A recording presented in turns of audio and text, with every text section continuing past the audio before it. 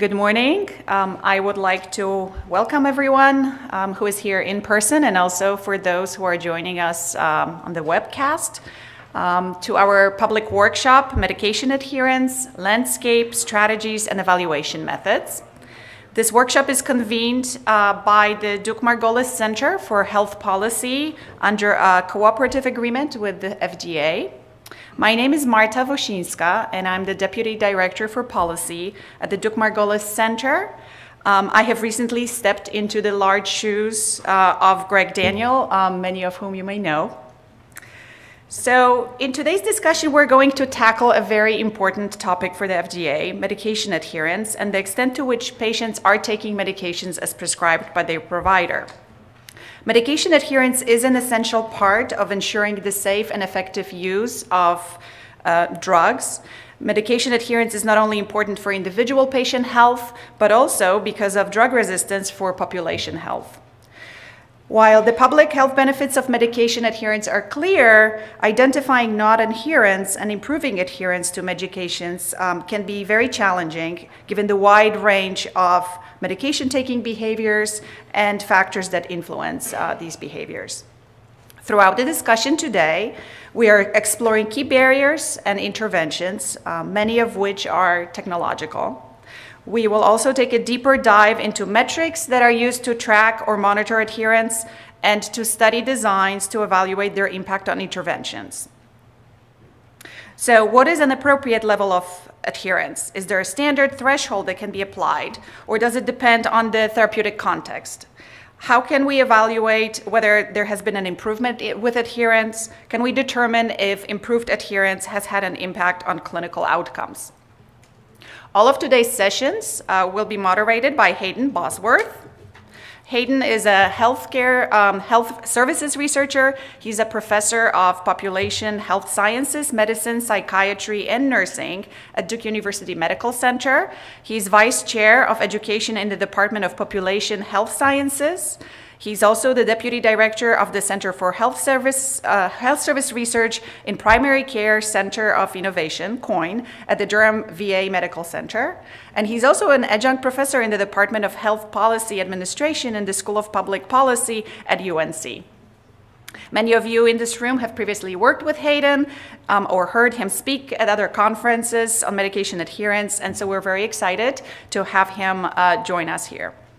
So, first, uh, a little bit of an overview for the agenda and a few house, housekeeping items before we begin. Uh, we will start the day with remarks from Jacqueline Corrigan Curay, who will provide FDA's perspective on the topic that we're tackling today. Jacqueline will be followed by Andrew Peterson of University of the Sciences in Philadelphia. Andrew will tee up the key questions and discussion topics for our panels um, throughout the day. We will lead into our first break at 10:30.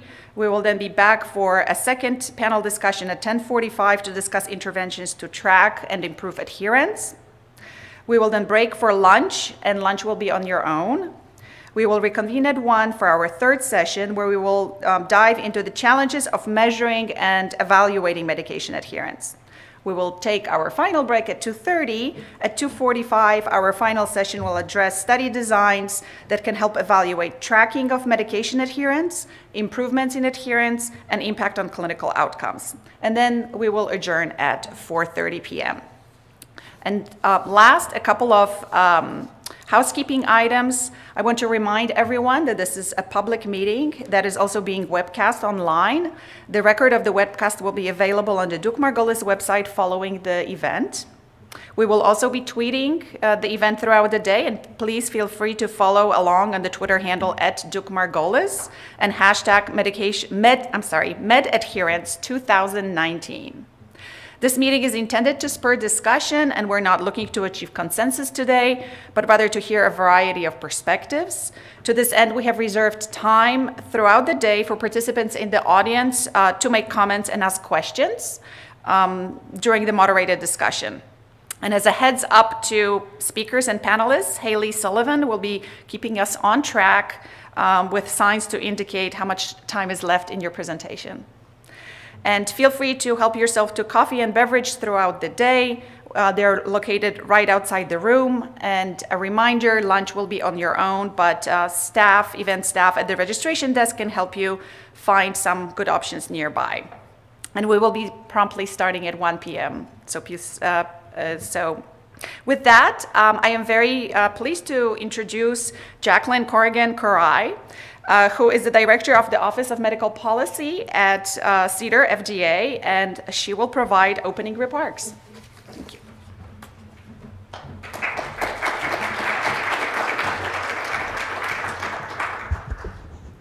Thank you, Marta, for that kind introduction, and thank everyone for being here. I really want to thank all our invited speakers and panelists. I know you've done a lot of preparation leading up to this, and we're looking forward to hearing from you today, everyone who's in the room, those online, and especially the patient and patient representatives for your interest in this topic that we're very excited to have a good discussion about. You know, we're defining medication adherence as the extent to which patients take their medication prescribed in agreement with their healthcare provider. And of course, as we all realize, it's an important and ongoing public health priority. You know, it's essential to really ensuring safe and effective use. That's how we test our medications when patients take them in a certain way. And to quote our former Surgeon General, uh, Dr. Koop, drugs don't work and people don't take them. But it's not easy. You know, we're sort of caught in this wonderful time when we have all these new medications that are so effective and really are helping us control diseases and even prevent diseases. But what does that mean for the average patient? So take a, let's say you're a man. Let's say you have a little bit of diabetes. Let's say you've had that diabetes for 10 years. So maybe I started you on one medication 10 years ago. Now it's a little less controlled, so you're on a second diabetes med because it also might control your cardiovascular risk. Maybe you've got some blood pressure with that, so I've started you on an ACE inhibitor. But that's not quite enough, so we've added maybe a diuretic. So we're now up to four, right? You're diabetic over 40, maybe you're on a statin. Maybe we decide to put you on an aspirin for primary prevention. Maybe you're lactose intolerant and you're on vitamin D. Maybe you've got cranky knees after your football injury and you're on Tylenol. So you can see just two medical conditions or three, it gets incredibly complex for patients. So it's important to the patients, but it's also difficult. But it's also a concern to their providers. It's a concern to our healthcare systems, and it has a major impact on health related outcomes. So there's now, there's always been considerable interest in this issue, but now we have new tools. We all carry around the ubiquitous computer we call our cell phone. And people are thinking about now how do we create and get more creative about medication adherence. We can add sensors. We've seen sensors added to the devices that deliver medications. We've seen sensors ingested with medications as a way to track how patients are taking their meds. So, as we think about how we're going to improve adherence, we also need to understand there's a lot of different approaches. How do we evaluate these approaches? Which ones are effective? Which ones are meaningful? We don't want to add more complexity without any benefit. And there are methodological challenges, and Marta sort of alluded to those, and I know we're going to get into those today. They include which populations do we do? How do we look at a control group that isn't, we're not intervening and measure their adherence if we're not really intervening with that group? How do we look at short term versus long term? What's meaningful when you have a chronic medicine that we hope to take for the rest of your life? So today we're here to really learn and leverage our experiences to better understand the opportunities and challenges of implementing and evaluating interventions intended to track medication adherence, improve it, and improve clinical outcomes, which is ultimately what we would like to get to. Today's workshop is timely. It really aligns with a convergence of interests and capabilities for evaluating and enhancing medication adherence. We are happy that all of you really bring a distinctive set of knowledge and experiences to the table, and we're really looking forward to understanding all these different perspectives. And we hope to leave here today that this public meeting will really serve as a source of innovation towards improving medication adherence, public health, and ultimately patients' lives, because that's why we're all here today. So I'm not going to take any more time because I want to hear from everyone else. Um, so I will turn the uh, table over to our first speaker. Thank you.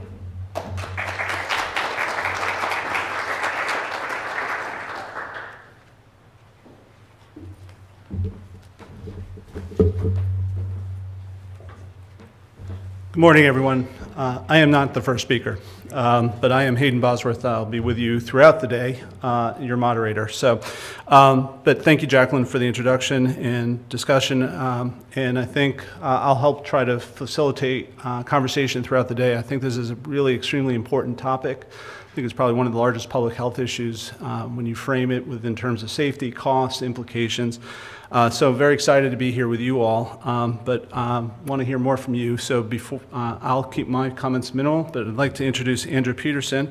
Andrew is the Executive Director of the Substance Use Disorders Institute and the John Wyeth Dean Emer- Emeritus at the University of Science in Philadelphia. He's also a Professor of Clinical Pharmacy and Professor of Health Policy, and previously served as a Dean of the Mayes College of Healthcare Business and Policy.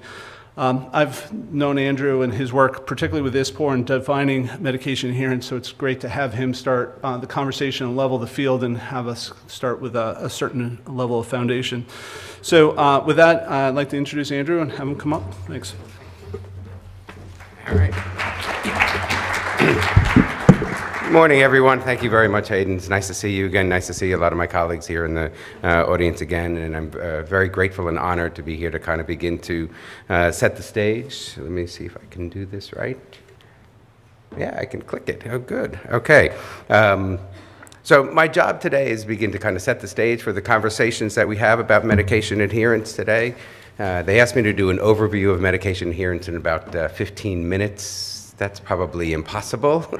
Uh, but I'm going to do the best to make sure that we actually have a, a, common language that we begin to talk about and then begin to uh, tee up some of the questions and discussions that we're going to have uh, during the course of the day. So. Um, I want to start off pretty briefly with some definitions of medication adherence. We've heard one of them already adherence, the extent to which a person's behavior, uh, and this is a broader one, taking medication, following a diet, or uh, executing lifestyle changes corresponds with agreed upon recommendations from a healthcare provider. Adherence is the common language that we talk about now, but it started out with years ago as medication compliance. Uh, and its uh, compliance has gone out of favor because people would consider that to be a little bit demeaning when we ask people to comply or be obedient with a, a healthcare uh, provider's uh, recommendations or orders in that respect. So uh, we will use and people use medication adherence and compliance uh, interchangeably, but the little bit more nicer term is medication adherence. But when we talk about adherence, we also talk about a few other terms. You'll hear things like uh, persistence and concordance. Persistence actually introduces an, an, element of time, the length of treatment as a factor. And I want to give you an example. A, a person who is persistent with their medication really has a, a, strong intent to make sure that they adhere or comply with the recommendations, but don't always meet them. And an example is somebody who is uh, taking medications, one of those seven or eight medications that our uh, FDA colleague had talked about, uh, and maybe they can't afford that one. Uh, and they start taking it, uh, it was prescribed every single day, but because it's so expensive, they start taking it every other day. And for a statin, it might be a little bit more forgiving so that they, uh, it's not going to affect them too much, but it still might. But their adherence is only about half now. But they are still persistent. There is an intention that they want to be able to adhere or to comply. And that's a very important concept that we need to consider because that person uh, behavior is uh, important is key to his or her success. And we, as healthcare practitioners and policymakers, have to understand what are some of those barriers that are uh, preventing that person from taking that medication as originally prescribed. They have that intention, so that's a good thing, but they may not be able to comply with it. Concordance is uh, a term that is a little bit broader. Uh, implies trust, agreement, harmony, uh, puts the patient as a decision maker.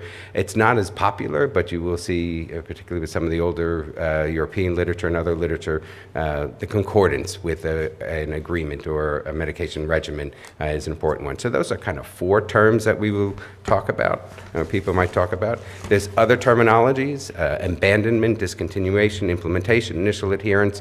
There are so many different terms that are out there, and we're going to kind of talk a little bit about them, and my colleague uh, Bernard Vrijens probably is going to address some of those later on today. But I want us to understand that abandonment and uh, initial medication adherence or therapeutic alliance all refer to that medication taken behavior that a person has, and they are just nuanced or different aspects of it. So as we think about this, we just need to understand that when we're talking about patients, we're, we're talking about these terms, we're talking about patients. Bernard will probably go a little bit more into this later, but the ABC taxonomy, the ABC is ascertaining barriers for compliance. This group uh, of individuals um, put together a nice taxonomy of uh, all of these terms, or m- many of these terms. So um, uh, adherence to medication is across the top. We have persistence and non-persistence, but they introduce terms like initiation, uh, implementation, and discontinuation of therapy. So uh, there are different behaviors that go with initiation, different behaviors that go with implementation, different behaviors that go with uh, discontinuation of therapy. And there are also other behaviors where people uh, take their medication to begin with, that initial medication compliance or primary uh, adherence, so getting that prescription to the pharmacy. So all of these uh, kind of combine together to bigger picture of what the patient is actually doing, that medication taken behavior. So the big thing I want us to think about is all of these words and terms. We are looking at uh, metrics, we're looking at terminology, we're really talking about a patient and a patient's behavior. So as I don't want us to get lost in that. As we are hearing some of the discussions today, I want us to realize that whatever we're talking about this, we are talking about an individual patient, and then that individual patient is part of a population of people. And as an individual, they behave one way, and as a population, they may actually behave in a different way. And we have to understand the differences and the impact of systems that would, uh, systems changes that have on a population may or may not impact the individual patient the same way. So, uh, as we go through the day, there are four panels uh, coming up. We've got the barriers panel, the interventions panel, the measurement panel, and study designs panel. The document that you have here, the discussion guide, is a really nice overview of some of the concepts that I just talked about today, but it also has those uh, discussion questions and a little summary what each of those panels is going to go through. So when you get a chance, if you're a, a reader, take a look through those, but I'm going to kind of address a couple of those as we go through now. I hope everybody did get a copy. If you didn't, they're out there. Okay. Um, the barriers panel, which I'm uh, part of, which I'm very uh, glad to be, is going to talk about uh, barriers to medication adherence. When I think of barriers, I start thinking about money. I think people not being able to pay for it, or that they don't have the insurance to be able to pay for it, or they don't have access to it. They can't get to the pharmacy, they can't get to their uh, prescriber, or they can't get that refill, whatever it might be. But we also need to think about their ability to take that medication. Do they have the health literacy to be able to understand the directions? Do they have the ability to understand how to integrate those things within their lives? So those are some uh, barriers. So as we think about this, your the colleagues of the panel is going to talk about care coordination, about people who are getting medications from cardiologists, from pulmonologists, uh, from primary care specialists. People who are getting it when they're being discharged from a hospital, when they're going home. So all of those care coordination pieces are part of those barriers. Medication synchronization. How do we align people's medications so that they can take them and get them refilled on a routine basis? What about pharmacy deserts, or places where there are no pharmacies or very few pharmacies around? What about the, the polypharmacy, that person with those two different diseases who are taking six or seven different medications. And then also we need to think about the symptom impact. Those people who may be in pain, who are depressed, or otherwise have other conditions that may have an impact on their willingness or ability to take medication. So we need to consider those barriers too. Come on. When we go on the interventions, once we identified some of those barriers, we need to think about interventions. Again, when I think about interventions, I think about reminder calls, and I think of apps, and I think of pill boxes, and I think of different packaging and switching drugs and things like that. But the interventions group is going to get a little bit more deeper and talk about some of those uh, thresholds and the analytics and the bigger concepts of behavioral economics and, and how does money influence behavior and how do behavior influence money. Biosensors and what, uh, how they can be integrated into it. Comparative effectiveness in the research that we are doing along those lines, and how do we use those real-world data uh, to be able to do it. And then tailored interventions. How do we identify a specific intervention for a given patient? And remember that that patient's intervention, what they needed today, may very well be different than what they need six or eight months from now because their life or their situation may have changed. So we need to think about all of those things. When we talk about the measurement panel, that measurement panel is going to uh, talk about claims data and sources of data. They're going to talk about subjective measures and objective measures. And they're going to talk about electronic monitoring and terminologies like MPR, PDC, et cetera. Again, some of those are defined within that document, but you're going to hear some of this language today that is going to talk about medication adherence. Our clinical trials panelists, they're going to talk about uh, optimal study designs. And this uh, diagram here really just kind of gives you an idea of you know high-level evidence like clinical trials and lower-level evidence of case reports. But I want to remind people that a case report is again about an individual patient. And sometimes when a, you're a practitioner, you're talking about an individual patient and how do you get that person to adhere to their medications. They're going to talk about implementation science, the idea of adopting uh, evidence-based practices to, in routine healthcare. That are going to talk about PRECIS 2, the Pragmatic Explanatory Continuum Indicator Summary, a scoring tool to kind of give an idea of what the uh, where the study lies on that pragmatic scale. We're going to talk about chronic disease states versus acute diseases. Medication adherence is different for people who have to take it for long term versus a short term, so we need to think about some of those things.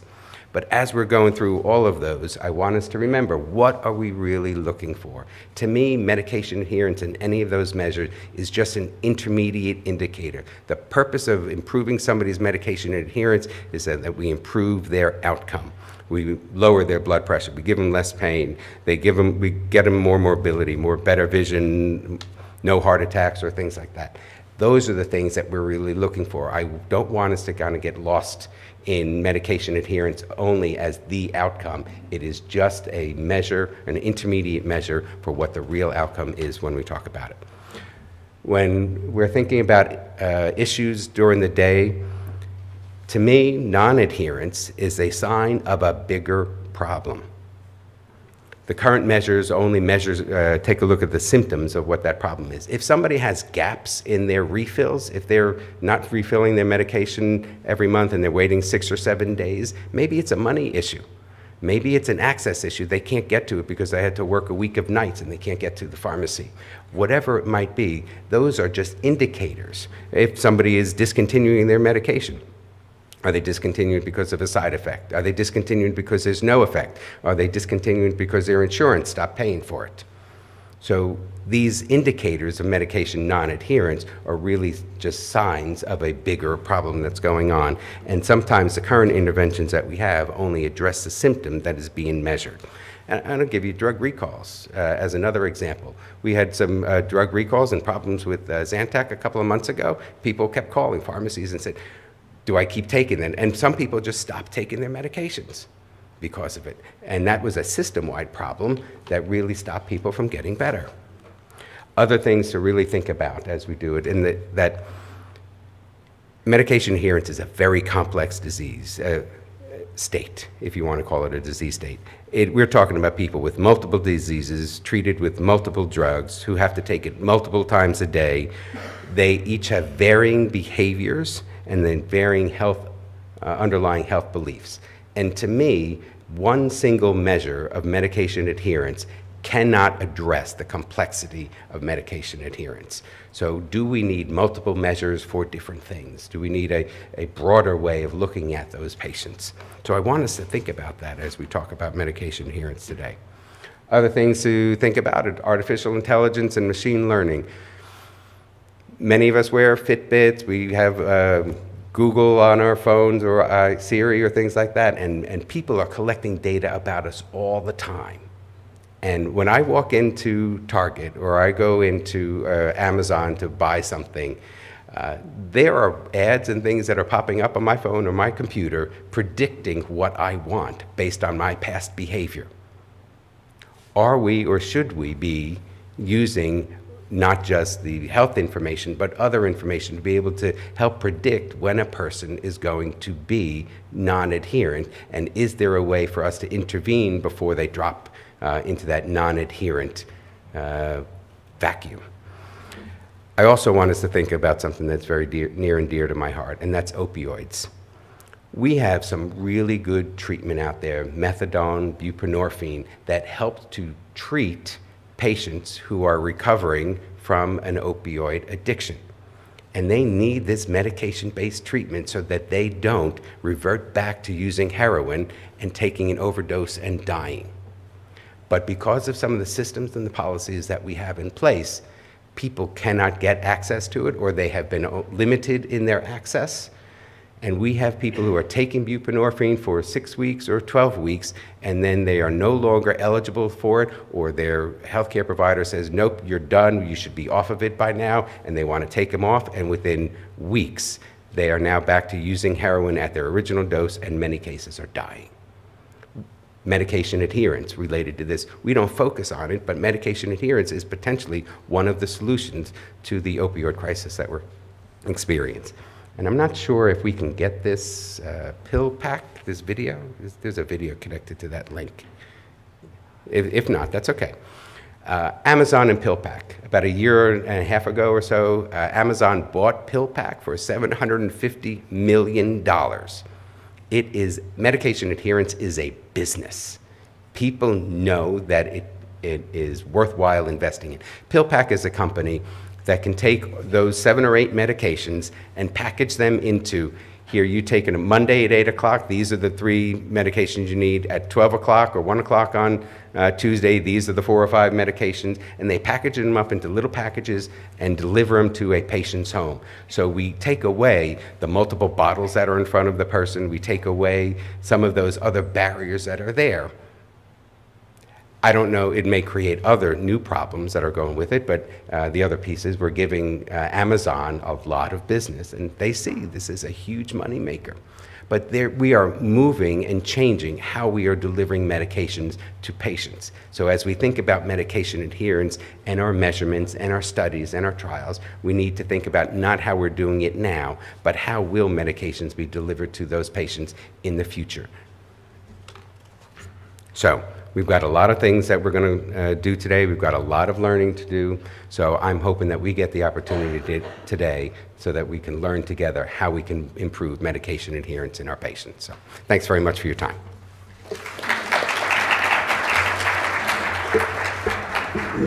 You want me up here? Okay, thanks, Andrew. Uh, Those in the back of the room, uh, feel free to come forward. Uh, We won't embarrass you because you came late or anything, but just uh, find space wherever. Um, So we're going to move on to session one, key barriers. Uh, As uh, Andrew said, just a couple quick comments, though, for us to think a little bit about.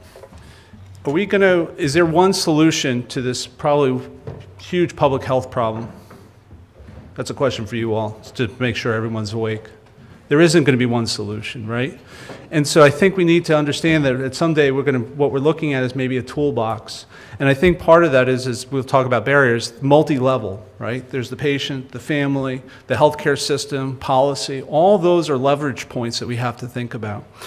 The other point I just want to make is, is that uh, we've identified over 100 factors that are barriers to non-adherence. So if we already know that there's a lot of problems there, uh, and each individual has their own issues, we need to think a little bit about how we tailor and personalize. We need to think about how our solutions fit into the system. Just because we can build something doesn't mean it's the right thing. And I have a slide that I usually use, which is the cart before the horse and really thinking about using implementation science as we get into some of the methodology. How can we do this more effectively, more efficiently, and think of the context of how we put this in place? So um, I, I believe this is, again, as I said before, one of the largest, biggest public health issues. I also think uh, one thing for us perhaps to level the field, I think most of what we'll be talking about is uh, chronic medication, but I think as Andrew mentioned, uh, when we talk about adherence, that also may be de-implementing, de-prescribing, taking away. So there's a lot more we can talk about, but I think for most of what we uh, will be talking today, it's the uh, assumption that we're on uh, medications for chronic disease for a longer period of time. But I think, in the back of your mind, think that there's also other examples that we should be thinking about. Okay, so let me, uh, very excited to introduce our panel. Um, I have a script. I feel like a, a mo- real true moderator with this, so uh, I'll try to stick to this. Um, so um, we have uh, Michael Wolf, who's the James Webster Jr. Professor of Medicine and Director of the Center for Applied Health Research on Aging within the Feinberg School of Medicine at Northwestern University. One thing you'll notice is, is that particularly those of us in academia, we have a lot of titles and uh, affiliations, uh, but uh, Mike is a really great guy and does really terrific work, you'll see momentarily. Um, David Evans is a public health consultant and patient advocate. We have Marie Brown, professor in the Department of Internal Medicine at Rush Medical College. She's a physician director of practice redesign for the American Medical Association and past governor of the American College of Physicians. Um, to her left, we have uh, Matthew Loper, who's the CEO and co-founder of Wellth. And then uh, you've already heard, but Andrew will uh, finish this up, and he's the executive director of the Substance Use Disorder Institute and the John Wyeth Dean Emeritus at the University of Science in Philadelphia. Um, so the uh, panelists will give an overview, six to eight minutes. Uh, Haley will be, uh, she has a uh, a gong, so she will really hit, no, she'll, she'll um, bring it to your attention. Uh, And then we'll open it up for discussion afterwards, and I'll try to help facilitate that discussion. So, Mike, you're up. This is like speed dating for adherence. Um, so uh, again, in six minutes or so, um, I'm just going to quickly walk through. Uh, this is this panel uh, is mostly focused on thinking about barriers, and and I, I think Hayden said this uh, at the very start that medication adherence I find so fascinating. Most of my work has been focused broadly in self-management of chronic disease, but it is what I would say arguably the most um, prevalent and also most dynamic health behavior.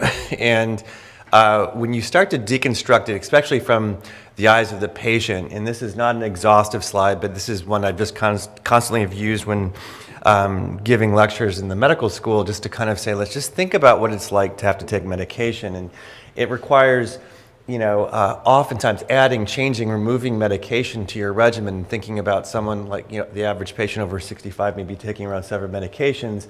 You've got a multiple drug regimen with variable doses throughout the day. You've got uh, multiple devices possibly, so routes of administration may vary. And this is a big thing we always try to figure out. How do we assess the salad pills that you're taking in your organizer, but what about the insulin that you're also using? And, and that's become a big issue in terms of measurement. Tapered and escalating doses, uh, doses dependent on measurement. If you're looking to see, you know, how much you weigh in the morning to figure out what, uh, you know, your water pills that you're taking, your diuretics. Uh, daily versus non-daily medication, limited duration versus extended duration, the guest appearance medications or the pro re nata or PRN meds that you kind of sprinkle in.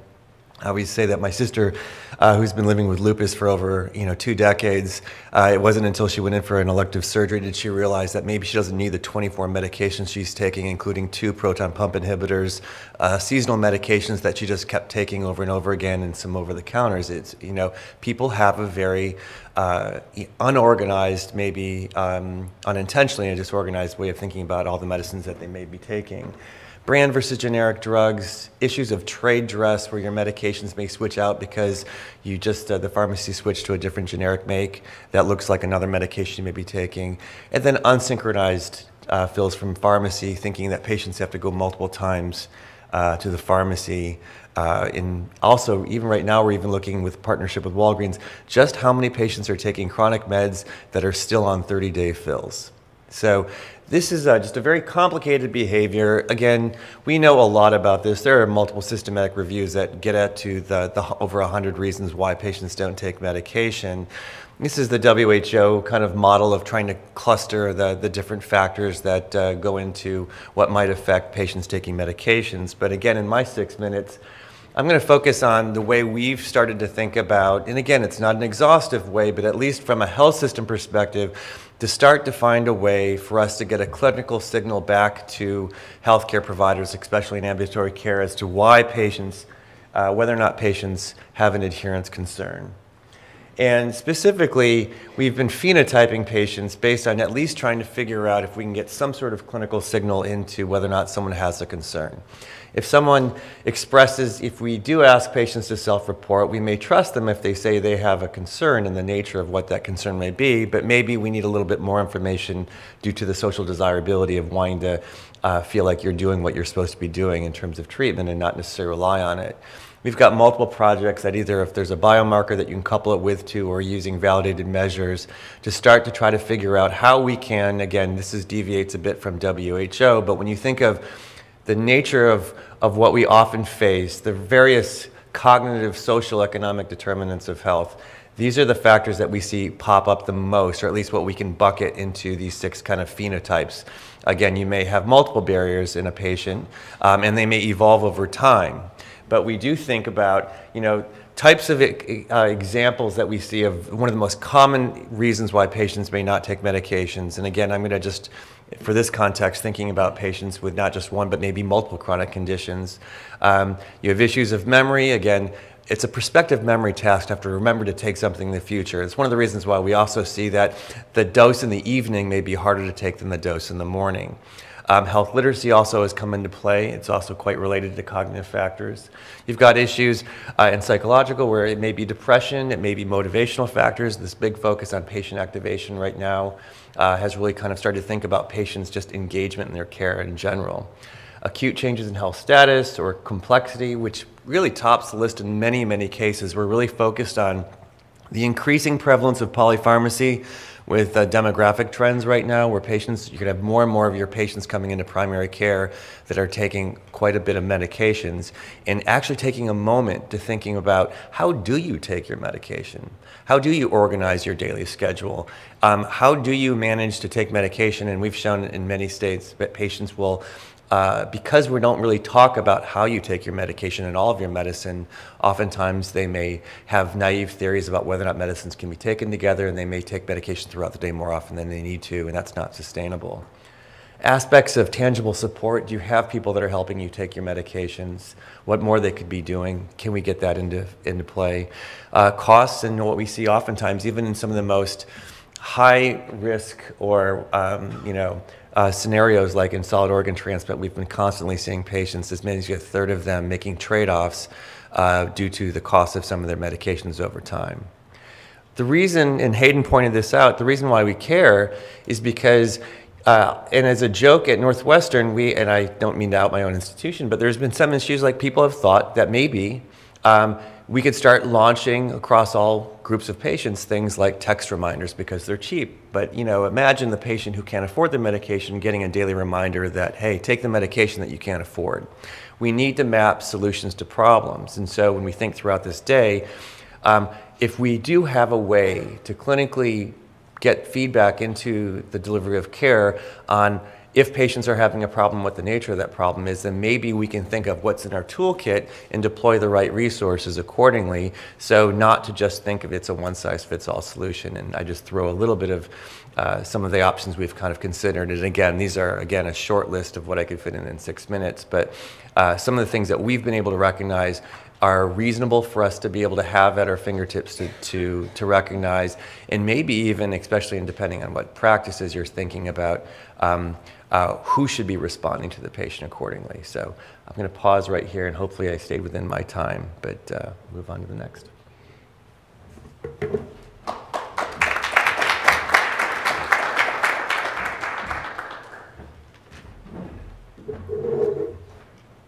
Hi. One of the best things about being a patient advocate is I don't have to wear a tie, which is great. Um, let's see, how do I forward it? There we go. Um, this is hardly original, but um, the reason I put it up here, the fact that adherence really is an ecosystem, is that the moment that the person actually consumes the product, that's the furthest downstream. And if we don't change everything that's upstream, that can't change. And the other part of it is that often where that product gets taken is in this murky pond of things that we often don't measure as well. And I, I'm going to argue that they're incredibly important, um, but often unseen, not because the patient isn't aware of them or even their provider or pharmacist is because they were never measured in the first place. And if you don't measure something, it doesn't exist. As, you know, at least as according to science. Oops, I don't know what I did. Can you go to the next slide? There we go. So, what is beneath the surface? What is lurking in that pond that we often don't uh, address? Next slide. Uh, social isolation and stigma. I think these are incredibly important drivers of non adherence that we often don't look at. Depression and anxiety has been mentioned. Um, insurance and provider churn. Um, one of the, the downsides of the Affordable Care Act is that oftentimes, as the plans change, as the providers change, as the pharmacies change, it introduces a lot of complexity. And the thing about um, adherence is it's not just persistence with the medication, it's having enough persistence with the system to overcome the challenges that you might encounter in trying to get that medication in the first place.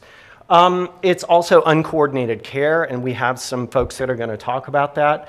And also, something that has been my experience, and it has actually been one of the most important factors in my own adherence, is a failure to acknowledge the fact that it is the products that failed me, not the other way around. It's the systems that failed me, not the other way around.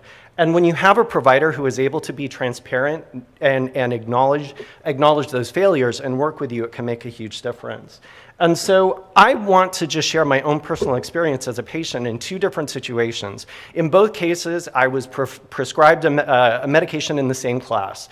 The first time around, I ended up having to go to a public health clinic, even though I had a pretty decent income and health insurance. But if you lived with a mental illness in New York City in the 1990s and early 2000s, try finding decent mental health care without paying out of pocket. No one accepted insurance. So barriers to medication that way. The pharmacy at the clinic that I went to was only open from 9 a.m. to 6 p.m. Try getting your medication if that's your only way to get access to the medication. I had a clinician who prescribed the medication that I was on, which caused me to gain 40 pounds in four months, who was insistent that the reason was because I had an increased appetite and was eating junk food late at night. Because most of his other patients, as he said, that was the problem. In fact, that wasn't the problem. And subsequently, clinical research indicated that no, there's probably other stuff going on. That wasn't just the patient, the product was failing me. Fast forward, and so not surprisingly, after nine months with that provider and that medication, I took myself off. And I think that was a reasonably rational choice at that time. But therefore, I fell into that class of, of, of uh, patient who was non persistent. Now, fast forward a number of years, I'm taking something in the same class of medication, only this time the side effect is facial tics and fidgetiness of my legs that is so bad that I would sit on these panels and I would be fidgeting so bad the table would shake. And the person next to me would be like, whoa, whoa. The problem is if you're living with a mental illness and the stigma is so intense, especially if you're trying to, to, to be in a public capacity, how are you supposed to admit the fact that, oh, I'm taking a medication that causes me to fidget so bad, I'm causing the table to shake? So the other, the, what happened though was that the provider that I had acknowledged that the product was the problem the provider was willing to try and give me prescriptions that would help me manage those problems. Unfortunately, the prescriptions meant I had to take medication three times a day. Let's not talk about the nighttime dose. What about the afternoon dose? I don't know how many of you can do that. Um, unfortunately, those products didn't work. And the thing that I was dealing with meant that I could have permanent problems. Ultimately, I did go off of that medication. We were lucky enough to find another one, but I persisted with that medication for four and a half years. And that was because the provider worked with me. And the problem is that if we're not measuring those things, stigma, social isolation, provider relationship, along with these other factors, we're going to miss something important. And the reason I say that is not to scold, because if you're here, obviously you care. If you're watching, you care. I say that because if we're not measuring the right things in the right order, we're going to miss them. And our interventions to aid adherence won't be effective and they won't be replicatable in additional studies. So I think that's incredibly important from a scientific perspective. Next slide. So, patients, providers, and pills, which ones do we measure first? Do we measure them alone? in what combinations, and how do we measure some of these other, quote, murky or soft science issues that sometimes can really drive non adherence or persistence, but we don't know about it because we don't look at it. So I'll leave it there. Thanks. Okay.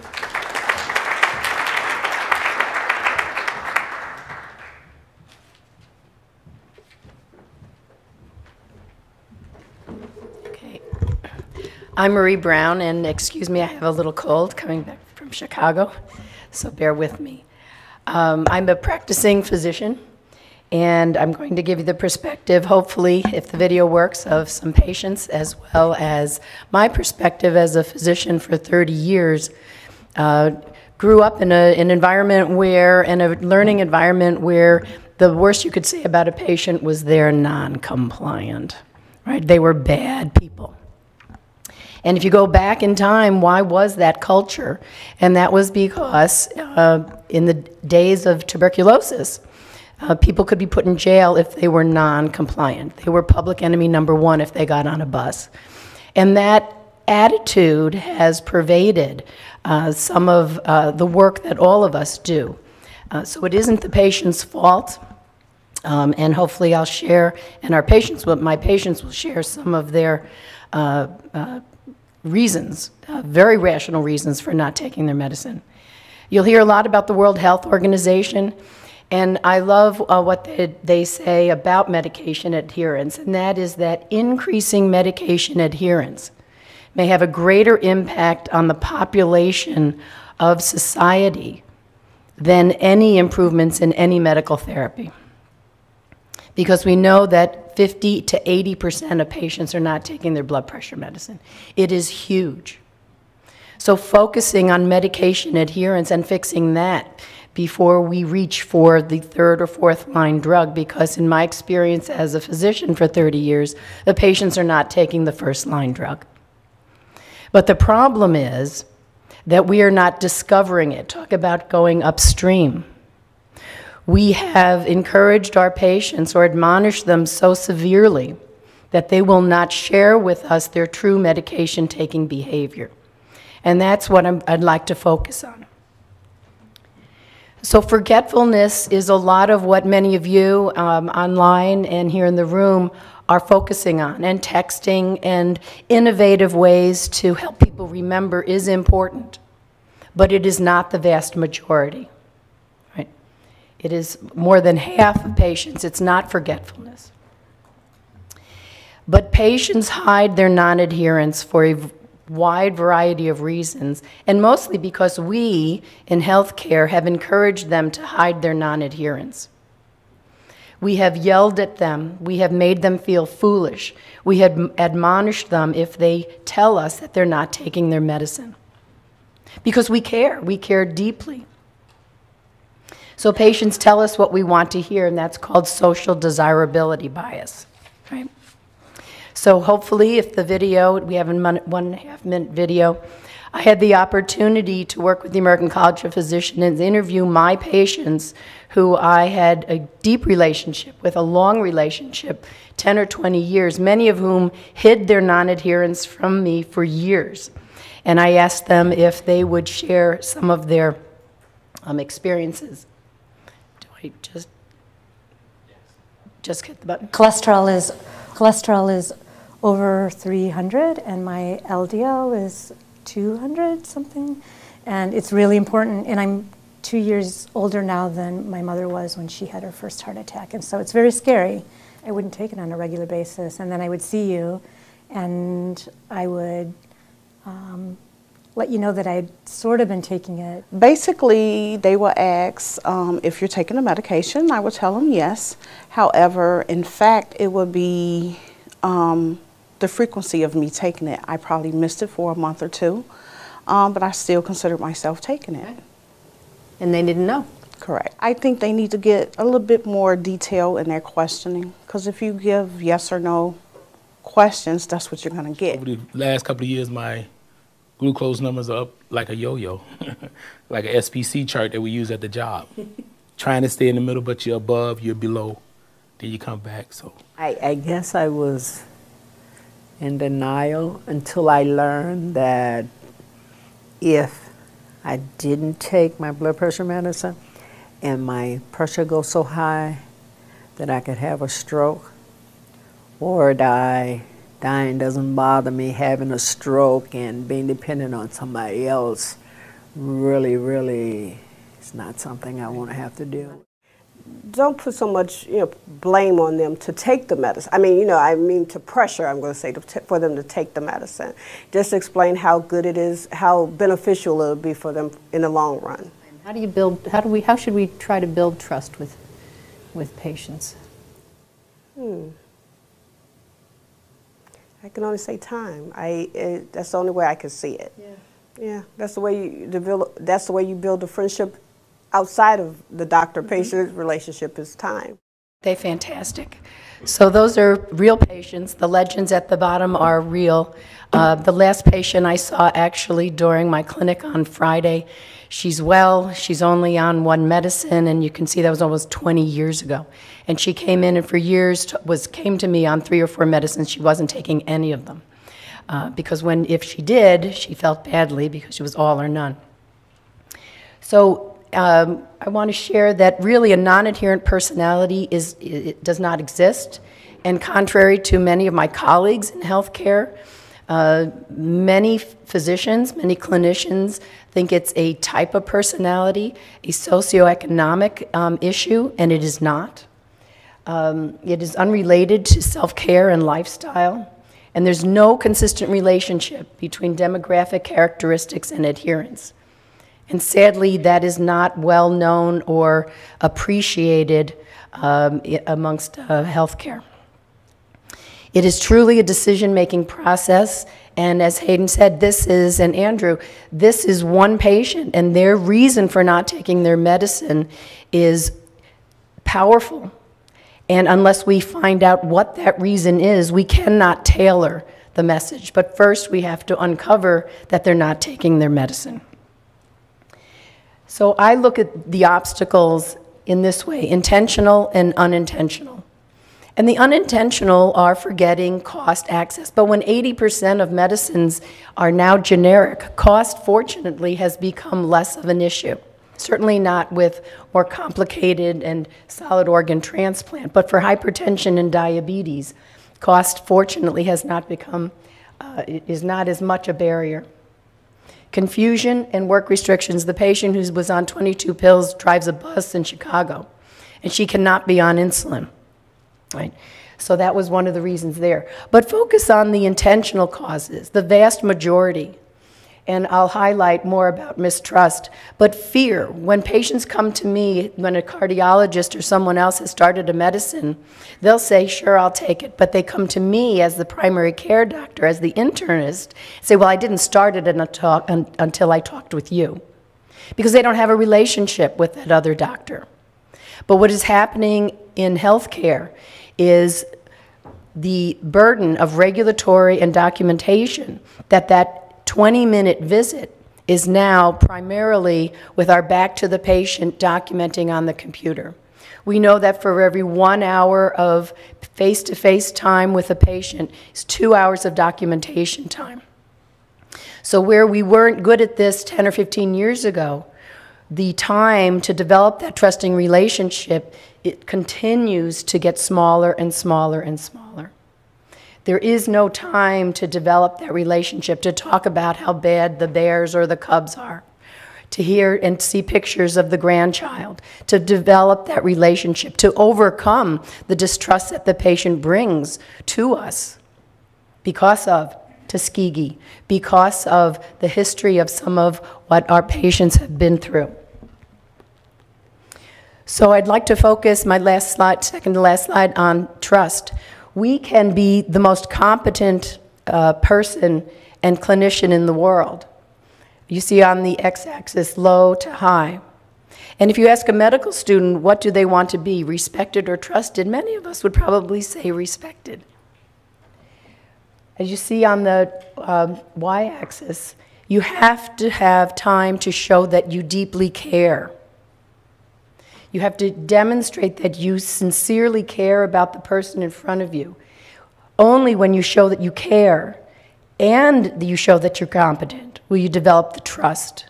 that will allow the patient to overcome uh, their maybe cultural distrust and see you as someone who t- deeply cares and has their uh, health first and foremost.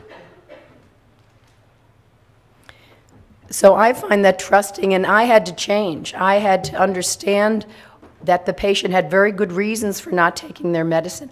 I had to change before I was able to help my patients comfortably share with me that they were not taking their medicine, and then try to figure out what the reasons were. And again, there'll be a hundred. If you have a hundred patients, there'll be a hundred different reasons, all fascinating, very interesting, and very rational.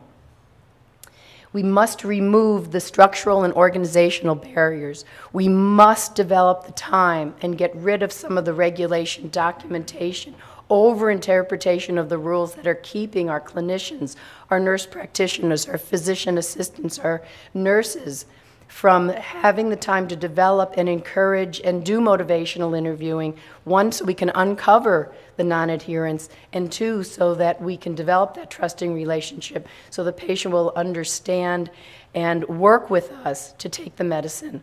Tailor that, that, me, that message so that they are motivated to take the medicine. But our work is really ahead of us. It is very broad, as you've heard today. Um, I thank you for your time and your tremendous interest in this. We have a lot of work to do, and I hope we can do it together. Thank you.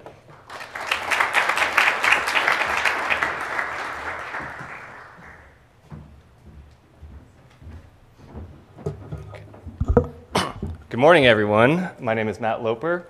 I am the CEO and co founder of Wellth. And what we do at Wellth is we apply the field of behavioral economic research to healthcare problems. And one of our biggest areas of focus is improving adherence and therefore outcomes for patients that we serve. So let's start with why we do this. Um, I think, as you've seen today, there's a huge amount of barriers to adherence. What I like to do is I like to start to think about the patient. I think every one of us has a loved one, a family member that we know, that we know their patient journey. We know the barriers that get in the way of them doing the thing that they rationally know they should, but then don't end up doing. So when people talk about behavioral economics, when I describe it to my mom, what is it? It's um, understanding why people actually do the things that they actually do. Because we used to assume humans are rational, and given a choice, they will make their own choice in their own best interest. What we've learned is that assumption is often false if you understand how and why they make these decisions, you can overcome them for the better. So the patient I like to think about is my uncle on my mother's side, Uncle Roy. He was, he always intended to do the right thing. We said, Are you going to take your medications? He'd say, Of course. Are you going to go see your doctor? Yes. Um, are you going to change the way you eat? He was diabetic, very poorly controlled diabetic. And he would always say yes, yes, yes. And then you would ask him, Did you actually do that thing? Did you take your medications today? Did you even pick them up? No, I haven't made it to that part of town. Um, did you go to see your doctor? I haven't had time yet, right? There's always this gap between the intention and the behavior, right? So what we really focus on is how to bridge that gap. And we heard from Dr. Peterson a whole slide on all these barriers to adherence. Let's assume we solve all those upstream barriers and get the right drug to the right patient. There's still this huge behavioral gap where Uncle Roy knows rationally he should be taking his metformin. He knows it's good for him. He knows it's going to help him down the road. The problem is that when he takes it right now, he feels no different right now. Versus the Snickers bar on the table, he rationally knows has too much sugar and he shouldn't eat, tastes really good right now. So this is one of these core cognitive biases that behavioral economists call present bias. Simply put, we're motivated by the instant and tangible gratification we get from a behavior, not what we rationally know is good for us.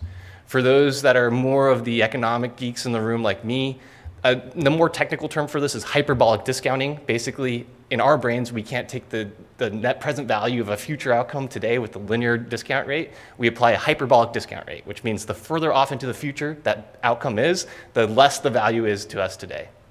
So let's keep that in mind when we think about the patient journey, right? And let's just abstract all of these barriers of adherence down to one simple equation, right? For any behavior, your subconscious is basically saying, what is the immediate cost of doing this behavior versus what is the immediate benefit? And we heard all sorts of immediate costs of doing this behavior, right? The time and cognitive effort it takes to even pick up those prescriptions and then remember to take them every day. The real or perceived possible side effects from taking that medication. Um, the financial cost of filling that prescription. The list goes on and on and on. What is the immediate benefit for most drug classes? Zero, right? There's only the rational long-term benefit. There's no immediate benefit. Let's think about the, the drug classes where we have an overadherence problem. They give us this really nice feeling, right? They're the opiates, they're the stimulants. There's this immediate feedback loop as soon as you take that medication. So let's use that framework and think about all the interventions that are currently being tried to overcome medication adherence, right? They combine some form of these three interventions. Let's push more reminders on patients. That quickly becomes very annoying to a patient like Uncle Roy, who, you know, he quickly turns that off or tunes it out. Let's push more education on him. Let's teach him about his diabetes, how it works, why he should be taking his metformin. Again, that's just more rational information. That doesn't move the needle for Uncle Roy. And then finally, there's all these connected devices. Let's put a chip in the pill. Let's put a chip in the pill bottle. Let's put a chip in the injector and the inhaler, whatever it may be, so we can watch him, so we can measure him, and so we can get data on if he is taking that medication or not. Well, what does that do? We now have a very expensive pill bottle sitting on Uncle Roy's counter telling us he's not taking his pills every day. He's not any more motivated to take it. It's a great way to measure data, but is not a great intervention to overcome this present bias issue. So, how do you give that immediate and tangible benefit for the behavior? Well, there's a number of ways. One scalable way um, is by using financial incentives. Simply put, we're going to pay patients like Uncle Roy to take his pills. It sounds easy. Um, it's actually extremely nuanced, extremely complicated. Uh, what I like to say is behavior science is not a hard science. It's not like chemistry, where if you give five research groups the same five interventions, you're going to get the fi- same five outcomes every time from that chemical reaction. In behavior change, it's contextual, it's nuanced, it's very complicated. So there's a whole host of um, interventions that we combine, and you'll hear a lot about those later in the intervention panel. But we really focus on how do you motivate that behavior change to happen, and that differs based on different groups, right? Some, some socioeconomic groups require more money to change their behavior versus less. How do you structure that incentive to maximize its outcome? Well, we use um, what's called the endowment effect, where we give the progress up front. We say, here's, a, here's some money, here's $30 for, for Medicaid and dual eligible patients, here's $50 for commercially insured patients. And every day that you don't do the behavior, we're going to take away two of those dollars. So it's the same amount of money, but by flipping it and saying, we're giving you the progress up front and taking away for not doing the behavior, you can produce up to twice the behavior change. Finally, how do you form a habit that sticks? We don't want a one time behavior, we don't want a one time outcome. We want to create a habit that lasts the course of a patient's lifetime. And the way that you do that is a series of repetitive trigger, behavior, and reward. Trigger, behavior, reward. Every day, the reward has to be salient to the behavior as it happens and reinforce it itself. So, a bunch of studies have been done in the space um, starting to show that if you just give that reward every day for 90 days, you can create this lasting habit formation over longer time frames. Here's a study from the Journal of Clinical Hypertension uh, in 2015. Um, here's a great study showing non-medication behavior, same concept, right? Uh, this is from the University of Pennsylvania Center for Health and Science of Behavioral Economics, uh, study that was published in 2014, where they showed, again, if you reinforce the behavior every day of using connected devices, you can create lasting habit formation. So at Wellth, you know, we're a company, we're a startup, we're a digital health startup. We work with academic researchers, we do our own RCTs, but we're also a commercial enterprise. I want to show you quickly just how we combine all these different interventions that the, the academics have created uh, and really improve on them and scale them. So again, we offer Uncle Roy up front, here's $30, just download this app. That's your money as, as long as you download this app, right? That's the endowment effect. That's the same reason that American Airlines says, hey, if you sign up for a credit card today, you'll get 60,000 miles up front, right? By giving that progress up front, you get way more enrollment into that offer. On a daily basis, take a picture of your pills, your blood pressure cuff, your glucometers, your scales, your meals, your CPAP therapy, anything that's in your care plan, make sure you take a picture of it before you do it, or we'll get the data off the connected device. If you don't do any one of your required care plan behaviors, you're going to lose $2 for that day. And then that's re- reinforced every morning through sort of uh, trigger, behavior reward, trigger, time to take a photo of your pills to avoid the loss of $2. He's able to bridge that intent behavior gap, put the pills in his hand, snap the photo of the pills in his hand. We give him this immediate salient credit. Great job. You've kept those $2 for the day.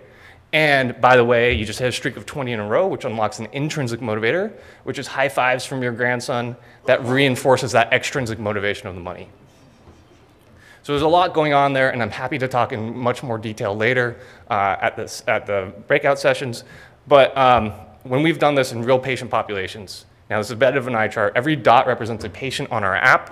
The darker the dot, the more care plan behaviors are required of those patients per day. So you can see the very dark dots are up to five different behaviors per day. And again, that's multiple medications, multiple times per day, but also other aspects of care plan, glucometer readings, blood pressure cuff readings, scales, et cetera. And if you see each column represents a different patient population, you see the repeatability here of the results we've been able to generate. We mostly select for previously non-adherent or poorly controlled populations, and we um, you know, do this over long time frames. So some of these populations in the middle have been with us for two plus years now. What you can see here is that line there is 80% compliance, which is an industry guideline for non-adherent versus adherent. We're able to get 80% of the individuals we enroll over that 80% threshold. And again, we're selecting for the previously non-adherent folks. And if you look at the average adherence rate, it's 89%. Then if you look at each column, each one is between an 85% and 93% average adherence level. This is across many different disease states. So you can see multiple chronic conditions, CHF, uh, COPD, asthma, diabetes, uh, um, cardiovascular disease, the list goes on and on, even behavioral health conditions, serious mental illness. Um, about 80% of our population to date has been Medicaid or dual eligible. And we have um, some very elderly groups. We have a 97 year old who's been on our app for two years now. She was 95 when she first enrolled.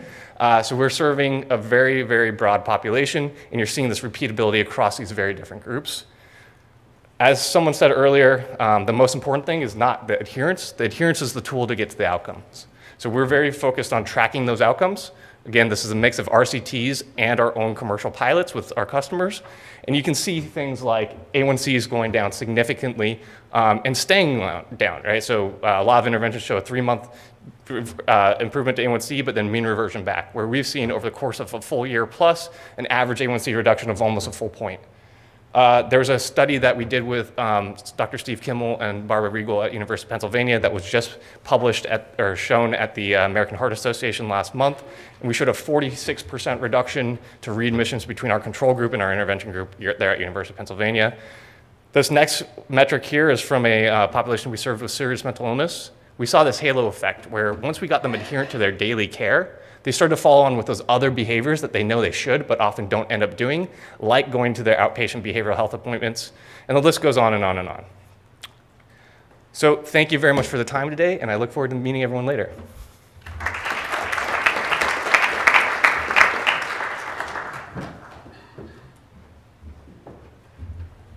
How we doing on time? Okay, great. All right. Um, Thanks uh, again for being up here. I, I, just wanted to take a quick time to recap a little bit of what I heard uh, from some of the folks here. It, it, was really interesting. The, the themes that were coming out here for me were that experience with the re- provider and the trusting relationship is a key element to medication uh, adherence. We heard people talk about um, that poor provider relationship and not understanding what was going on with the individual patient led to non adherence. We heard people talking about that trusting relationship and ability to be able to begin to help map some of the solutions and take some of those barriers away because that there was that trusting uh, relationship. And the mod- behavior modification that comes along with all of those has to come from that kind of trusting relationship. And sometimes we think about that trusting relationship with that prescriber, but uh, some of the other uh, healthcare professionals that are out there are also key. The nurse, the pharmacist are also part of that uh, prescriber relationship, and a trusting relationship needs to be developed to be able to take away some of those. So it was really interesting to kind of hear the themes that everybody had said when we talk about barriers. It really comes down to that relationship. And I really appreciate that because then we're thinking about that individual patient in my mind, I need to talk about some of the uh, system level kinds of issues. And I'll go fairly quickly about these. I want to talk a little bit about pharmacy deserts, care coordination, transitions of care, and medication uh, synchronization. And I want to make sure that we have enough time for questions and moderation by uh, Hayden. Pharmacy deserts, by the way, I just realized that this was the, down here. I kept looking over here. Um, Pharmacy deserts are the geographic areas which lack an access to a nearby pharmacy where pharmacy services are scarce or difficult to obtain. And I learned about this a number of years ago when I saw a television report uh, about a county within the Pennsylvania area where there was a couple of small community pharmacies within a, a region and serves a, a, small population. And then within uh, uh, a time period, they had uh, Walmart that came in and had a pharmacy. And within about a year or two after that Walmart, those two independent pharmacies wound up closing because of the competition. And that Walmart was then the primary pharmacy for that region. Well, a couple of years after that, Walmart decided that it was not a good business for them to have Walmart in that region anymore. And they closed. And therefore, they closed the pharmacy. So those folks within that area now had nowhere to get their medications but for pharmacies that were 20 plus miles away. And that created what we call a pharmacy desert. We may see some of those things with food deserts, that's kind of the analogy out of it, but that's the pharmacy desert concept. Uh, the work that we've done at the University of the Sciences had mapped out um, pharmacy deserts at the county level within Pennsylvania. The uh, bluer ones are the ones where there are no pharmacy deserts and that is uh, pharmacy within access within a mile within certain regions. And this is for elderly patients. So this is we used uh, elderly patient data. So we were looking at a specific population as well. The dark red ones were where pharmacy deserts uh, had occurred. And then the yellow ones were uh, midway. The orange ones where there was close to a pharmacy desert but uh, access to pharmacies was limited but it was still reasonably accessible there. What we identified though that was uh, in places where there were pharmacy deserts, those dark red ones versus the dark blue ones, there was a significant difference in uh, medication possession ratio uh, in those where patients within a pharmacy desert had a significantly lower MPR than those who lived in the um, non-pharmacy deserts, in places where there was an access to pharmacy. So this is a system-wide issue, and it's a policy issue for the payers within the Pennsylvania area to make sure that there is access to pharmacies in those areas. So that was the concept of that, and it takes us to out of that patient, but it brings us into, well, what are the other barriers that we need to make sure of, uh, and access to one uh, in terms of pharmacy deserts. Another similar one is the coordination of care. And we, we know this is a huge fragmentation of care. People are going to multiple providers. They do a cardiologist one week, a pulmonologist another week, and then a PCP a couple of weeks later. And very interesting, I think Marie had mentioned this, uh, where one of her patients had gotten a uh, received a prescription from a uh, specialist, but chose not to take it until the patient talked to her uh, about it. And that was that part, that trust piece of relationship. But that's that fragmentation of care. If there was some potential for communication sooner than that, that patient could have taken that medication right from the beginning. But that delay had really uh, delayed the initiation of those medications. And people who were being discharged from hospitals, uh, when I was doing uh, my uh, residency training down in Medical College of Virginia, um, we had a patient who came into uh, into the hospital because of some pain, wound up uh, getting some medications while they were there, and then was discharged on, it was a nonsteroidal anti-inflammatory. When she went out, back in, she started, continued to take that medication plus the nonsteroidal anti-inflammatory that she had back at her home. She started both of those uh, and continued to them. And two weeks later, she was back in the hospital with acute renal failure because of the increase of the nonsteroidal anti-inflammatory drug. So medication reconciliation and uh, communication is a really important part that we don't really do well enough to be able to help coordinate some of those cares. Care. And then multiple medications, asynchronized uh, refills and uncoordinated refills. Somebody had mentioned this too, and I want to talk a little bit more about this uh, synchronization, and that is aligning the prescription refills to occur at the same time on each month or each quarter. So that person is going to the pulmonologist, the cardiologist uh, every other week, and then the primary care physician is then also going to the pharmacy the first week, the second week, and the fourth week of the month. Pharmacies love that because every time a patient goes into the pharmacy, not only are they picking up uh, prescription medications, they're picking up uh, greeting cards, they're picking up stuffed animals, they're picking up some candy or things like that. So there's a business that goes along with this. And that's a barrier that we need to consider. But at the same time, if the patient is not taking their medications, they're going to wind up losing business as well. So, uh, medication synchronization, uh, one study published by the National Community Pharmacists Association, NCPA, did show that patients who were synchronized, and that is that they were getting all of their medications refilled on the same day each month or each quarter, actually had a higher PDC, um, proportion of days covered, than those who were not synchronized. It takes effort by the pharmacist and the patient. This is where some of that trust comes in, where they have to give the patient extra medications or hold back a couple of medications so they can get all of those doses in sync and that is an important piece, but that takes some time and effort and usually takes uh, some uh, coordination. Uh, but that is really important because then that will help improve our medication adherence. and then I, the barriers, I just kind of summarized this a little bit already, so uh, that was my last kind of slide. But I just want us to remember that uh, as we talk about the barriers and the interventions, again, we are talking about individual patients, but there are system-wide kinds of things which impact those individual patients. So uh, thanks very much for your time. I appreciate it.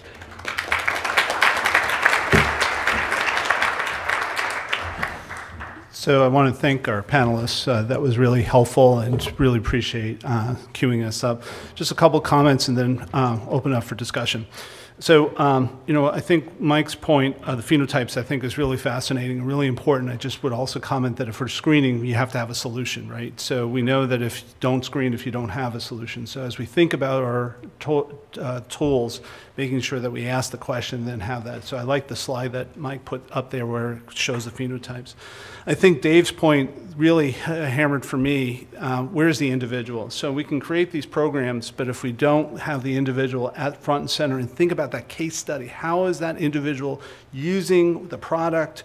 Um, we miss something. It's really easy to look at aggregate, big data is a big thing, but we lose a lot, I think, in that. I also think that from Dave's perspective, it made me think about, um, David's perspective, the psychosocial factors. So when I look at existing databases and I talk about predictive analytics, and I'm using my claims data to predict who's going to be non adherent, that's great data.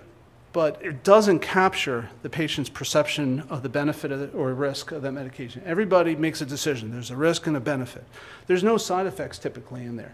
There's no ability to pay that's typically in there. There's no perceived value of that medication. So, all these psychosocial factors that I think really come to bear that also Marie pointed out are not easily obtained. And that actually requires us to go out and directly contact and interact with the patient. So we have large databases, they're growing, and those are wonderful. But that's just one part of the tool, but being mindful that it doesn't capture all the other important pieces there.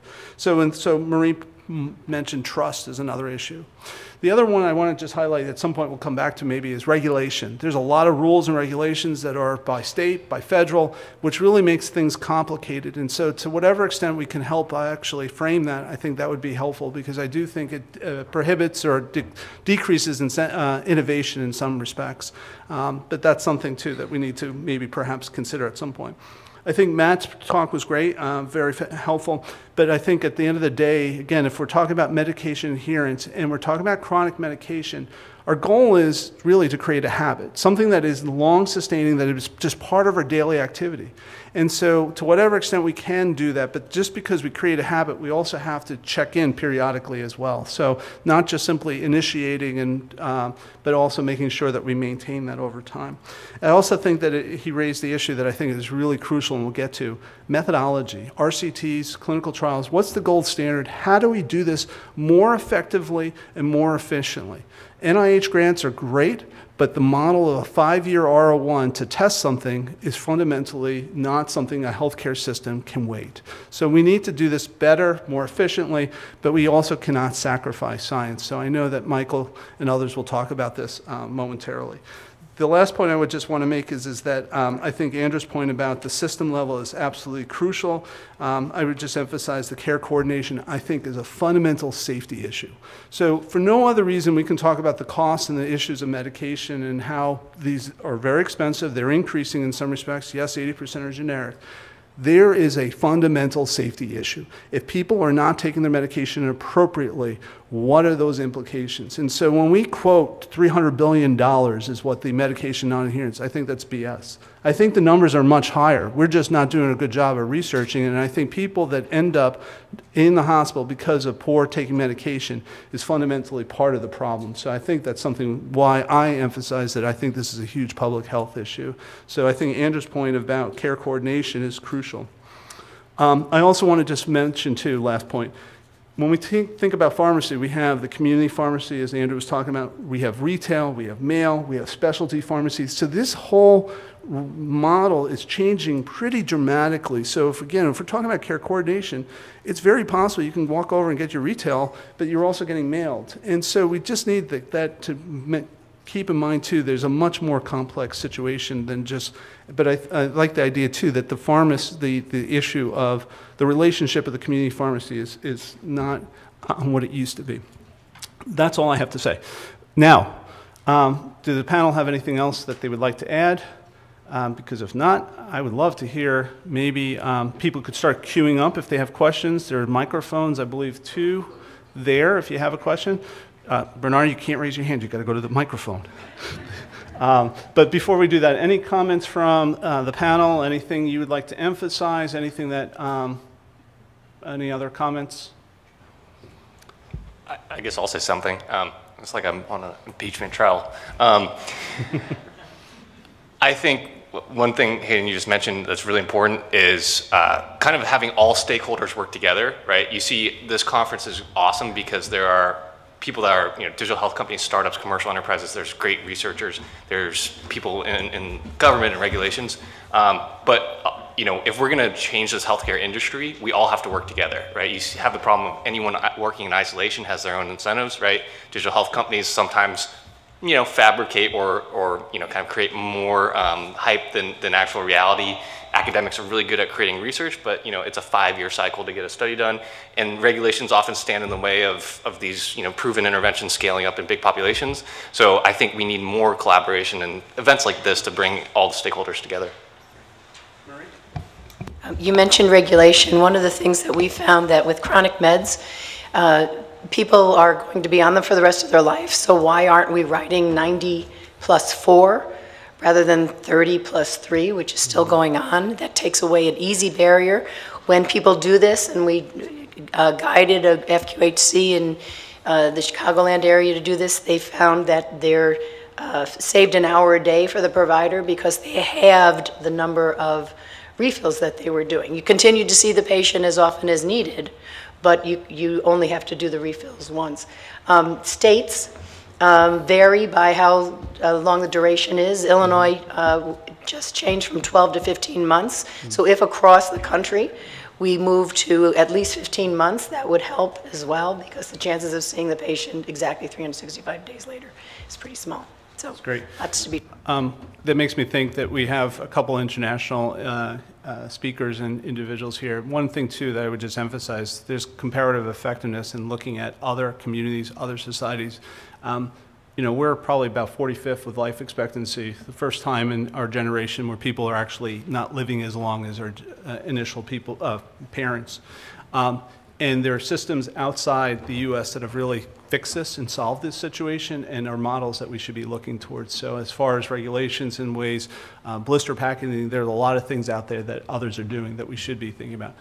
But let's see, uh, if you, uh, looks like we have two speakers. Could you introduce yourself and then go ahead and present the question? Hi, my name's Harry Travis. I'm the CEO of VTechRx. Uh, good panel. Thanks for your thoughts. I have a question about, in general, how, who do you feel is the kind of primary professional who should be responsible for adherence? And if that's a multi-part question here, and if that's the pharmacy, how do we get that done if pharmacists continue to be paid based on essentially the markup of the drug? Great. I think the larger context is how do we think about reimbursement and roles and responsibility? Anybody on the panel would like to take a shot at that? Uh, uh, As a, as a practicing physician with a team, um, I think it's the provider, uh, whether it's the PA, the NP, the APP, uh, the, the general team, it, sometimes it's the medical assistant who has the greater uh, relationship with the patient, who's going to uncover why they're not taking it. Um, my experience with uh, pharmacists and commercials is when patients come back after I prescribe something and they've read what it could do to harm them, and it includes death. It's very difficult in this short period of time I have um, with them to, to uh, address the other 1,600 guidelines during that 20 minutes, uh, to counter and explain the risk and the benefit, because all they hear on the commercial is death, and all they see in that long list is uh, a lot of negativities, and it, it isn't put in perspective. And the time we have to, to try to counter that is really challenging. So I think working closer with the pharmacists um, and the FDA to, yes, legally, um, we need to share uh, what could happen, But the word potential, what could happen, is very difficult to convey uh, when we're talking about an asymptomatic condition and the benefits. So help from all of us would be greatly appreciated. If I can jump in too, I mean, um, yeah, I don't think that it's a it's a simple pharmacy pre- prescriber issue. I, I think it is a, to to Marie's point, like the there's information on both sides that doesn't get shared very well. Um, and also, I think there's there's knowledge and expertise on both sides that also uh, could benefit one or the other. And also, I think you're, getting behavioral information about the patient, whether it's about you know delays in fill and whatever. That's just I think we're we're just now starting to see in electronic health records some feedback loops that that are trying to kind of uh, at least in some EHR platforms trying to inform clinicians if there's adherence signals. I know we're working. Um, uh, on trying to allow community pharmacists to actually have access to not just have read-only access, but read and write access um, and even how to deal with, uh, you know, again, uh, to, to Andrew's point, like, you know, 65% of medic uh, charts in ambulatory care, I think this has not changed in 15 years, have discrepancies. So the reconciliation issue is still the found fundamental problem that we can't even get over. Um, and, and there's also counseling and medication reviews and services that I think could be uh, in some ways optimally delivered by pharmacy, but they can't do it because they don't have the complete information. So uh, finding these partnerships between uh, in having true care teams, I think, is, is the goal. No, what I also wanted to say is that, you know, with the rise of pharmacy benefit man, uh, managers and the fact that so many of them push to mail order, I think that really deeply affects how the pharmacist and the patient are able to interact. And, you know, the other, so from that perspective, just based on an economic incentive, is we need access to the data that actually shows that there are poor uh, health outcomes. Um, and often that data are restricted. And, and so I think getting access to that data, doing those kinds of analyses are going to be really, really important. So, um, do you have a quick I just wanted to just add that I, I agree. I don't think it's a, a, single provider. It is that care team. The pharmacist is an essential part of that. Uh, oftentimes, that is the last uh, healthcare provider that a patient sees before they start taking their medication, and the opportunity there to be able to talk to that patient about the need to take that medication and then reinforce that refill uh, piece and how to, to do that is a key element to the process, but we don't have the time or the money, and the pharmacists are uh, concerned that you know their their metrics are. Uh, you know, how many prescriptions do they get out or, or, or patient satisfaction in some way, but not really, you know, how do they take that medication? And they satisfy the law by signing something here and giving a, a pamphlet out to somebody, and that promotes a lot of that confusion. So if there's a, a better strategy to, to improve the communication and the trust with the patient and the pharmacist, I think we'll see an improved medication adherence. Last comment uh, related to that. I think one thing to, com- you know, we haven't really talked about policy. So value-based care is a big issue. So really trying to frame the context of what we're doing so that there is some policy reimbursement model. But I think at the end of the day, data. So we need data to demonstrate that this is something that we should be paying for or being reimbursed. So, um, sir, would you like to introduce yourself? Yes. Uh, my name is Deepak Sardeshmukh. I'm a partner in a digital health company in Chapel Hill with the academic background in pharmacy as well as patient uh, measurement. Uh, just one comment on this one. I've seen accountable care organizations such as Desert System in California, where they actually have pharmacists who are pretty much dedicated to doing the, uh, the entire gamut of uh, uh, looking at adherence and other factors too. So they're, they're, a good model, I think, to follow up on. The question I have for the panel, particularly maybe Michael, but a couple of others, um, all of you have talked about how there are dozens, maybe hundreds of reasons why patients are non adherent.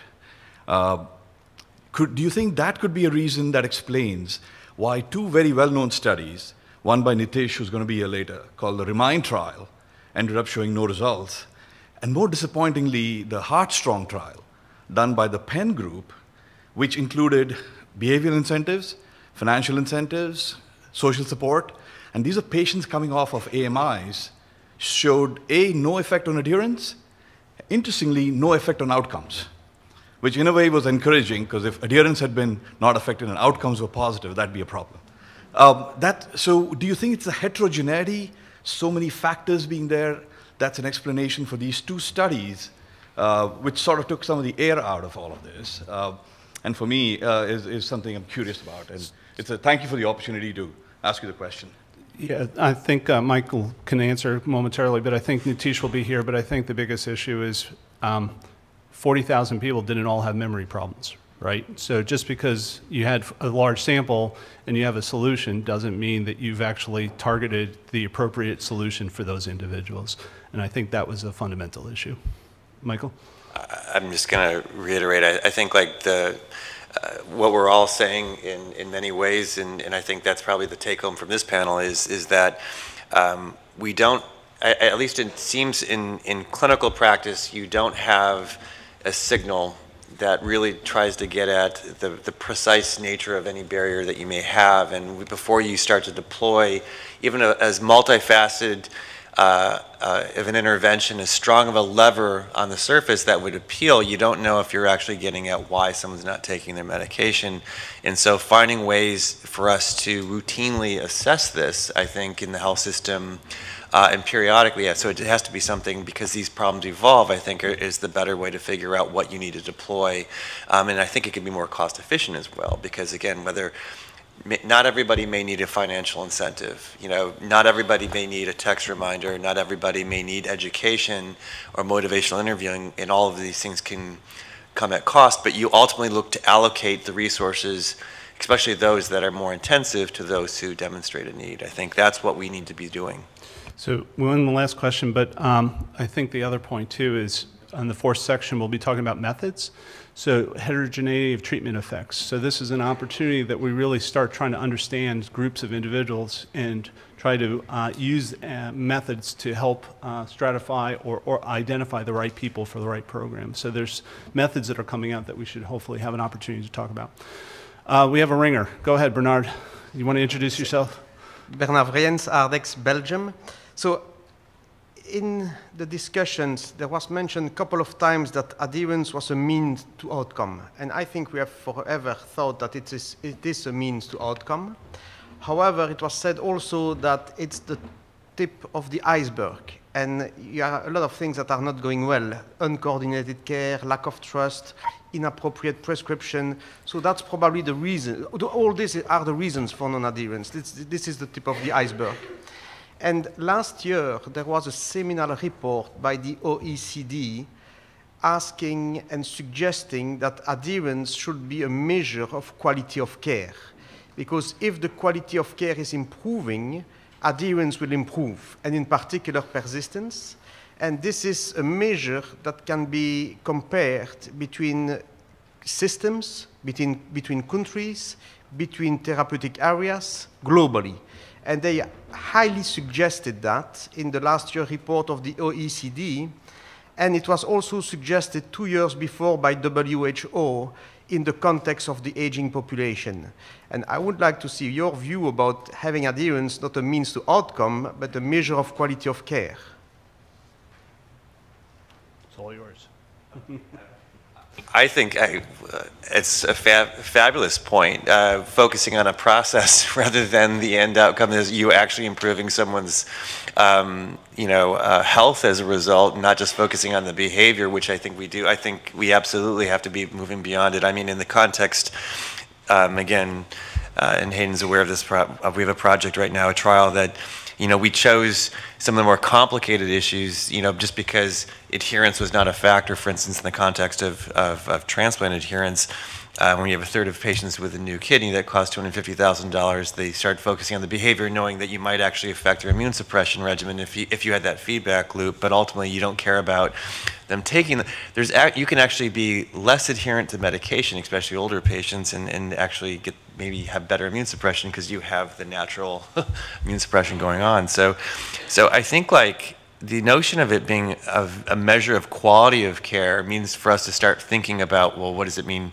Does it mean better counseling that you're actually tracking this information? How does adherence get operationalized as a quality indicator? I think that's something interesting, and I think a lot of health systems may not be thinking about nat naturally.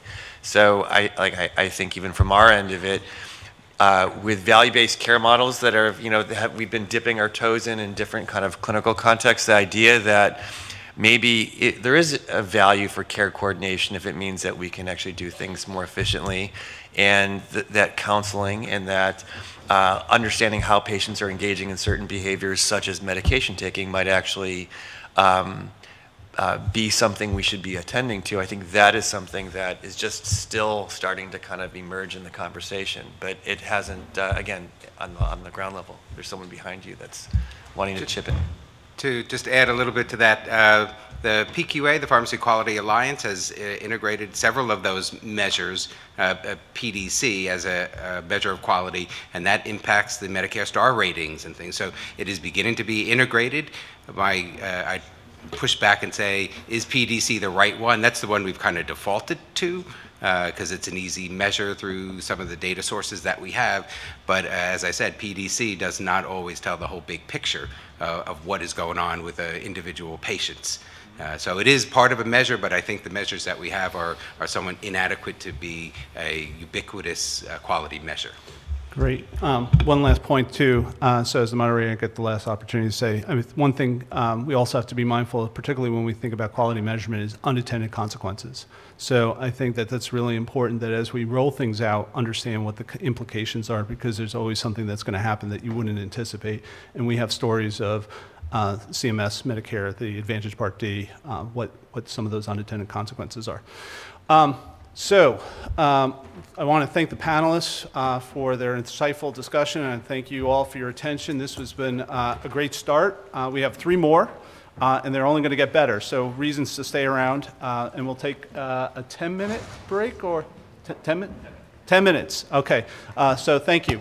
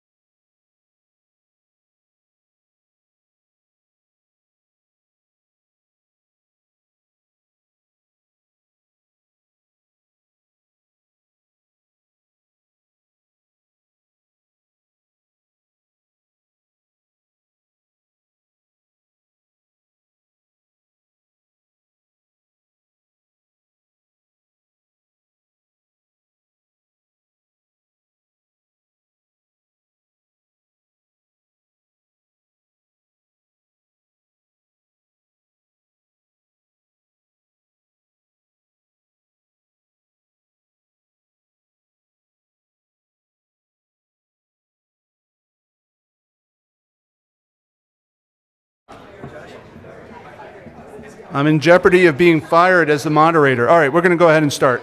Um, I'm getting uh, the, the sign. Okay, um, so we're moving into session two, and we're going to be talking about interventions to track and improve medication adherence. So we talked a little bit about barriers. So um, kind of moving, and you'll see the pattern where we're going. Uh, I'm really excited to uh, introduce our next panel. To my left is uh, Josh Benner, the founder and president and CEO of RxAnte. Um, he'll talk about uh, his company and what they've been doing over a number of years now. Um, we'll have uh, Stephen Thomas, professor of health policy and management at the University of Maryland School of Public Health and director of the Maryland Center for Health Equity. Uh, we'll have Andrea Troxel, uh, professor of population health and director of biostatistics at New York University School of Medicine. Uh, Jocelyn Ulrich, uh, deputy vice president for medical innovation policy at PhRMA. And then we have at the end uh, Jack Lewin, chairman of the board at National Coalition on Healthcare, principal and founder at Lewin and Associates LLC. So uh, similar pattern. They'll each uh, give six to eight over, minutes overview. I'll um, try to help facilitate the moderation and then open it up for conversation. So uh, with that, Josh. Thanks, Hayden. Good morning, everyone. Nice to be with you today. I want to start by, does this move my slides? Yep. Just quickly um, introducing about five topics that I'm going to hit on briefly in my remarks. The first is I'm going to summarize um, the Medicare Part D star ratings for medication adherence. The last panel ended with mention of this topic, and so uh, that was uh, an unpaid advertisement for my uh, comments today because that is the context for our work on medication adherence. Second, I want to just talk for a moment about the specific and unique challenges to managing medication adherence at a population level. Third, um, touch on some of the effects of real world adherence improvement programs that we've had the opportunity to target, deploy, and evaluate. And then fourth, um, talk about how we're using barrier information that comes from patients on what's keeping them from being adherent to design better interventions, just very briefly, and then finally close with a few questions and some, uh, some future directions that we're excited about. So this is publicly available data from CMS. It is the adherence rates in three categories of drugs among Medicare Advantage members from 2010 to 2018, the last year for which this data are publicly available. It's a good trend, right?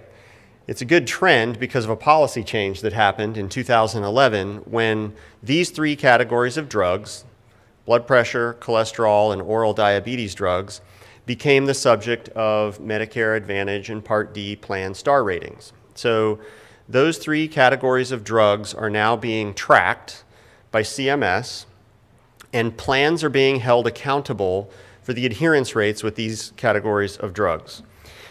I'm going to spare you details on how those incentives work, but suffice it to say right now that these are existential incentives for these plans. You cannot be a winning plan in Medicare Advantage, which is the fastest growing segment of business for most of the big national health plans, unless you're doing well on these members, on these um, measures. What are the measures? These measures are based on the proportion of days covered, PDC, and for a patient to be considered adherent, they have to have at least 80% of days covered in the plan year, which is a calendar year. And the counting begins as soon as the patient has filled their first prescription, but they get to drop out of the denominator if they don't fill twice during the year. All right?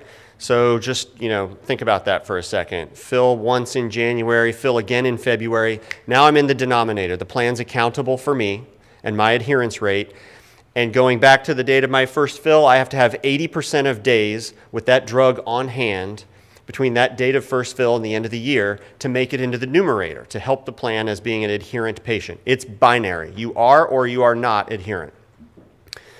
Um, so the, the second thing to know is that proportion of days covered is based on prescription refill data, and that means that this is a measure about timeliness of refills. What hurts you if you're the health plan is gaps between refills because those accumulate days for which the patient does not have the drug on hand. Make sense? May not be the perfect measure of adherence, we'll come back to that later, but it's meaningful. I think it's evidence based. As someone who was on the committee that drafted those measures, along with Andrew and David Nau and Emily Cox and other people many of you know several years ago, um, the evidence supported and continues to support these measures. This is the impact of the policy. So the policy became effective in 2011. Those incentives were added to Medicare's quality based bonus payment program. They're big incentives. And we've seen an increase in the adherence rates to these categories of drugs of between 11 and 16% in absolute terms. That is, 11 to 16% of Medicare Advantage members are adherent to these drugs that weren't uh, back then. All right, so let's talk about trying to manage this if you're a health plan, right? I got several hundred thousand members maybe a hundred or hundreds of thousands of members on these drugs. My challenge is finding needles in the haystack. There are a lot of these people that are going to be adherent on their own. There are some people who won't, and there are some people that are going to be challenged to be adherent no matter what you do for them. And so if you're a health plan, your job as a population health manager is to do really well on these measures in spite of that challenge, which is where you hire firms like ours and others, and you get help from your PBM, and you make everybody you can think of accountable for helping you win on these measures. But it requires analytics to target the patients at risk, to deploy interventions most likely to help those at risk patients, and then to evaluate the performance of those interventions. And so, what I'm going to spend a few minutes doing now is just quickly showing you some examples of those interventions, how we have measured them, and I'm going to leave out um, some of the details around how we target them just in the interest of time, but happy to address them in, um, in discussion later. All right, so um, here are some direct to member interventions that health plans commonly run. So, I'm using a couple of real world examples here. Um, the first one, the one on the left, um, is one of the highest performing interventions we've had an opportunity to evaluate. This is a pharmacist who's employed by the health plan calling patients who are flagged based on predictive analytics that say that patient is at high risk of being non adherent for the year. This pharmacist has a lot of authority. They can call these patients as needed. Um, that list is revised on a weekly basis about who needs this and who doesn't. They're, because they are a licensed pharmacist, the conversation can range to address whatever barriers that pharmacist can uncover with that patient. But they are coaching them by phone from a distance, not in front of them in a store or in a pharmacy. The way we evaluate these, these um, I'll try to explain very briefly. We use something we call a difference in differences approach.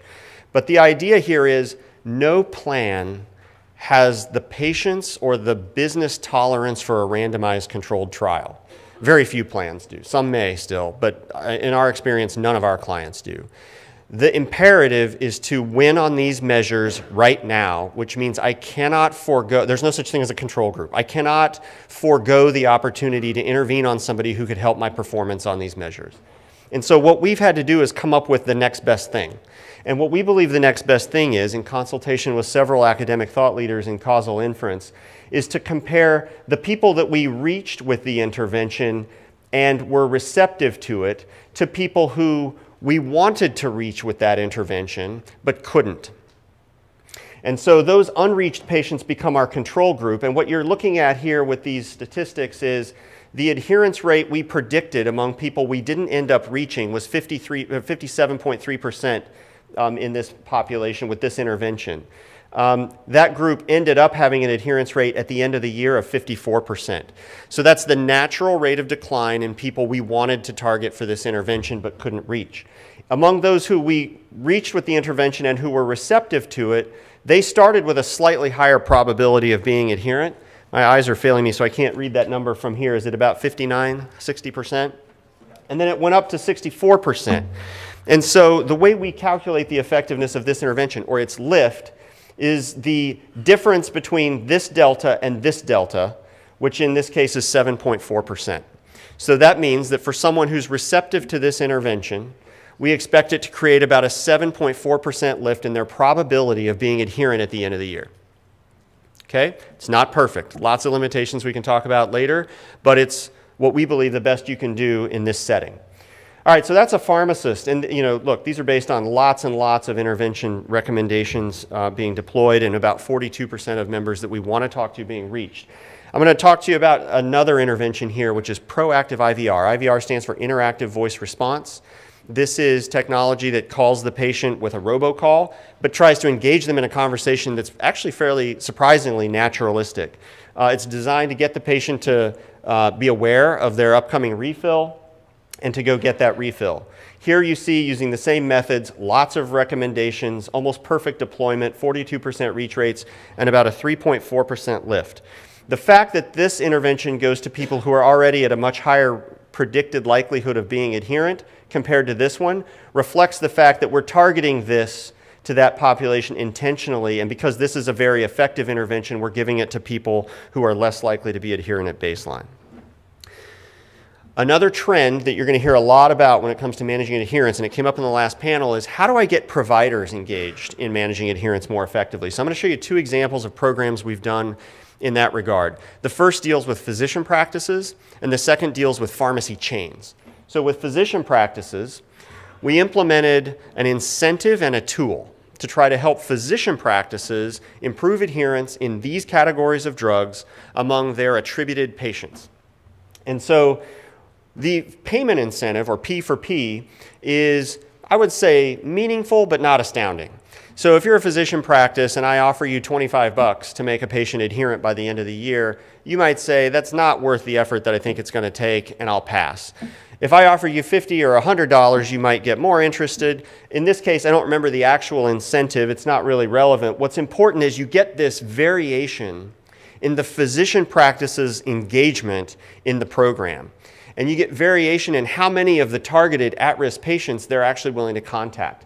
And so the variation we saw here is actually a function of the strength of the incentive, and then we give them a tool on which patients to reach out to. So the blue bar here is that control group. These are practices, uh, let me look at my notes up close that I can actually read, that we failed to recruit but wanted to, um, and the eligible patients in those practices. And then the yellow, red, and green bars are in order the recruited practices, that's all recruited practices, uh, patients in recruited practices, 253,000 of them. In red, those practices, patients in practices that were active, which is about 186,000.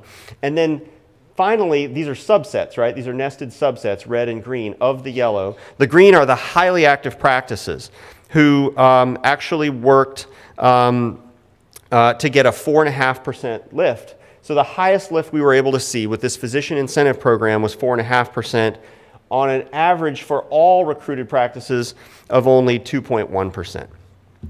And then finally, I'm just talk about this um, pharmacy chain program. Same idea. Gave pharmacy chains an attributed list of at risk patients, told them what we thought the adherence rate was going to be if they didn't do anything, and then offered them bonus payments per patient if they could drive that rate higher. And we saw um, again, differences in the rate of engagement by the pharmacies.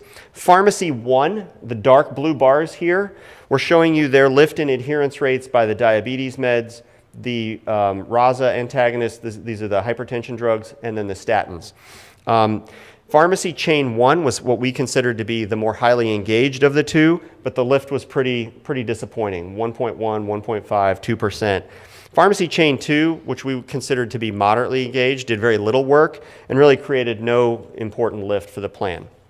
The plan ended up canceling the program. This is not enough lift uh, in Medicare Advantage to get the plan excited. So, moving from interventions that sort of work well, interventions that work uh, not as well as we had hoped, how do we think about improving the quality of interventions? Just want to talk for a moment about how we're using barrier data. So, as I mentioned, every time one of these direct to member outreach interventions happens, we ask the patient, are there barriers that are keeping you from being adherent? And so we're listing here um, a lot of these barriers in these two charts, but we've segmented into two charts because there are barriers that seem to be associated with an increasing likelihood of adherence over time on the program compared to uh, barriers that patients reveal um, and then have a declining trajectory for adherence over time. And so we look at this and we think, all right, if there's a very steep declining rate of adherence um, probability for patients who are having these barriers, these are barriers the, the interventions are not addressing very well. And these are barriers we need to continue to think about overcoming in better ways. And so those uh, barriers included side effects. You can see the trajectory is downward over time in spite of being in our intervention program.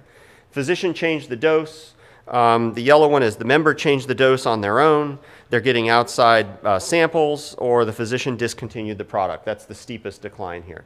So some of these affect the claims data, which is why they affect the measure um, in the ways that you might expect. But when we look up here, we see um, a brighter uh, story. We see some interventions for whi- or some barriers for which the trajectory and adherence is high. Um, it's steeply upward, um, and that means that we think that these are barriers that those pharmacists, those physician practices, are actually doing a better job of addressing. And so that transportation barrier is the lighter blue bar. Uh, forgetfulness is that darker blue bar. You could say we're reminding people, or you could say we're just reminding people that we're actually monitoring their adherence and uh, that that's what's driving it, the Hawthorne effect. But these are, these are the barriers that we think these programs tend to do a better job with. I got the stop sign, so let me just touch on this last one by raising some important questions. Uh, the first is we think it's still important for this community to be asking how do we define and measure medication adherence? I think it needs to depend on the use case and the consequences of being wrong. And there's a big difference between measuring fills and measuring eaten pills. And so, uh, if you're the FDA and you're listening to this, this is really important, we think, for your use cases. Secondly, how much adherence is enough? We think we need better population level data on adherence response um, in terms of clinical outcomes. And then finally, what's the nuclear option? I won't talk about it now in these remarks, but we have to solve these problems that you see in pictures here. These are pictures we're taking as we go into patients' homes now, and we think that um, polypharmacy, an abundance of drugs in the home, and um, inadequate care over what's prescribed, not what's filled, but what's prescribed, is the next frontier in getting to better adherence. Thanks.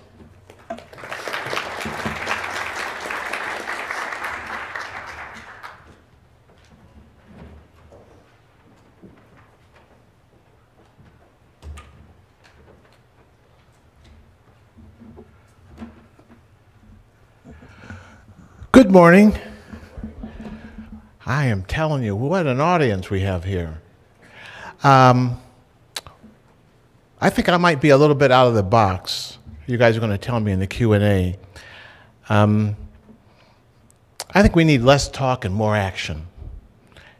And I want to talk to you about racial and ethnic health disparities. Yes, I said it, race. I said the word race. We're going to talk about race in here today. And start looking at this data. I'm asking my colleagues to start looking at this data by race and ethnicity. I think we see a whole different story there. Part of the story I'm going to tell you this morning. And so, um, as you know, I'm director of the Maryland uh, Center for Health Equity. I love the state of Maryland, flying the flag here right now. And I think we need to fly the flag. So around this, these images here are some of the examples of the community engaged research infrastructure we have built over the past 20 plus years. And uh, I'm going to touch on a few of those to give you both context and then tell you one story that I hope will encapsulate the challenge and the opportunity that we have here today. So, building trust. Now, this was a theme that has come up uh, in several of the talks, uh, and here we have a work of our own uh, center.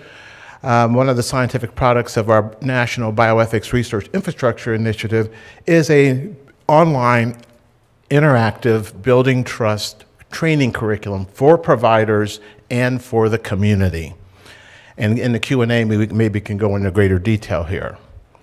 So context, I think that one of the challenges we have is to recognize that we need to move beyond a biomedical kind of frame and look at the social historical context in which the people we're trying to address live every single day. That's issues of poverty, issues of exposure to environmental toxins in their homes and neighborhoods, and most importantly, the need to tailor our message to that community, not just take something off the shelf and put it in Spanish and say, these are for the Hispanics, or take something off the shelf and put it at blackface on the cover and say, this is for the African American community, but actually tailoring to the historical context of that community. And we all know about the civil rights movement and the nonviolence of Martin Luther King. Those are important messages, but here's the winds I'm hearing in the communities I work in that maybe we need to also listen to Frederick Douglass, who said, If there is no struggle, there is no progress. Those who profess to favor freedom yet depreciate agitation are men who want crops without plowing the ground. They want the rain without the thunder and lightning. They want the ocean without the awful roar of its many waters. If we want a future for this young lady here, standing in front of a Frederick Douglass statue on my University of Maryland campus in College Park, we need to be agitators. And when we hear the agitation from our community, we should not run from it. We should embrace it and understand the, the legitimate reasons why they're angry. So here's some examples of what our community engaged infrastructure looks like on the ground, what cultural tailoring looks like.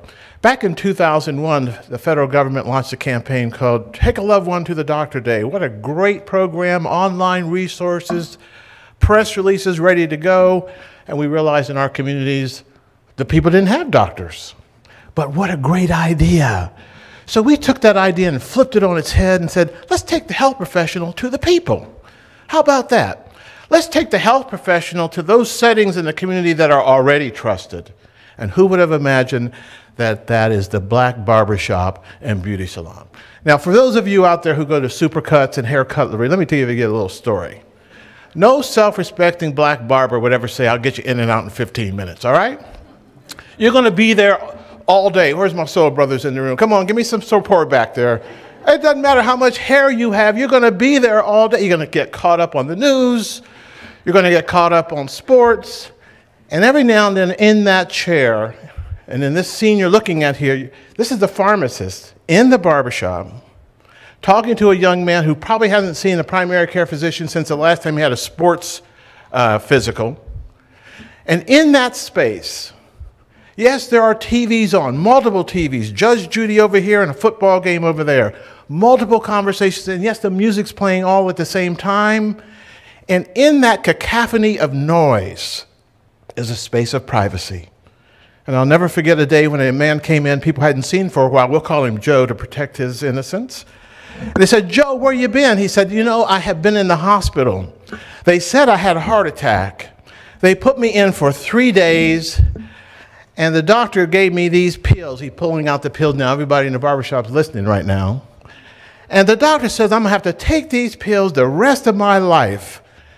And the barber said, You know, Joe, if you take those pills, you're not going to be able to keep up your obligations. Now, do I need to translate in here? Do I need to translate what obligation means? Joe, if you're experiencing erectile dysfunction, now we're back to the side effects. Joe's not going to take those pills. And his doctor has no idea there's somebody out in the community who's a barber, no degrees behind their name, has that kind of power, has that kind of influence. And that's because of trust. And that's when we recognize that what if that barber helped to reinforce the evidence base, helped to reinforce the doctor's discharge orders? What if that barber said, Hey, Joe, if you're experiencing erectile dysfunction, tell your doctor. They can change the medication, they can make an adjustment. But he would be ashamed. He would not tell his doctor he's not taking the medication. He'd rather not go back to the doctor instead of telling him that. And I used to think that the fear was that the fear was that man's own pride. You know, he's calling up to Scotty for more power. I need hydraulics. And there's nobody answering here. I used to think it was his pride, but I realized that it's his, the fear of his, his wife or loved one. Because if you don't have power for me, it must be going somewhere else. Come on, tell the truth now. I need an amen corner in here somewhere. He's afraid that those side effects is going to affect his relationship with his loved one. That's not in any prescription. That's not in anybody's side effects. But he's not going to take those meds. And so we began bringing health professionals into these spaces to really build that trust, build that relationship, go where the people already have trust. We have a national program to train barbers and stylists to, to, to, to make their venues safe places for health professionals to actually come and deliver services. The miniaturization of our diagnostic techniques means you no longer need to be tethered to a hospital or a clinic. Get out of the clinic, get out of the hospital. In the communities I work in, they think going to those places means nothing but bad news. They live lives that are already complicated. The last thing they want is to be shamed because they didn't take their pills. Okay, now I got to get to the finish line here. We turn every other year our Xfinity basketball arena into a 120 chair emergency dental clinic. Um, we serve a thousand people over two days. People line up and sleep outside overnight. We are nine miles from the White House people in the richest nation in the world, right across the street from the FDA. And um, this young man here uh, came in, his mother dragged him in. And this is the situation in which he found himself. This quote comes from uh, another patient. And she says that because the majority of dental care is very expensive and we cannot afford it, if you ask me if I had pain in my tooth, but I have to give my children food, I prefer to buy food for them than take care of my own dental care. That's the decision people are making when they walk up to that pharmacy with all those prescriptions. Am I going to buy food or am I going to fill this prescription? Medical costs are very expensive. This is another quote. So, anytime there is something free as it relates to medical, people will probably take advantage of it. This person saying, I'm looking around this space. There's 700 people around here today, and many of them may not be seen.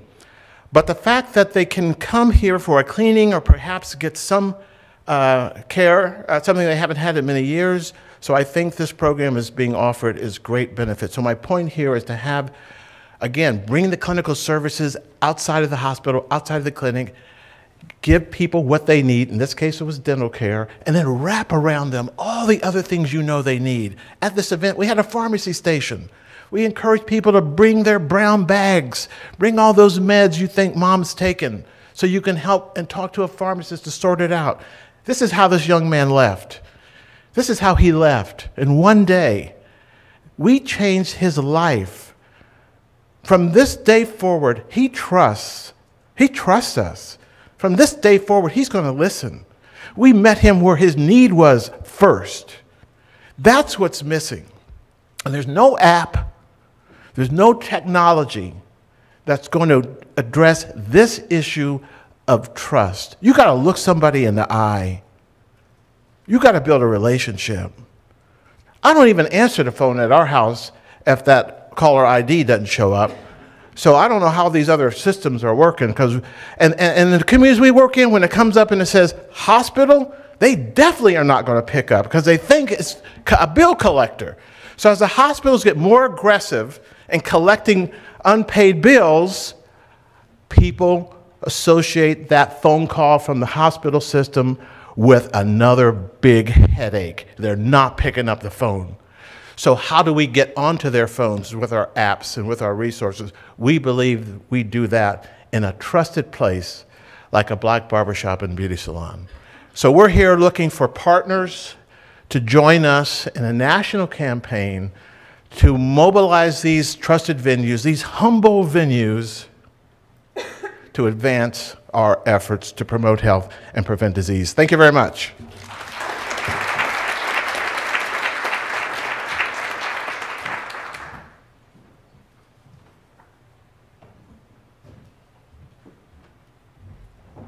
Morning, everyone. I think I have the misfortune of following that amazing talk, uh, so I'll do my best, uh, but I probably can't compete. Um, I am a biostatistician and a behavioral economist, so I want to talk a little bit about some of the work that I've done uh, with various colleagues over the years in trying to apply behavioral economic uh, interventions uh, to the problem of, of medication adherence, largely in the setting of chronic disease, although not exclusively. And uh, the speaker from the talk this morning did some of my work for me, so I will skip a little of this. Um, and I think we don't need to, to go over the many uh, uh, venues in which medication adherence is a huge problem. But there are some common elements to the, the task of medication adherence that I think are worth co- considering and that relate to a lot of these behavioral economic concepts that we talk about. So it's a daily behavior, or often a more than once daily behavior, but certainly at least daily. There are varying degrees of burden associated with uh, medication adherence, depending on uh, the complexity of the regimen and the potential side effects and other things that, again, we've heard about. this problem of no immediate benefits, I think, is really critical uh, because the, there are many negative things about remembering to take uh, medication every morning, not least of which is that you have some condition that requires you to take medication every morning and that you're reminded that you're not as healthy as you would like to be. And again, the, the immediate benefit is, is really absent. Um, and, and the tangible benefit is absent. So the benefit is that in 10 years, my risk of heart disease is going to be 15% less if I take this, you know, uh, this statin for the, for the next 10 years. Well, that's abstract and hard to, you know, make concrete. And so not only is it delayed, but it's, it's hard to conceptualize. And again, as I think was mentioned earlier, this is a behavior that's often completed privately. And uh, when things are completed privately, they're, you know, we're not accountable to other people. And so there are ways perhaps to try to adjust uh, the, the, settings in which we uh, adhere to medication that could be useful. so again, uh, we know that behavioral econ ec economics is a, is a mixture of psychology and classical economics. Um, we are not a rational man, as I think is now clear. And we, as humans, make a series of predictable uh, decision errors. And I've listed a few of the, of the common uh, pitfalls that we suffer as, as human beings. I won't define them all. And again, we've heard a little bit about them earlier. And the idea is really to try to harness these, uh, these errors that we make and to use them uh, to, to design interventions that will make us do better rather than, than suffer from these pitfalls. One thing I also want to mention that I don't know that has been mentioned yet, but is really a foundational pillar of a lot of the behavioral economic inter interventions that we might develop is that defaults are extremely powerful. so changing the default uh, in lots of different settings is a very good way to actually make a pretty substantial change in people's behavior.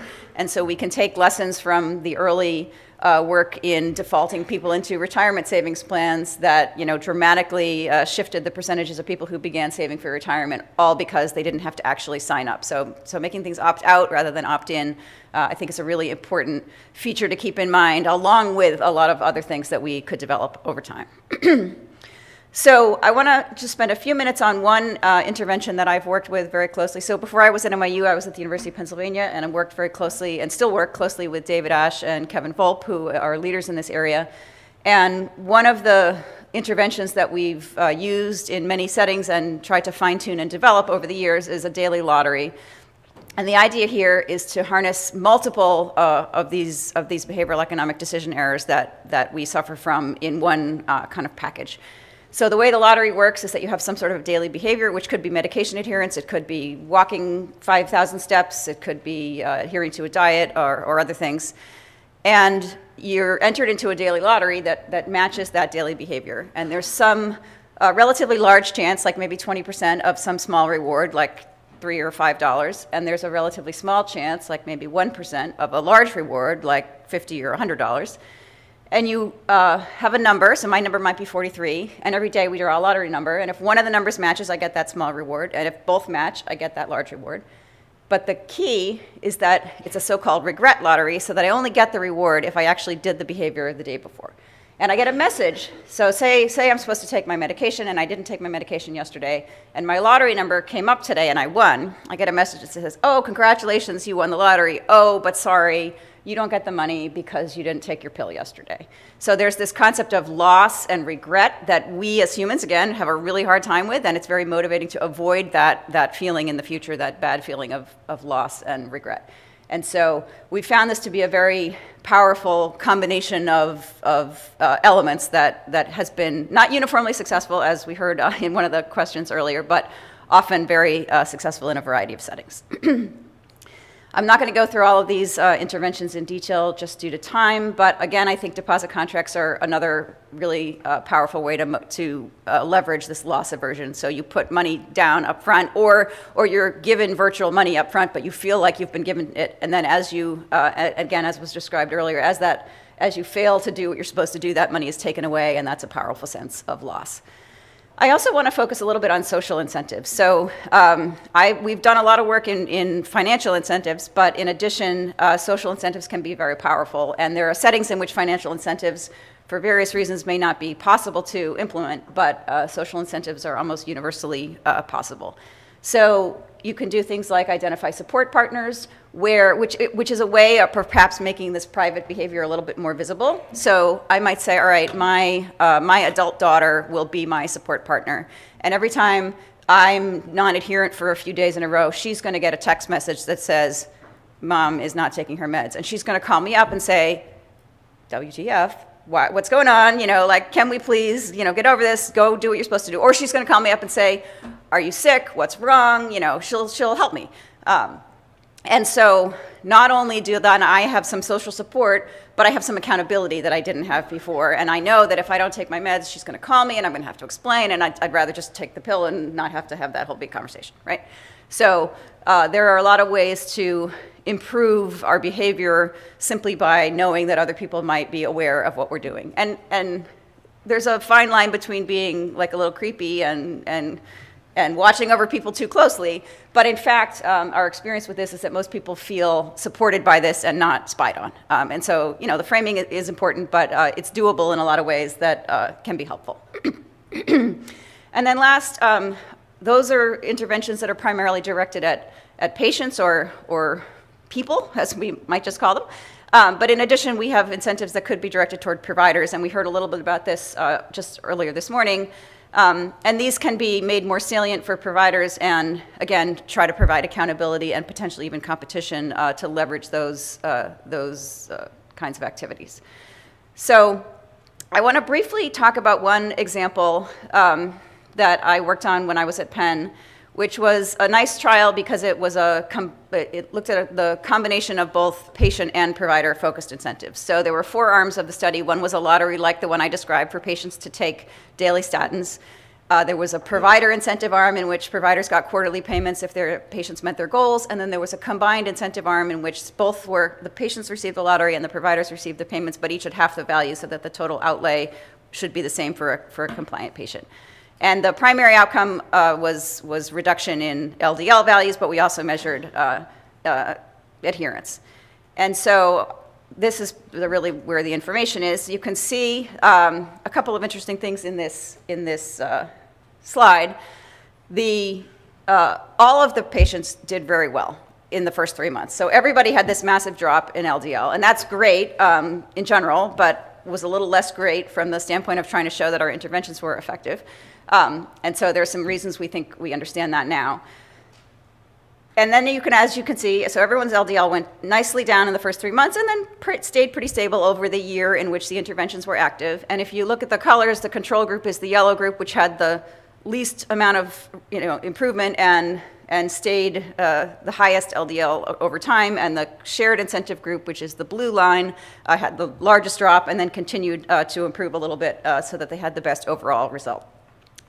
One thing that was very interesting about this was that the only statistically significant uh, result that we found was comparing the control group to the shared incentive group. And we were a little bit surprised by this initially because we really thought that the, the patient lottery would be you know, one of the primary uh, things that was impacting adherence. And it turns out that that was true. Uh, but what we failed to predict was the physician uh, the, the lack of uh, correct attention by the physicians to the problem of uh, not only adherence but prescription. So it turned out that among the patients in the incentive arm, whether it was full lottery or half value, there was statistically significant improvement in adherence as measured by Bayley, you know, pill cap taking. And among uh, the patients whose physicians were receiving incentives, again at either full or half amount, there was uh, statistically significant increased uh, either new prescription of statins or intensification of statins to uh, you know a more effective to a to a more potent uh, medication or a higher dose or something of that sort. And so uh, you can see here the adherence in the in the patients is highest among those in the shared and the patient incentive arms and lower among those in the physician arms because they weren't receiving any feedback about their adherence. Um, so the physician incentives are no better than the control. The patient incentives were no better than the control. Combined, uh, they worked, but each at half value. So, as, as David Asch always likes to say, it's a strange uh, event when you take two inert substances and uh, cut them in half and combine them, and suddenly uh, you have an effect. So, what is going on? Well, again, in retrospect, it's easy to understand. The patients can't take medication that they don't have. So, the, prescript- the providers need to do their job at appropriately prescribing the medications, and then the patients need to do their job in taking the medications. So both of those things have to happen, and it's only when both of those things are being targeted that we see uh, a statistically significant effect. I want to say one more thing about incentives in general um, for both patients and providers. There's uh, and along the lines of some of the comments this morning about about you know patients who are non-adherent are you know are bad people or they're somehow in, inferior or they're somehow not doing what they're supposed to be doing and we should criticize them. Uh, so, so people often make this argument about financial incentives in a, in a wide range of areas. You know, why should we reward people for bad behavior? Why should we uh, pay them when they're not being adherent? And you know, what about the people who are being adherent? They get nothing. You know, it, it's it's so unfair. Um, and similarly, why should we pay doctors to do their jobs? You know, doctors are supposed to be doing this anyway, so why, why do we have to reward them? Well, I think there's a couple of responses to that. First, we're not, we're not rewarding bad behavior. It's not bad behavior, it's a failure of systems and human foibles and a lot of other things, and it's not, it's not something that you know, should be punished. It's just another way to try to help people do what, what is good for them to do. And so it's important to, to realize that.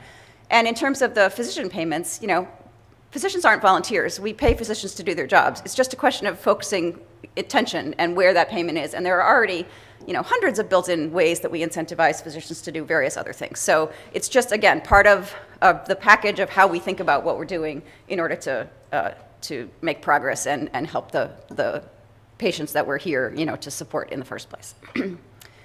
okay, I'll stop there. Thank you.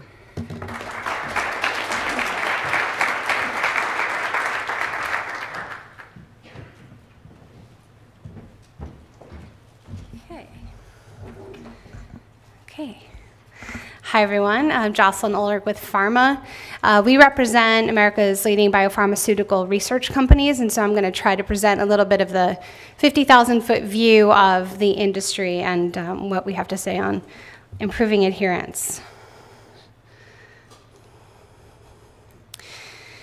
So I think we've well covered um, the benefits and challenges of adhering to medicines appropriately. Um, there's savings to the patient, benefits to the patient, savings to society overall. So I'll just kind of quickly skip through these.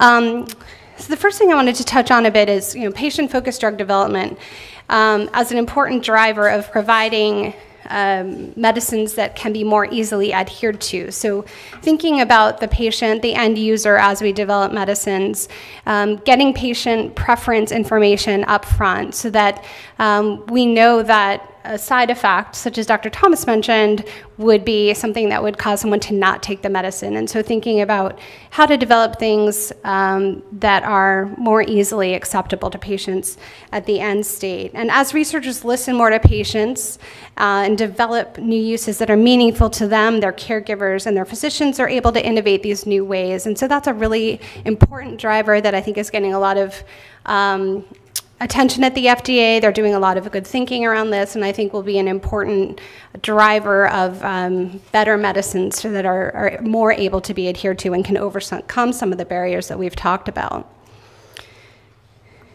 Um, new forms and dosing options are also increasingly an important way to think about how to increase adherence. So I'm going to touch on three primary ways in which the new development of medicines can improve. Um, many patients must take multiple medicines. We saw that picture that Dr. Thomas again had in his slides about how complex and challenging it can be to um, maintain a, a, therapy. And so, um, medicine regimens can be uh, combined, so fixed dose combinations, chemically bringing these medicines together in ways that cannot be separated, are a really important driver for how we can help patients and improve health outcomes. Um, research, research has shown that the average adherence rate for treatments taken once a day is nearly 80%, compared to about 50% for medicines that have to be taken four times a day. So, though this may seem like incremental innovation, I think from an adherence perspective, we're talking about a quite significant benefit in really simplifying uh, regimens. Another study showed that across medical conditions, administering drugs as fixed dose combinations versus separate pills significantly increase the likelihood of adherence. So we have data that this is really helpful. Long-acting formulations of medicines often brings the same benefits as fixed dose combinations. So these are formulations that can include extended release preparations, such as once daily, once weekly, once monthly. Um, and that really removes that daily burden and also can be very, very beneficial for patients. Um, extended release medicines can increase the length of time, reducing the number of doses needed and giving greater flexibility. Um, for example, one analysis found that across acute and chronic disease states, reducing the frequency of oral therapies from multiple dosing to once daily was shown to improve adherence and reduce medical costs. Over time, scientific and manufacturing advances may enable new ways for packaging or delivering, and here with um, manufacturers are increasingly thinking about new ways of administering, such as moving to patches, um, chewable tablets, injectables that can be self-administered rather than having to go to a physician's office, and all of these things are also very helpful in overcoming barriers. There are also a range of policies that can better promote uh, use of medicine. So, patient education, I think we've talked quite a bit about this morning, um, ensuring that medicines can keep their patients, but there's other things that are being utilized as well. So, having sound, evidence based, and robustly validated shared decision making tools can be a helpful aid for patients. Um, having conversations with their providers and better understanding their diseases to make informed decisions. When patients are then more invested in their care plan, they have a better sense of their medications, risks, and benefits, and they're more likely to be adherent.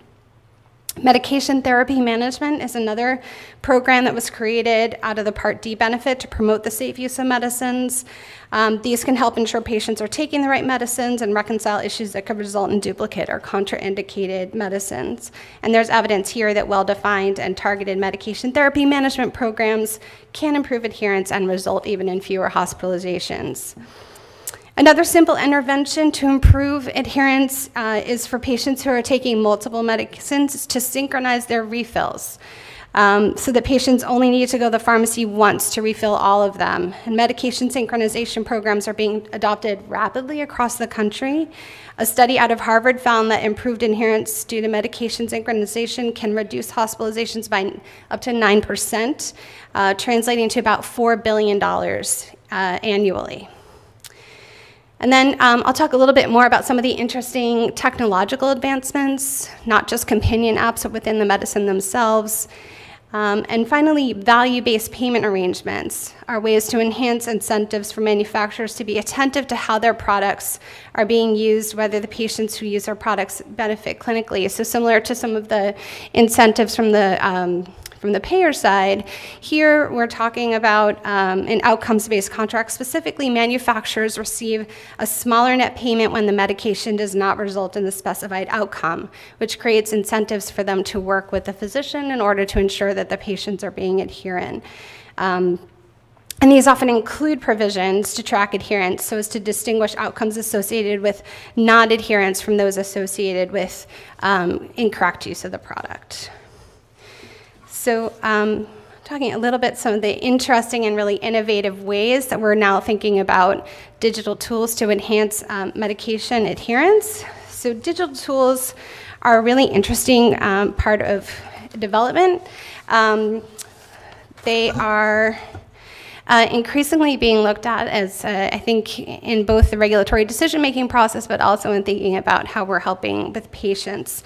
So, uh, one company has developed insulin pens with a digital display and a memory function embedded into the pen and then launch a feature to capture the insulin dose through Bluetooth enabled smart device attached to the pen. And the attachment then transmits this dose, time of dose, and the type of insulin to a phone app, which helps the patient um, track their dosing. And then the user or care provider can also look back, identify patterns, and identify when doses have been missed. Um, and this can also include analytics of their usage over time, and, and those kinds of tools are really, really beneficial for understanding how well um, patients are able to adhere. There are also companion apps for um, treatments such as hemophilia. Um, these can help patients track bleeds, infusions, factor supply, um, as well as sharing that data with their healthcare team. And finally, oral medicines with ingestible sensors um, for treating schizophrenia, bipolar disorder, and depression, and other diseases where, um, or conditions where adherence can be a real challenge. Um, can really help um, ensure that patients are, are getting the, the right dosage and the levels they need. So all these are innovative ways to leverage cutting edge technology. Um, and though adherence is a public health problem, there are many available tools and policies that can work together to improve adherence. And I look forward to discussing further with the panel what some of those others' ideas might be. Thank you.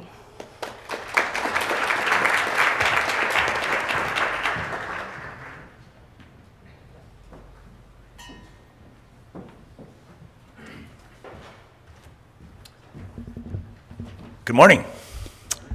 All right. Um, I think you know, I really, really appreciated this panel. Uh, I think there was a lot, a lot of uh, very, very excellent content and suggestions that came out of this. Um, you know, I mean, finally, we're here talking about adherence. There aren't as many cameras here as at the House Judiciary uh, Chamber today, but you know, we're really talking about this topic now and bringing bringing people across the healthcare uh, sector together to solve the problem.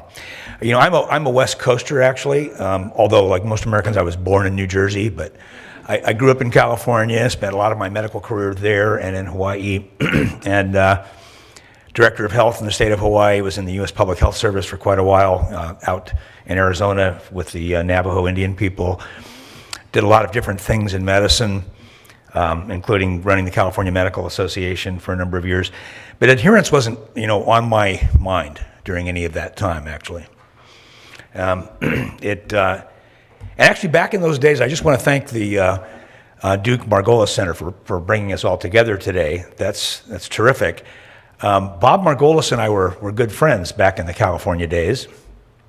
Uh, Bob started uh, Healthcare Partners in Southern California, and he provided medical care in communities that really um, were pretty threatened uh, in terms of health. They were lower, lower income communities, people that didn't have a lot of services.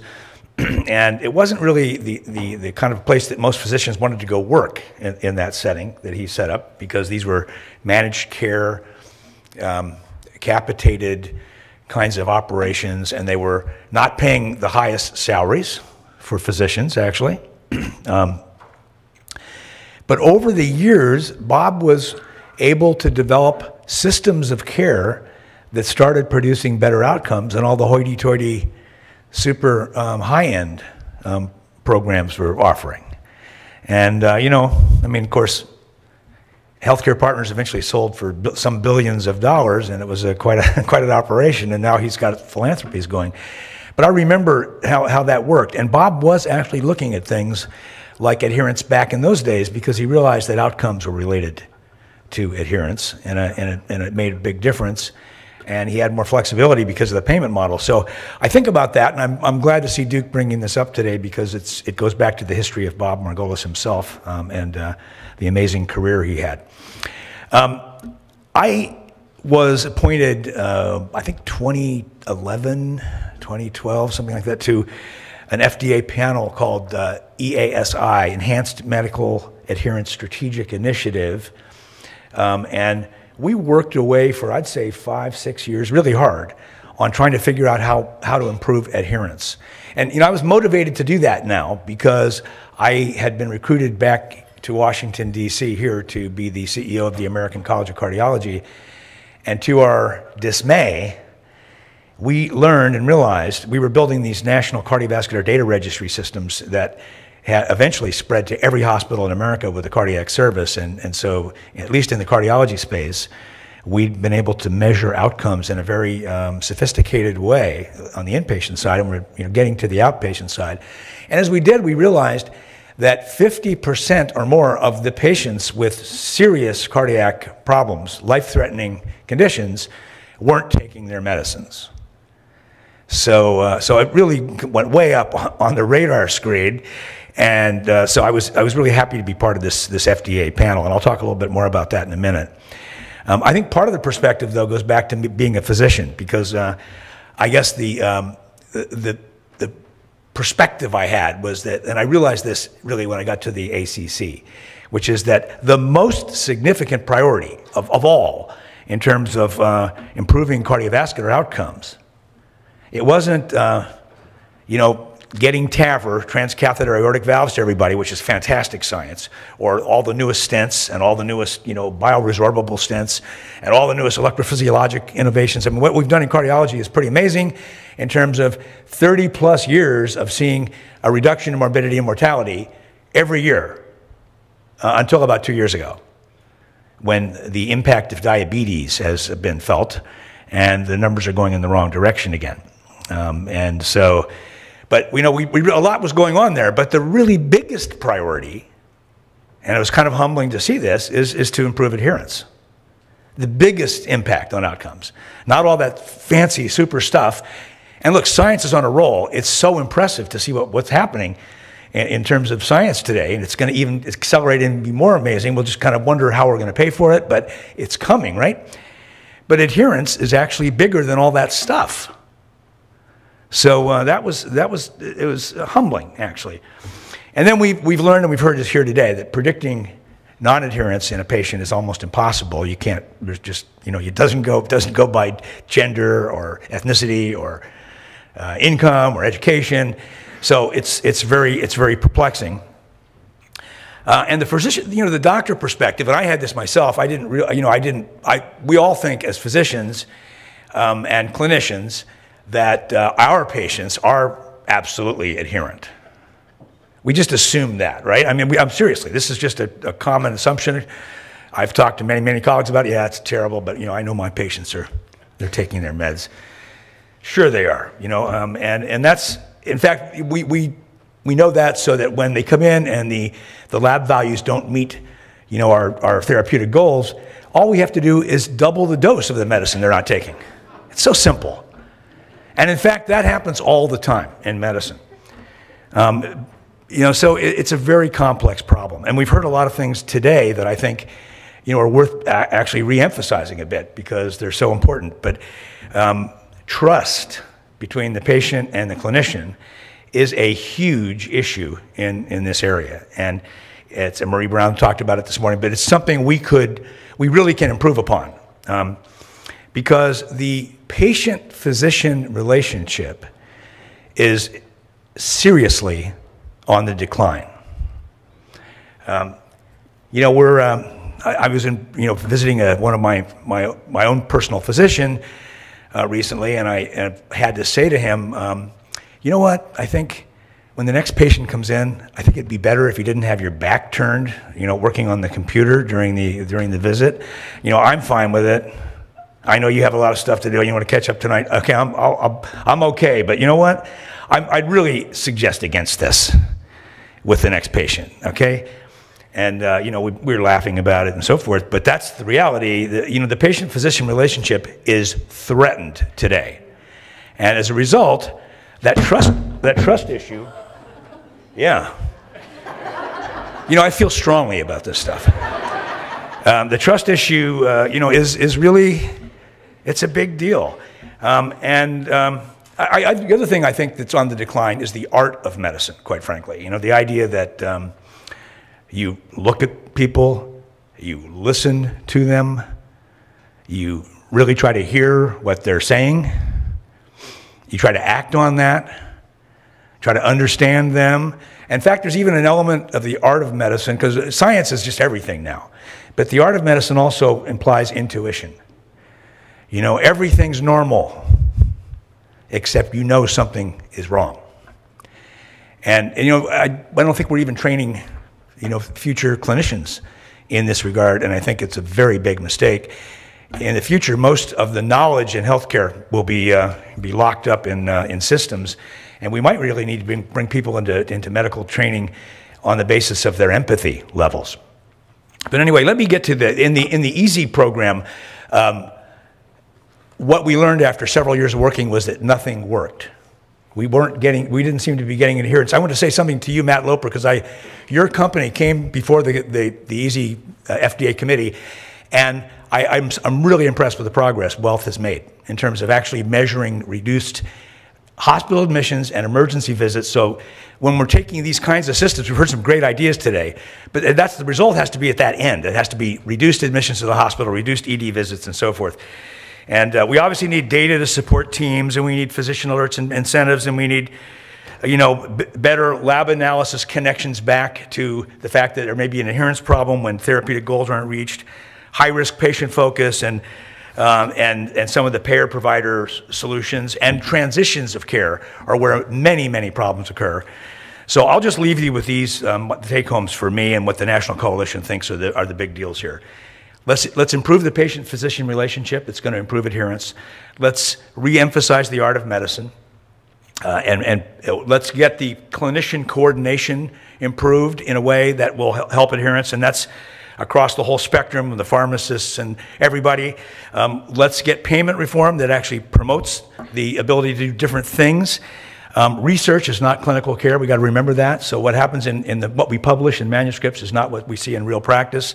We got and uh, data integration at the point of care has got to get much much better. Social determinants of health are critically important. And, and finally, there are going to be some new products out there, polypills and so forth. I'm part of an advisory group for the medicines company on a, a drug called inclisiran. It's a statin that is a shot that you give once a year. How about that for amazing? Well, that's going to help adherence, but there are going to be a lot of other things we need to do. So, anyway, thanks for being here today. Look forward to having a, a future conversation.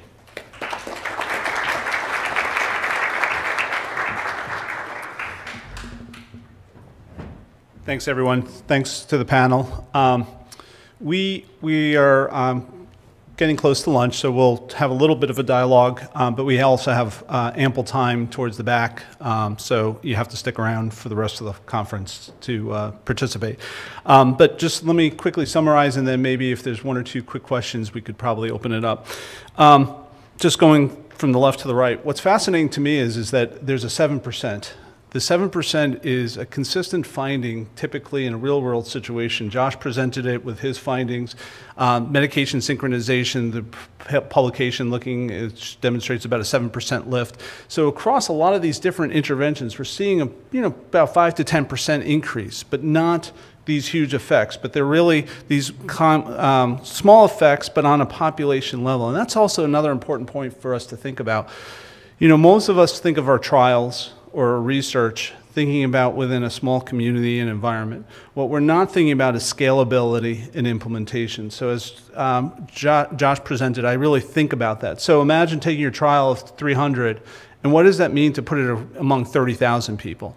And then you're starting to think about, as Josh presented, perhaps different types of interventions or different dosages of interventions as we think about it. And the other question that we'll get into more, I think, from a methodological is, is we know that if it works, again, is a control arm of usual care, however we define it, appropriate? And that may not be necessarily the case. I think Stephen's point about uh, culture, community, social influence, there's not much more I can say about that. I mean, it's absolutely essential.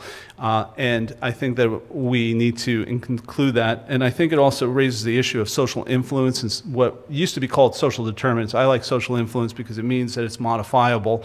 But these are really, really important aspects in getting out into the community outside the clinic. Um, so as we think about roles and who and what we're doing, we may need to think more about who those individuals are. So health workers, um, people that are trained, they're community members. Those are things that we can think more about. Um, uh, Andrea's uh, point, I just a couple of things that really struck me. Back to a methodological issue, time is really important. So if her results were demonstrated for the three months, uh, with that one slide, you would have gotten a very different outcome or impression than if you went to 18 months. And so, how do we think about time in these programs? What's appropriate? Is it six months, 12 months? What about sustainability? Um, we talk about an implementation effect, uh, implementation science, a voltage drop. The idea that we basically see something and then as we take our eye off it, we see changes and decreasing. So, as we think about methods and programs and how do we measure this, what is the right timeline? How do we measure that? Because if I just take one snap of time, it's like walking into a river. It's just one point. It doesn't represent what the whole journey for that individual is. And I think that's important for us to remember is the journey of the individual. I also like the idea that of um, the multi-level. I think the idea of having the patient provider is a great example that it takes two to tangle at least, right? So if we're only focusing on the patient, we're really not going to have a big impact. Um, uh, Jocelyn's point, I think, uh, in terms of shared decision making, she brought up, I thought was absolutely essential. So if we're thinking about the process initiation, really important to have that, that shared decision making. It doesn't matter what the drug is, but somebody needs to understand why am I being prescribed this?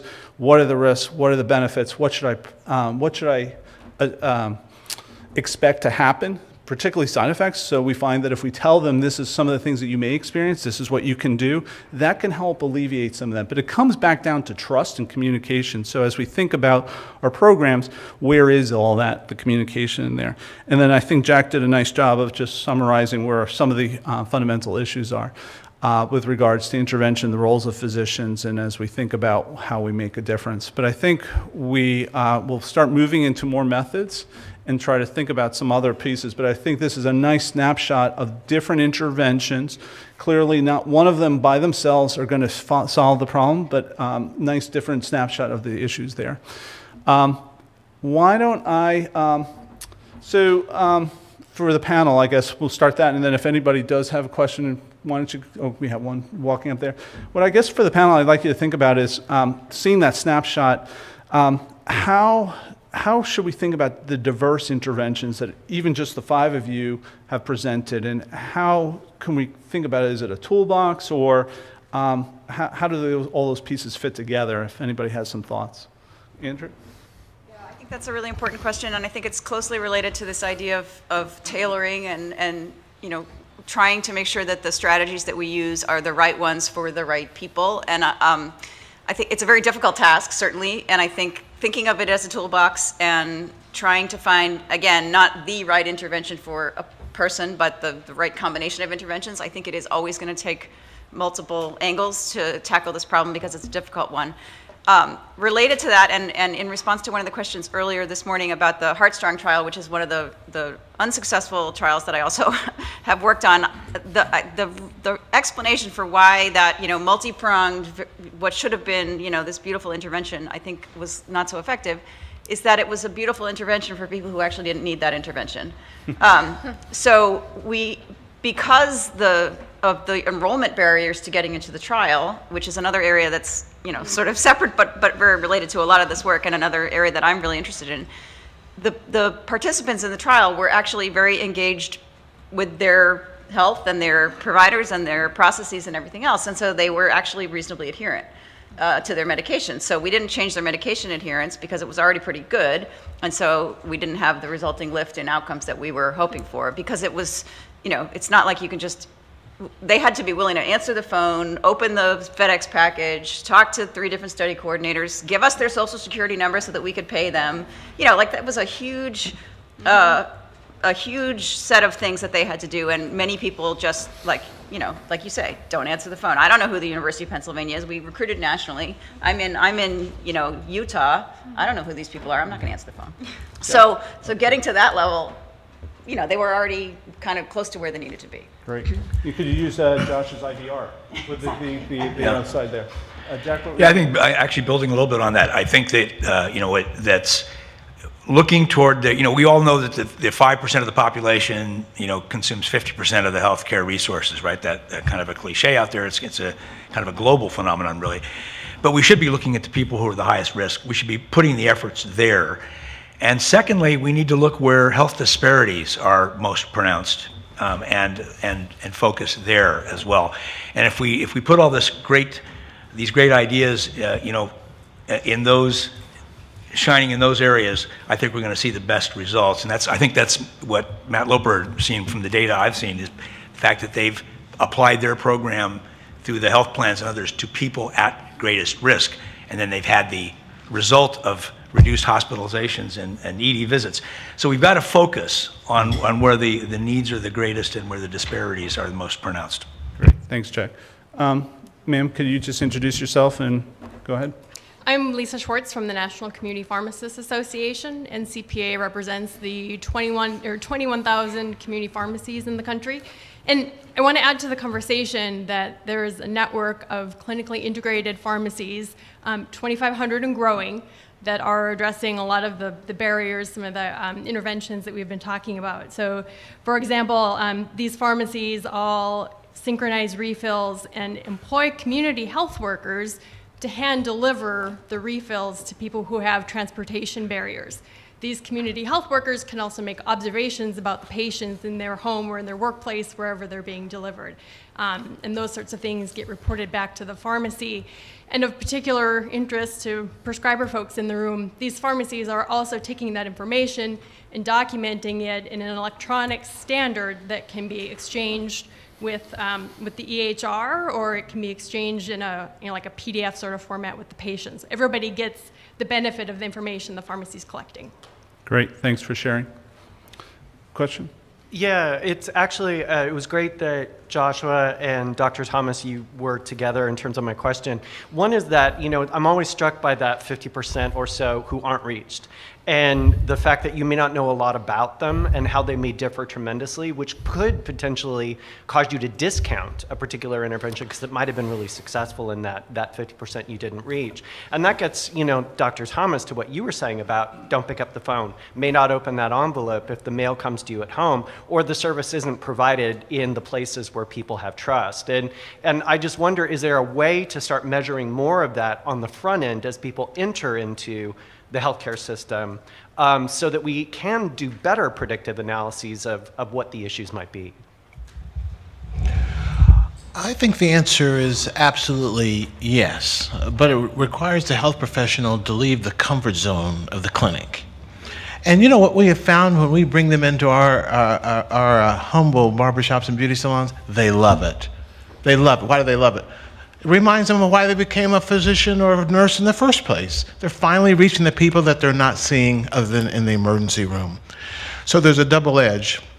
One, reaching a patient population outside of a clinical setting in a setting they trust, and improving the cultural confidence of health professionals to recognize that it is not simply taking an online competence survey once a year, along with your sexual harassment surveys, that it is a lifelong commitment to self reflection. And you can't do that unless you're actually interacting face to face with the very high risk populations we're talking about. It diminishes the shame, it gives them new language, and it gives them a better understanding of the complex lives that our patient populations are living in. And it gives us ammunition to go back to our systems, to our CEOs and CFOs to say, here's what we're seeing in the community. This is our problem. There's some changes we have to make, not only at the individual level, but at the level of our own institutional organizational practices. That's a conversation we need to have, and it starts by meeting people where they are, where they live every day.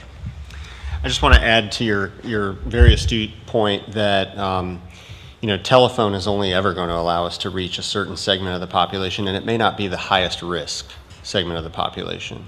Um, we also have issues with people who opt out of phone calls. Laws are getting more and more protective of people's um, telephones, and um, and so we have plans now who are declining to use the cell phone numbers they do have on file for patients for these reasons. So where I think this is probably headed next in response to that challenge is more of the risk for adherence is going to be transferred to the providers who are going to see these patients in other settings. And it's going to be the hospitals and the pharmacies and the physician practices. And so um, I think that's why those providers need to be ready to deliver greater services to these at-risk patients when they're identified for them because they may be our only way of interacting with these patients in addition to you know community-based um, you know folks who can engage them as well so maybe one way to try to draw a little bit of um, threads through everything that was said is I think of precision medicine and population health. They're not actually dichotomous. There really is,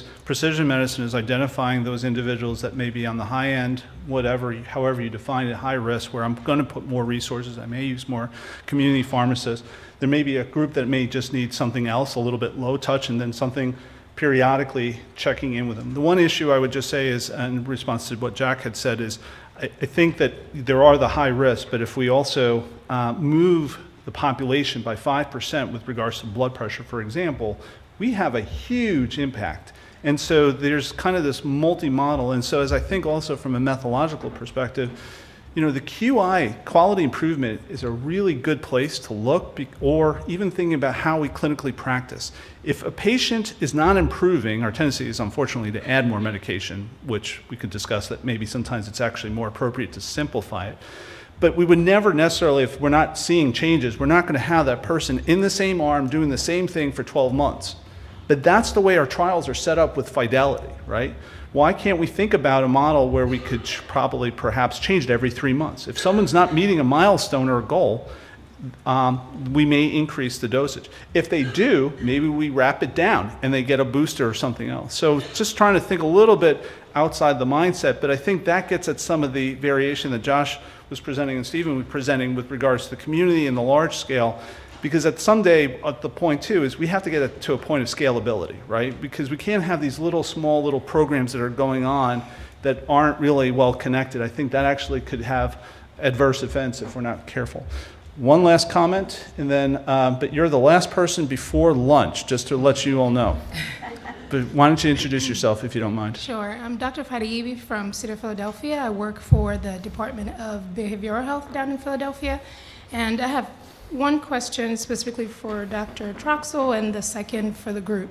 Um, to Dr. Troxel, it's just more of a clarifying question. For the, uh, the intervention you were speaking about with the financial incentives, how were you tracking daily adherence? Like, were they self reporting it? Because I'm assuming the PDC may not be the greatest deal for that. So, understanding that. And then for the whole group, a lot of the focus, I think, today so far has been on physical health medications, so diabetes and heart disease. In my work, I do a lot of work around adherence to antipsychotic medications, antidepressants, um, ADHD in children. So it'll be helpful if you all can just weigh in on your work in, that, in those different populations, and also if you think these interventions we're talking about today are generalizable to those populations. Thanks. So I can just clarify, yes, we uh, issued all of the participants in the trial electronic pill bottles, and so we got a signal when they opened the cap. Uh, And that actually, in retrospect, was one of the reasons that the control arm also did so well, uh, because we did focus groups afterwards and asked them, you know, what was going on, and they said, oh, you know, they knew, we obviously told them that we were going to be measuring their adherence, and they, they felt happy about it. They said, oh, the health system cares about me, they're watching over me, you know, again, not a big brothery kind of uh, thing, but a, but a feeling taken care of. And so they were likely much more adherent be- just because we gave them the bottles, even though they had no reminders or anything. Um, So, again, unintended consequences are lurking everywhere, and we have to be careful. Great, thanks. Um, I think, though, in terms of the content and, and other areas, I mean, I think that's an important point that we have to be careful that what we're talking about in generalizable, but the reality is no patient is just taking typically one medication or has one condition. And so um, we heard a little bit of diabetes with mental health and de- depression, anxiety, um, but I think we have to be mindful that uh, different conditions may be more specific or we need to consider more um, different, different um, uh, consider it in a certain context differently. So, um, so I do have a couple of logistical things. Some of you have luggage and you've left it outside. Uh, apparently, that is not acceptable. Someone's going to steal it, or, or we're told to move it inside if you could. Um, maybe we could just put it over there or wherever else it is. Uh, we're going to break for, as I look to the bosses, an hour, 45 minutes, hour. How about, how about, how about everyone come back at 1 o'clock? You can estimate what time, uh, how much that time is. Uh, we have two more working groups, um, and then we're going to get um, move forward. So appreciate everybody's comments, thoughts. Um, I think most of the people uh, that have already presented or will be around. So if you have further questions, I know we didn't get to all of them, uh, and we will have more time later in the afternoon for other questions. So thanks. And uh, lunch, uh, is it clear where to go or what to do? People can get information um, in, the, in the, the back by the table. Sarah Susuri can help you out with um, any questions that you have. Great. Okay. So back there, lunch information and any questions you may have. So see you back at 1 o'clock, and please bring your luggage in if you could. So.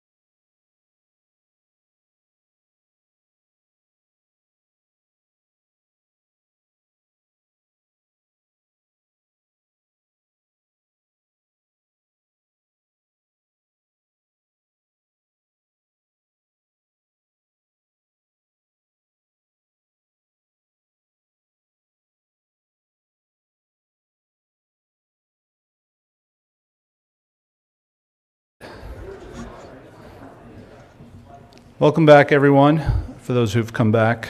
Um, Some of you may be here physically and not necessarily mentally, but we'll, we'll all wrap around. Um, I think uh, first two sessions were good. I think helped frame where we're going. Um, I think now thinking more about some of the methods and measuring will be uh, what we'll talk about. So um, some more keep your brain uh, thinking and moving forward. So session three, we'll start um, looking at measuring and evaluating medication adherence. Um, and so already, as I said, this morning we talked more about some of the barriers. Um, and then uh, the last panel, we had some specific interventions. So I think that's helpful to kind of frame where things are. Um, but now we're going to go into a deeper dive into specific research questions on how to measure adherence uh, and its impact on clinically meaningful outcomes. So that's going to be an important part uh, for us to think about. Um, so maybe if I could, uh, could I have um, Bernard come up, Mike, Neha, and uh, Janet, please?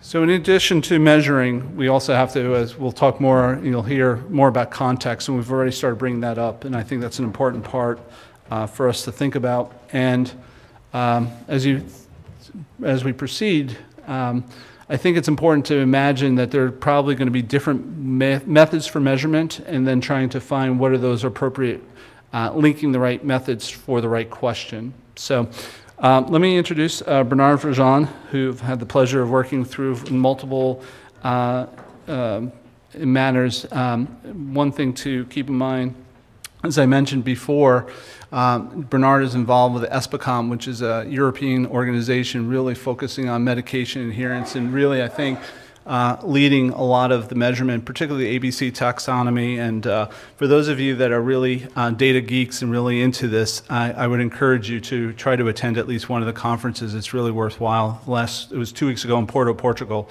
Uh, next year is in Estonia.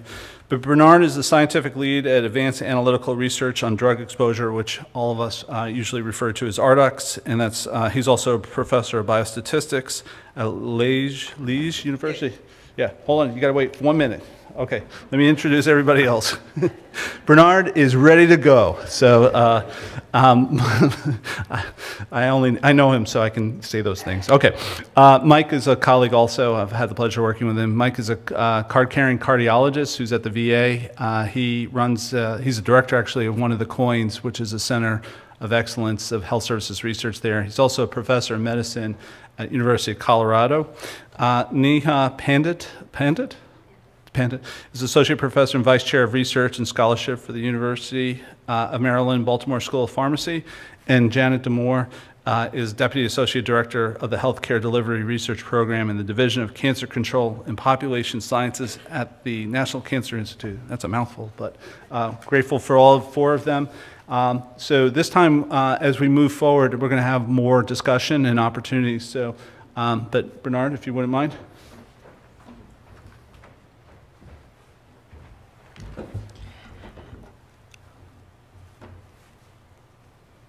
Okay, good afternoon and thank you for the invitation, for being here and to talk about medication adherence.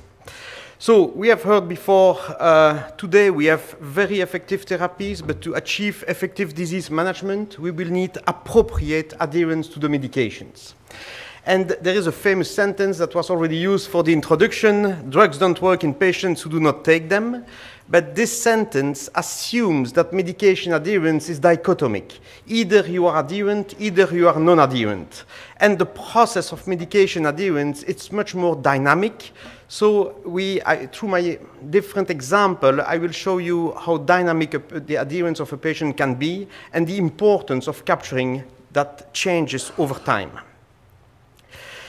We already mentioned the ABC taxonomy, and we were, I was part of an EU-funded project about coming, coming about recommendation about medication adherence.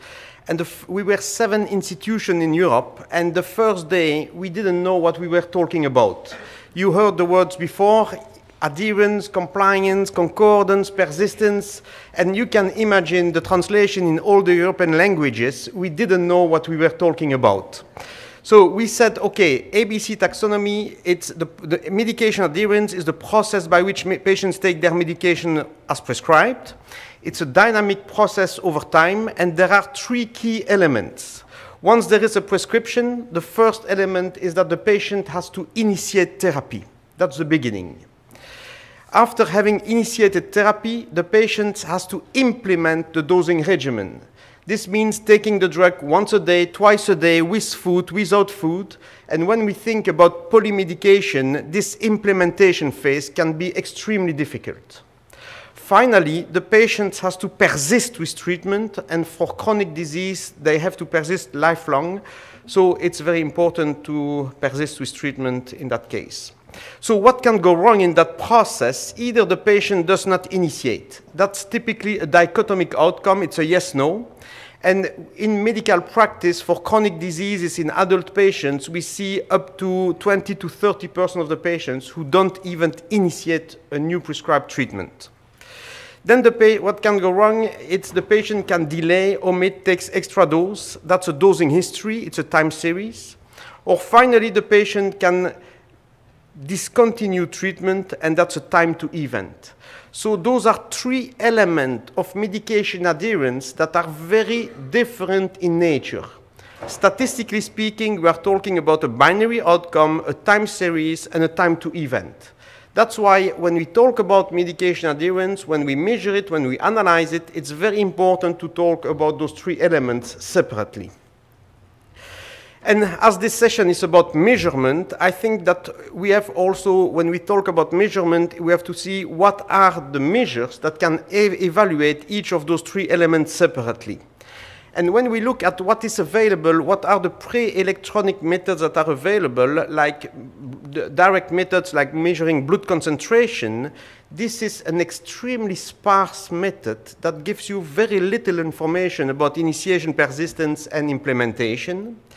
When we are looking at patient self-report, it's typically biased. You have desirability bias, but you have also recall bias. Who can remember the dose missed last week, last month, two years ago? It's very difficult. And pill count, what we do in clinical trials, can be easily censored by the patient. They can just drop the pills before showing up at the visit, which compromises the estimation of initiation and persistence, but it only, only gives you an aggregate measure of implementation.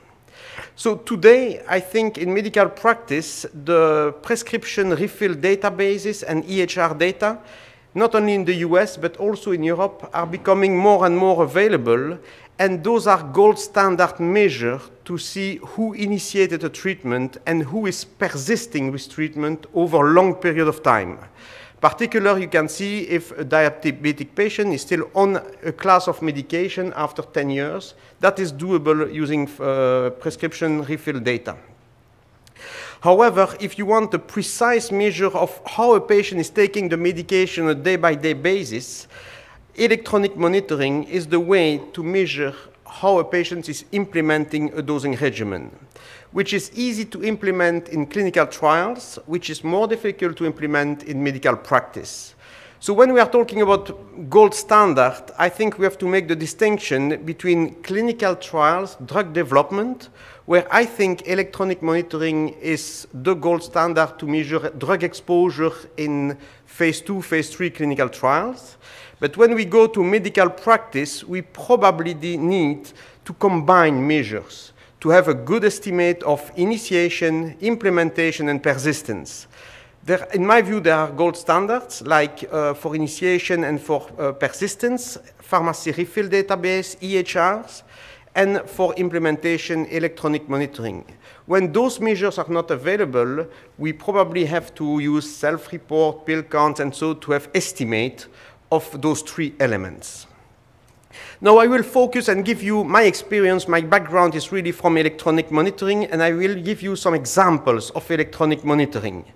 The first example that I wanted to share with you is my father. This is my father. I gave him an electronic monitor, and he was using it for two years. And this is how he is taking his medication in, from 2011 to 2012. So on the x-axis, you have the days of follow-up. On the y-axis, you have the time of drug intake. Every time there is a blue dot, he took his medication. Every time there is a red line, he missed his medication. So over the 632 days, you can see there were 14 days with double dosing. There were 115 days with no doses at all, which makes him an 84% adherent patient. Okay, so still a lot of missed doses, a lot of red lines. What I didn't tell you here is I was monitoring here his cardioaspirin. Knowing the duration of action of a cardioaspirin, which is two to three days, probably that he had a very optimal level of adherence and we didn't need to bother about because there are very few consecutive missed doses. However, in 2013, he was diagnosed with AFib. He was prescribed a new once daily direct anticoagulant, which has a duration of action of 24 hours, and every red line will be critical for him, will put him at risk. So when we talk about medication adherence, we have also always to think about which drug for which treatment for which patients. And that's the importance of understanding drugs forgiveness for each medication and always comparing the level of adherence, especially when we are talking what level of adherence is required, is necessary for which drug, for which patient, for which diseases. And uh, to move ahead, I wanted to share those six patients, and those six patients are all six taking 81% of their prescribed doses. So according to the unfortunate rule of 80%, I think they would all be classified as adherent patient. The three on the top are once daily dosing, the three on the bottom are twice daily dosing, and you can see the different behavior of those patients. The first one missing uh, doses at random, the second one stopping too early, the third one look at the third one in the first line, how often he changes behavior over time, many, many times.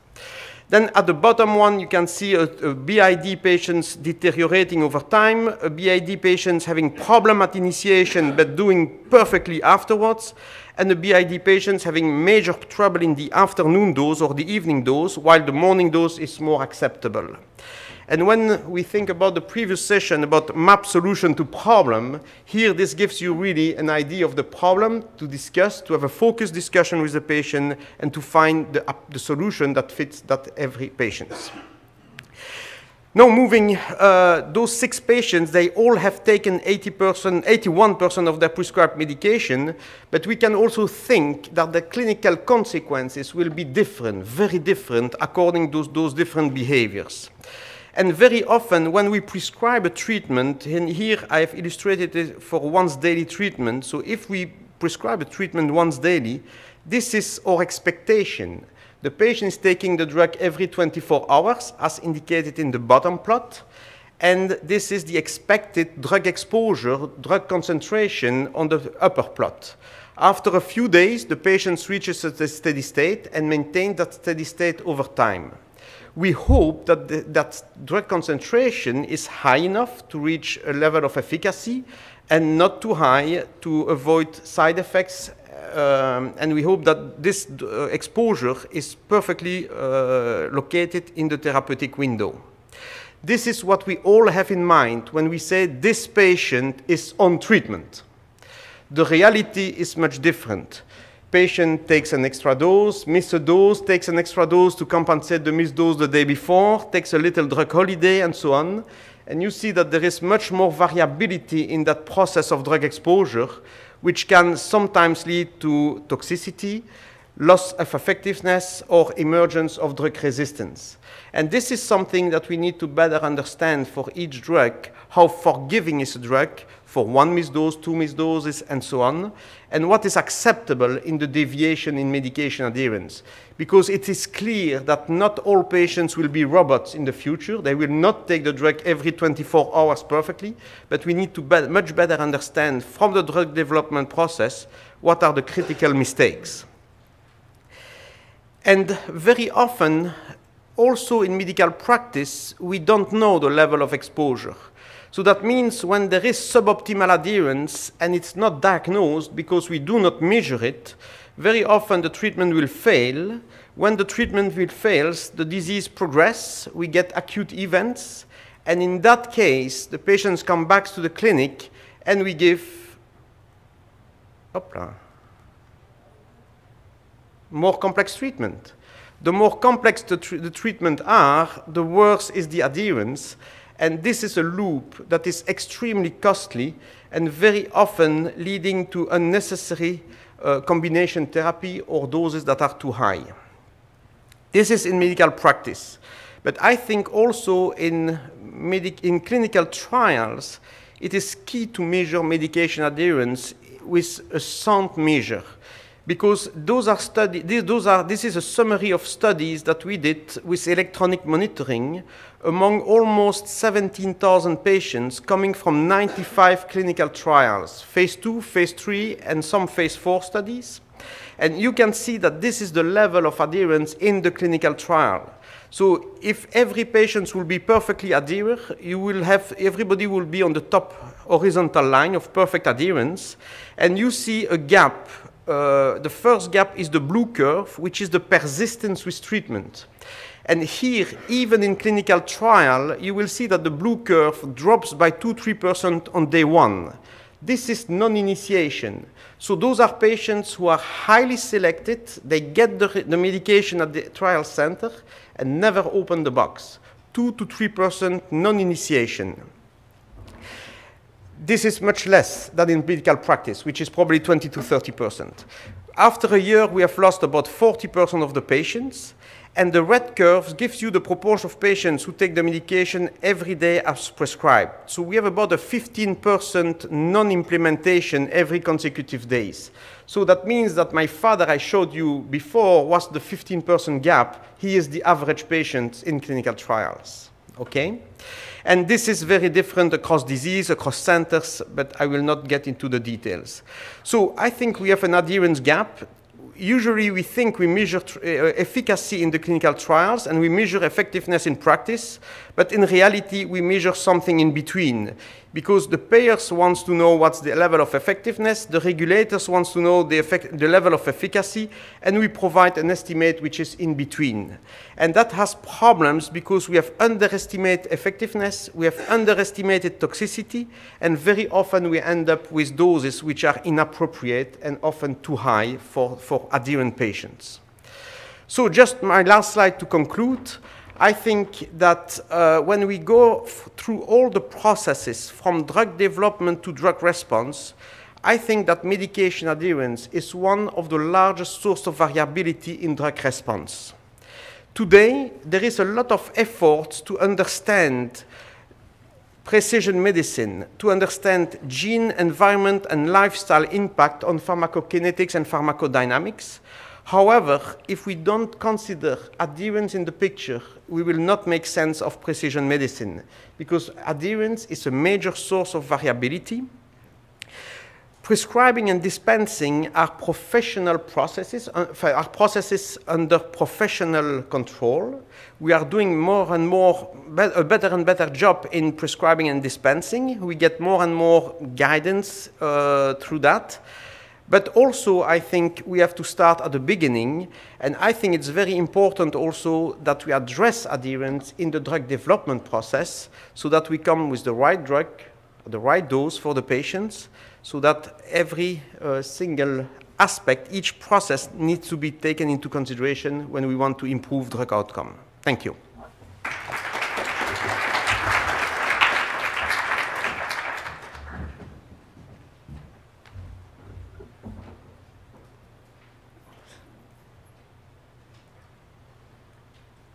Great, uh, thank you. Uh, so my name is Mike Ho. I'm uh, from the University of Colorado and the VA in Denver. Uh, so my job today is really to talk about uh, adherence using pharmacy refill data. Um, so I thought I'd just provide an example of, you know, this is a, a study, uh, patient data from a study that we're doing right now. Um, and this is an average patient in, in the study. Um, and this shows kind of their record of the different medications that they're on. Uh, the issue date is when it was prescribed. The cancel date is when the prescription expires. Um, and the release date is when the patient filled the, the medication. So um, you could see that uh, there's a row that we get for each time the medication is uh, filled by the patient, as denoted by the release date. Um, and so this could go on and on. And this is uh, not a typical patient that we see in the VA, in that this patient's only on two medications. In general, they're on a lot more medications than that. So this is just another example. Um, uh, of the kind of uh, pharmacy refill data that, that we get. Um, so going back to a little bit of what uh, Bernard said, I mean, we can uh, typically look at three types of uh, patient behaviors using pharmacy refill data. We can look at uh, initiation, so when the patients pick up the medication. Um, implementation is, you know, how well they refill their medications over a period of time. And then persistence is how long they continue that medication um, over that period of time. And so, again, we can look at an example of a patient where you could see uh, the physician uh, prescribed the medication on March 2nd. They waited for a little bit before they filled the medication, so they filled it on April 9th. Um, then they refilled it, so they got a 90 day supply and then they refilled it on August 6th. So there was really a gap uh, between when they first filled it and when they were supposed to fill it again. Um, and then they refilled it again on uh, October 28th. Um, so if you try to calculate um, uh, adherence, which is usually PDC or MPR, it, you calculate it by the number of days supplied over an observation period. Uh, if you just look at this, the patient may be classified as adherent. But if you look really at when he refilled it, or he or she refilled it uh, on August 6th, there's really a gap of a little more than 10 days in which they didn't have a supply of medication. So, you know, do you classify this patient as adherent or non-adherent? Um, so those are kind of the challenges of using pharmacy refill data. Um, and then in terms of looking at adherence to multiple medications, I think really the challenge is well, what is it that you're trying to look at adherence to, right? So, you know, oftentimes we can look at adherence to a class of medication. So if, if a patient is prescribed a cholesterol pill, they have a, a side effect to it, they're switched to a different one.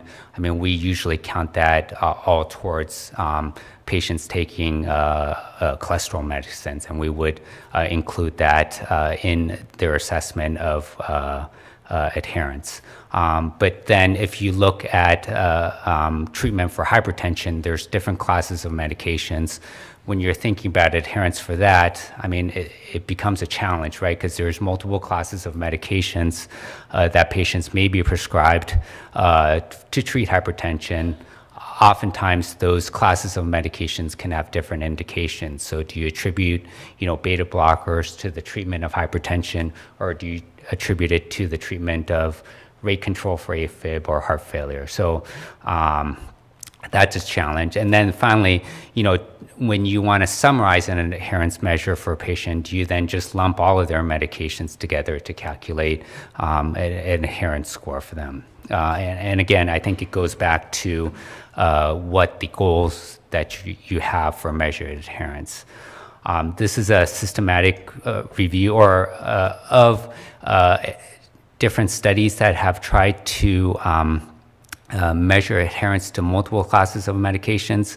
And the goal is not for you to read the different methods, but this was just looking at MPR. And interestingly, as you could see, there's a lot of different ways that people have done it. Um, and in six of the studies, they couldn't even discern how the how the method was done. So I think there's a lot of challenges um, to trying to uh, measure adherence across multiple medications. Um, so, I mean, going back to what uh, Bernard said, I mean, I think, you know, adherence using pharmacy refill really looks at a patient's behavior over a long period of time, right? Because if you think about the uh, sampling um, of data for refills, it's really on a monthly basis, or patients can get 60 or 90 day fills. So the data that we get on adherence is really poor. Um, and it's really looking uh, at behavior over a longer period of time rather than when you're using uh, electronic bottle caps where you can get a sense of when the patients are opening uh, the bottle. And so some of the assumptions uh, of um, using pharmacy refill data is that you know patients are taking the medication as prescribed and they're taking you know the doses as prescribed as well. Um, and that's kind of one of the limitations uh, that we have to understand with pharmacy data. Um, despite that, I mean, I think pharmacy data has been linked to um, adverse outcomes or has been linked to hard clinical outcomes. This is an example of a study we did where we looked at uh, patients who delayed filling their medications, uh, blood thinner, after getting a drug eluting stent. And we found that about 15% of the patients had a delay. And these patients had an increased risk of adverse outcomes in the 30 days uh, after that delay uh, in terms of death or recurrent MI. Um, uh, this is a study looking at secondary adherence and outcomes. Uh, in this study, we looked at adherence to DOACs, and we found that in the year after initiation, uh, about a quarter of, of the patients were not adherent um, to their DOACs, and these patients had an increased risk of adverse outcomes as well. Um, and more recently now, um, most of the studies, you know, have looked at adherence kind of retrospectively, um, and I think there's increasing interest to use uh, pharmacy refill data prospectively, so clinically in routine uh, clinical care as well as uh, to conduct interventions. Um, this is just a, a screenshot of uh, Epic, um, where now they have a new functionality where it displays if you roll the your pointer over the medication, you can get a, a PDC measurement. Um, uh, directly. Um, this is an example of vitamin D, and then this is an example of clopidogrel, where um, in the, from the EHR they can get pharmacy refill data, and then it automatically calculates um, an adherence score, PDC, uh, for each patient. So I think uh, with functionalities like these, um, you can think of doing uh, interventions prospectively rather than just looking at data uh, retrospectively. Um, so we've also uh, used uh, adherence data prospectively to conduct interventions. Uh, this was a study that uh, I don't have the results, but uh, where we um, would look at pharmacy refill data and calculate when they were due to have uh, medication refills, and based on that, we would have auto automated phone. We would deliver automated phone calls to patients um, to remind them to refill their medications.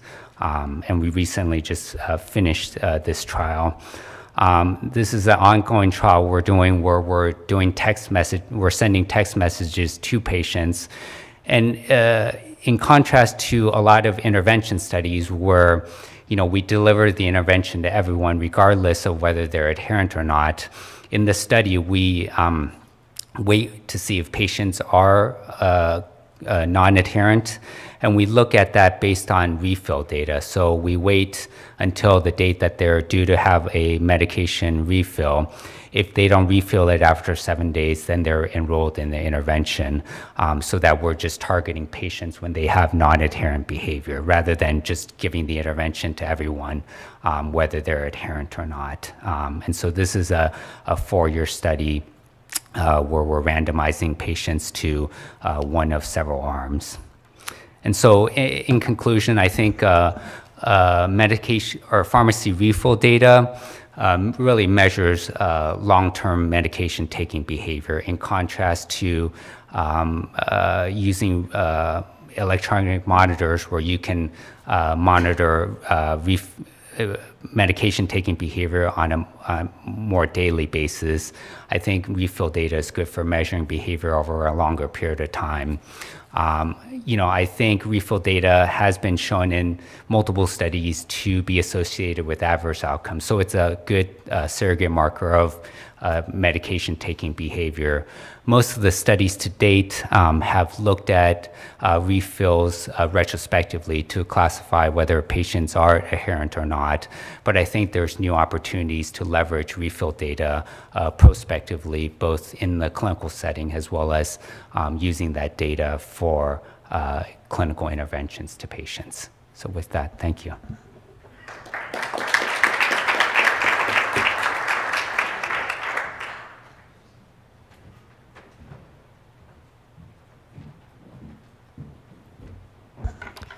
All right, good afternoon, everyone. I want to make sure I can get this started.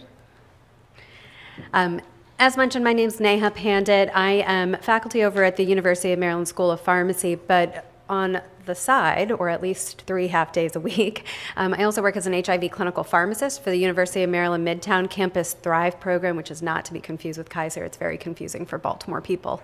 Um, but we serve uh, inner, inner city Baltimore as well as some individuals outside. We mostly do HIV primary care for those patients, but we do do a lot of hepatitis C. We do do a lot of uh, PrEP patients, or at least a significant amount of PrEP patients. Um, so hepatitis C, HIV, as well as PrEP in, um, in that population. Um, so what I want to discuss today is really talking about how we use some of those data points within a clinical setting. Um, we have the advantage of having a lot of various resources thrown at Baltimore City with um, our high rates of substance abuse and some of the other barriers that we face within that community. But we also have the challenge of having a harder population to find sometimes within Baltimore. And so we'll talk a little bit about that, um, the experiences that we have in using some of not just of our objective data, but some of the sub, uh, subjective data as well. I'll also talk about the role of medication reconciliation, which is sort of the bane of my existence within uh, my practice. How do we identify what exactly a patient is taking? Because if we don't know what they're taking, I don't really know what to assess adherence based off of. So it makes it really difficult from that standpoint. And I'm sure, like many individuals within in this room and even listening to this, medication reconciliation, as much as we've talked about it, many conferences, many papers, uh, we still don't have an answer to this.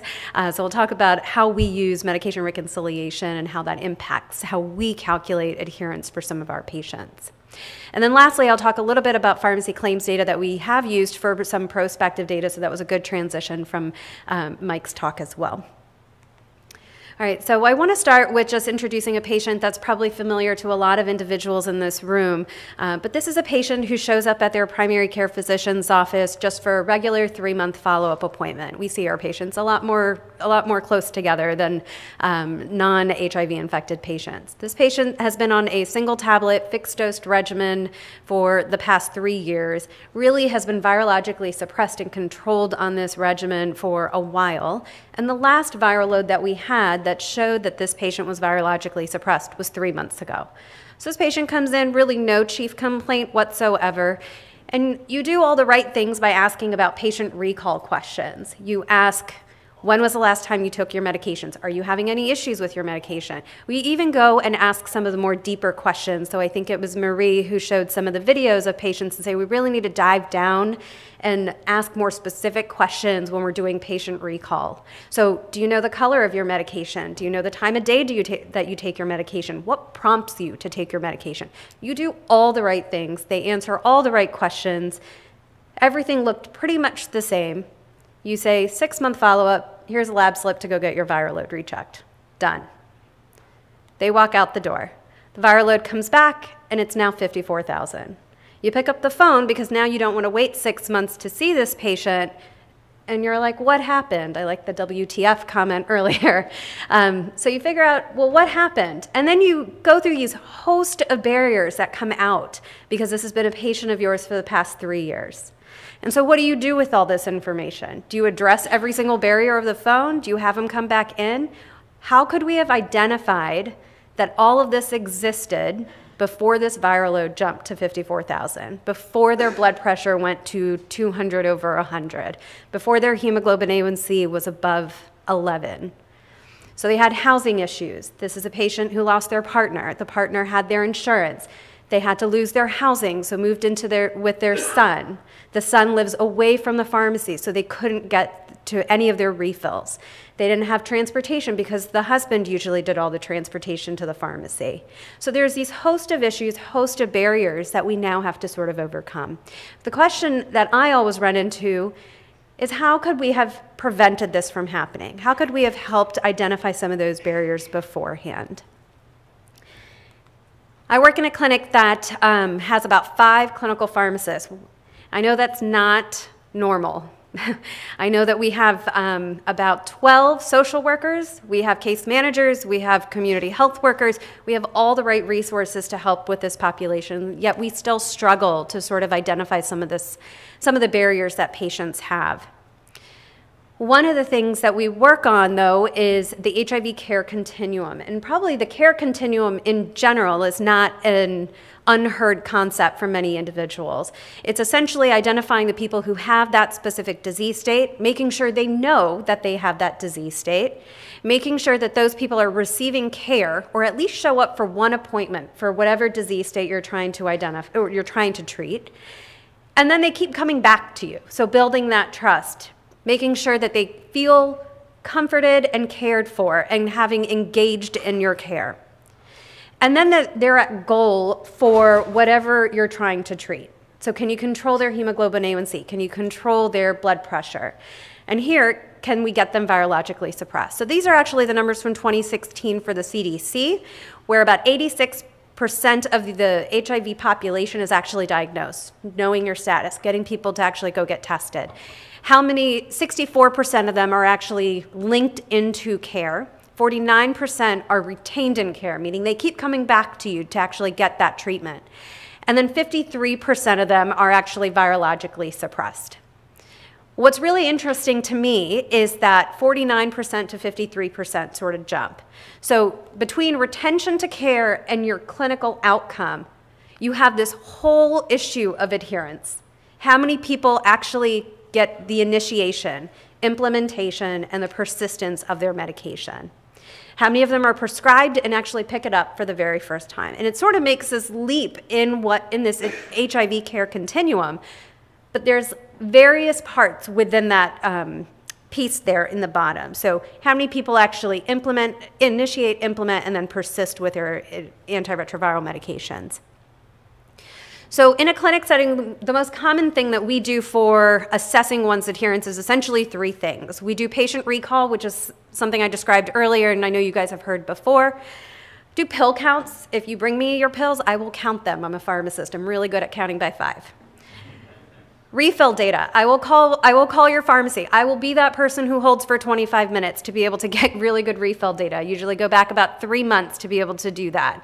And so being able to do that takes a lot of time. And I love the question earlier about, well, who's responsible for this? Who does it? We have five clinical pharmacists, and the only patients that get referred to this to us are patients like LP, people who have already failed their HIV medications. We rarely are proactive because we have a lot of patients. We have a lot of other responsibilities there, and we struggle with who actually owns this process. But pharmacy refill data is easy. The other rare things are pill counts because people don't often bring back their medications. We also don't have drug concentrations that are part of standard of care for HIV medications. Real life medication adherence, as you guys have heard before, is fairly low. So even though most clinical trials uses that 80% rule that you guys have heard about, we still know that it's about 50% overall for medication adherence. One of the statistics I always really like is how to make something habitual. So, how do you actually tag patients? How do you make sure that taking medications is part of their daily routine? And so, there's the statistic of 66 days. It takes 66 days for you to do something over and over again for it to feel weird that you didn't do it one day. It's usually for a diet, exercise, whatever it may be, but it's 66 days. We often follow up in about two to three weeks. We follow up in a month. And then we say, great, you're, you look like you're doing fine. We'll keep, you, we'll keep you going. We'll do a six month appointment. But we also know that at six months, people get complacent. They get virologically suppressed. They meet their goal of whatever disease state. And then they're like, well, I guess I don't have to take it all the time anymore. So, really going back and reassessing that piece as well is that it's consistent adherence, making sure that they persist in taking their medications, but we persist as providers to keep assessing their adherence on an ongoing basis. Then the bane of my existence, again, is the medication reconciliation piece. So the medication reconciliation piece is how do I know exactly what you're taking? I like the terminology of the best possible medication history because there's no good, there's no there's no gold standard for a medication history. Essentially, if you can do three of the things that are listed here patient interview, community, calling the community pharmacy to be able to get a good list of what they're getting filled, going through all of their providers to find out what's actually being prescribed. If a patient brings you their medication list, that's a great starting point. If they have the physical bottles, that is key in almost every medication reconciliation. And then medical records if you have that piece of information as well. Oftentimes, it's really difficult to be able to get any of this information, especially if you're in, an, in a hospital setting or if you're in a um, individualized clinic or a specialized clinic where we don't serve as the primary care provider. So it's really difficult to be able to get some of that information. In studies, they found that even in the discrepancies within some of those best possible medication histories is about 50%. Whether a drug is added or not added or duplicated or at the wrong dose. There's many different discrepancies that you can find between a medication, a medication reconciliation. But just by reconciling one's medication, you can diminish the amount of drugs that a patient may need, and you can increase their medication, their, increase their adherence from about 51 to 67% based on this one study. Medication reconciliation can help just identify what medications you need them to target. It also gives us a great opportunity for counseling. There's many studies that show that counseling overall can actually increase one's medication adherence. And so in this specific study, even after counseling, it went up to 80% to improve their adherence. I want to briefly go over just two different studies. Um, early on in my career, we tried to communicate adherence information in an objective way to our prescribers. And so we partnered with one of our pharmacies to be able to get refill data. And what we would do is we would enter it into our computer system and say, Your patient is 67% compliant. Please counsel this patient at the next visit that they come in. What this did is it actually got them to target the population that they sat down and actually went over adherence barriers with. Because we know routinely that that wasn't part of their discussion. They have 15 minute appointments and they didn't really have times to really narrow it down unless they had reason to. And so this actually gave them an objective data to be able to do that. Similar to what Mike had talked about with the PDC value that shows up in Epic. This was pre when we before we went into Epic, um, but that's part of the reason that we actually went over that. What was interesting about this is that we flagged patients who were 85% compliant. The majority of these patients, 78% of those patients, already had a viral load of less than 200, which is suppressed. What was difficult about that process is that 85% rule does not work for the HIV population. We should have targeted a much lower threshold for this population. So we were inundating providers with information that, in theory, they didn't have to act on. And so, how do we really make sure that the data that's actually going back to prescribers was important? And then the last thing that I'll go over is a study that we're actually going through now is actually focusing on medication adherence by ensuring collaboration among four different individuals prescribers, pharmacists, payers, and health department programs. So, this is being able to take not just pharmacy data, but actually pharmacy data that comes from our payers to be able to ensure that we're getting a complete information about pharmacy refill data and proactively and prospectively actually providing some of that information back to our prescribers and to be able to see if we can target adherence interventions based on some of that data here. All right, thank you. This was my last slide, which just goes over interventions that are uh, targeted for this, but I think you have another intervention uh, process going later. Thank you again.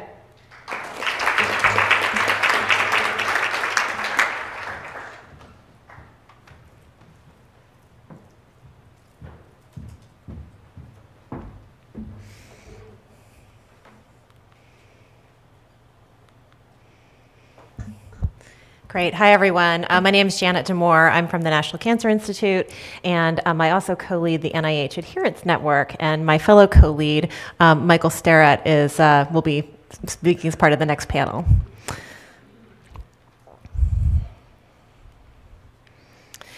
So I'm going to build on the, um, the presentations that we just heard and briefly review some measures of adherence used in health research and talk a little bit about a recent portfolio analysis we did uh, looking at the NIH grant portfolio. I'll talk about some of the unique challenges of adherence to oral cancer therapies and then conclude with some broader issues for the field to consider. So we've already um, covered this, that adherence is not a single behavior, it's a constellation of behaviors that um, begins with taking the first dose, then taking that medication as prescribed, and then um, looking at, at, when a person um, discontinues or stops taking their medication. And the optimal measure of adherence depends on the adherence behavior and the research question. And while we need um, sort of precise measures of adherence that map onto the different behaviors that we're looking at, we also need to think about the broader barriers and drivers that shape whether or not someone's going to be adherent to their medication. So these include things that go far beyond um, sort of forgetting to, to take a medication or confusion about, you know, kind of what you're supposed to take and, and when, but looking more broader at um, issues related to shared decision making, the experience of side effects, uh, the person's sort of understanding of their condition and the risk associated with taking their medication or not taking the medication, and issues such as cost, and making sure that we um, are able to um, design studies in a way that we are capturing this information and that we have valid and reliable measures for these factors as well. So there's different ways to measure adherence behavior. We've um, heard this a number of times today, from the very subjective to objective. And again, the um, the appropriateness of these different measures really depends upon the the situation at hand and the research question. There was an interesting study recently published by Ian Kronish and colleagues um, in Translational Behavioral Medicine, where they looked at the utility of different measurement approaches for different adherence behaviors. So, the um, far left columns looking at behaviors involved in starting to take a new medication, the next five sort of columns of bars looking at taking that medication as prescribed, and then the final uh, column looking at discontinuation. And what these bars represent, I know it's a little bit busy, but um, the, these bars reflect the percentage of um, respondents who participated in a Delphi survey and rated each measurement approach at least somewhat suitable for the different adherence behaviors. And I think what's clear from this graph is that the suitability of different measures um, really varies, whether you're looking at initiation or implementation or discontinuation. What's not reflected on this graph, but is discussed in the paper, is that there was not consensus on sort of the optimal measures for these different behaviors. And I think that's really reflected in the, the literature and really the heterogeneity of methods that we see. So the NIH uh, Adherence Network is a, uh, a group of um, a group of scientists at NIH, really that, that span the NIH, that are involved in advancing adherence research, and we do that through a variety of different activities. Over the summer, we looked at the uh, portfolio of grants funded by NIH looking at adherence behavior. So I just wanted to, to be clear these were not studies um, developing new drugs necessarily. These were studies, sort of behavioral studies, looking at adherence to um, sort of routinely prescribed medications.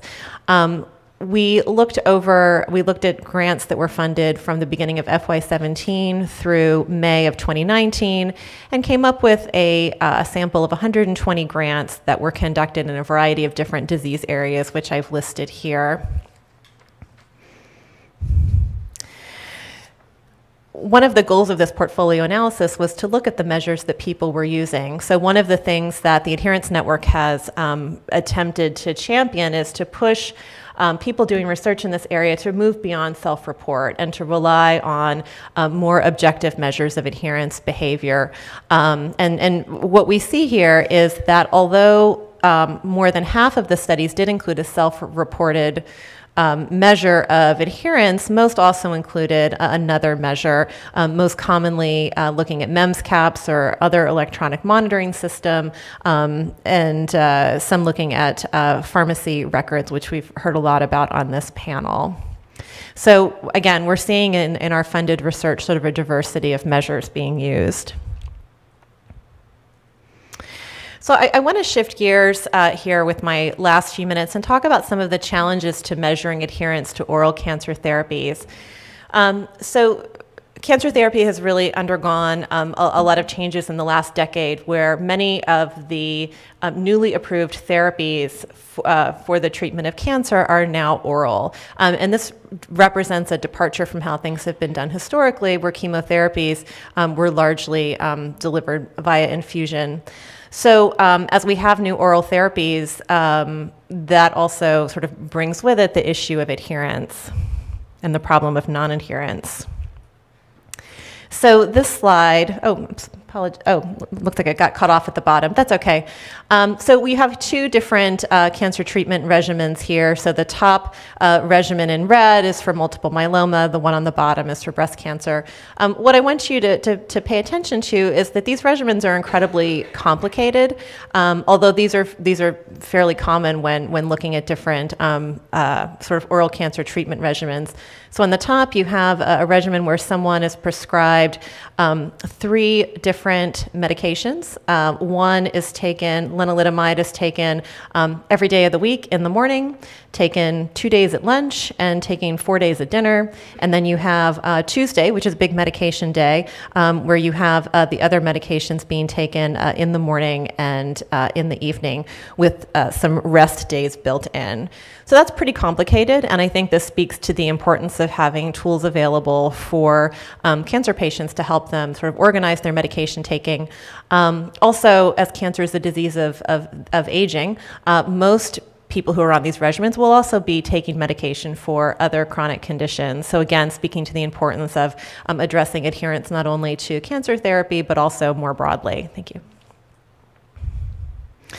Um, one other point I want to make about this slide is that as um, treatment regimens increase in complexity, um, our measurement approach to understanding adherence needs to um, uh, sort of match that complexity with precision. So, you know, here, uh, you know, in order to really understand what's happening and whether or not someone's adherent or how, how non-adherent and how they're not adherent, it really requires um, the, the sort of detailed assessment of medication taking over the course of the week. When we look at the literature in cancer, we see that adherence to oral therapies, and this includes oral chemotherapies as well as um, endocrine therapies, which have been used for a long time, um, primarily in the context of breast cancer and prostate. We see that adherence ranges from 46 to 100%. This was based on one review. Other reviews um, have cited lower estimates, but there's a range. And in cancer, as we see in other conditions, there's really no clinically defined threshold for adequate medication adherence. Um, it depends. It depends on the therapy. And in the case of some of the newer agents, we just don't have those data yet to be able to say, you know, 80% is good enough, 85% is good enough. Um, when you look across the literature, a number of different um, measures, uh, approaches to measurement are used, um, and I've listed some of those here. Again, this is based on a single review, but is pretty consistent with other things that have been published. Um, so again, we see that adherence is measured with um, a range of different approaches. There's great heterogeneity between studies in this area. Um, we have sort of disparate definitions of what constitutes adherence. So in cancer, even though there's no, even though we sort of lack data on the appropriate clinical threshold, some studies still use um, 80%. Some uh, look at adherence in other ways. Um, there's, in general, a failure to distinguish between different adherence behaviors. Um, there's variability in the timing and frequency of data collection, um, which, which is an issue. We know that adherence decreases over time. Uh, these regimens are, are, complex. They look different from day to day, um, and sort of you know differences in how different um, studies approach the measurement of adherence.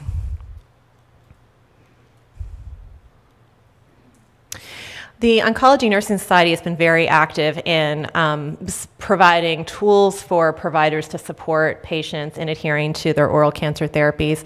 So, um, this is one tool, uh, it's their patient assessment checklist.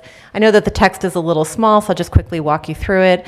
Um, basically, this is a checklist that helps a provider sort of go down the list and address some of those broader contextual factors that we know are important for shaping a person's adherence. So, trying to capture on the front end whether or not they know where they're going to fill their prescription, whether or not they can afford the copays, whether or not they have questions, whether or not there's something else going on in their life that's going to interfere with their ability to take this medication as prescribed, and then doing what can be done proactively to, um, to sort of you know, manage those different barriers.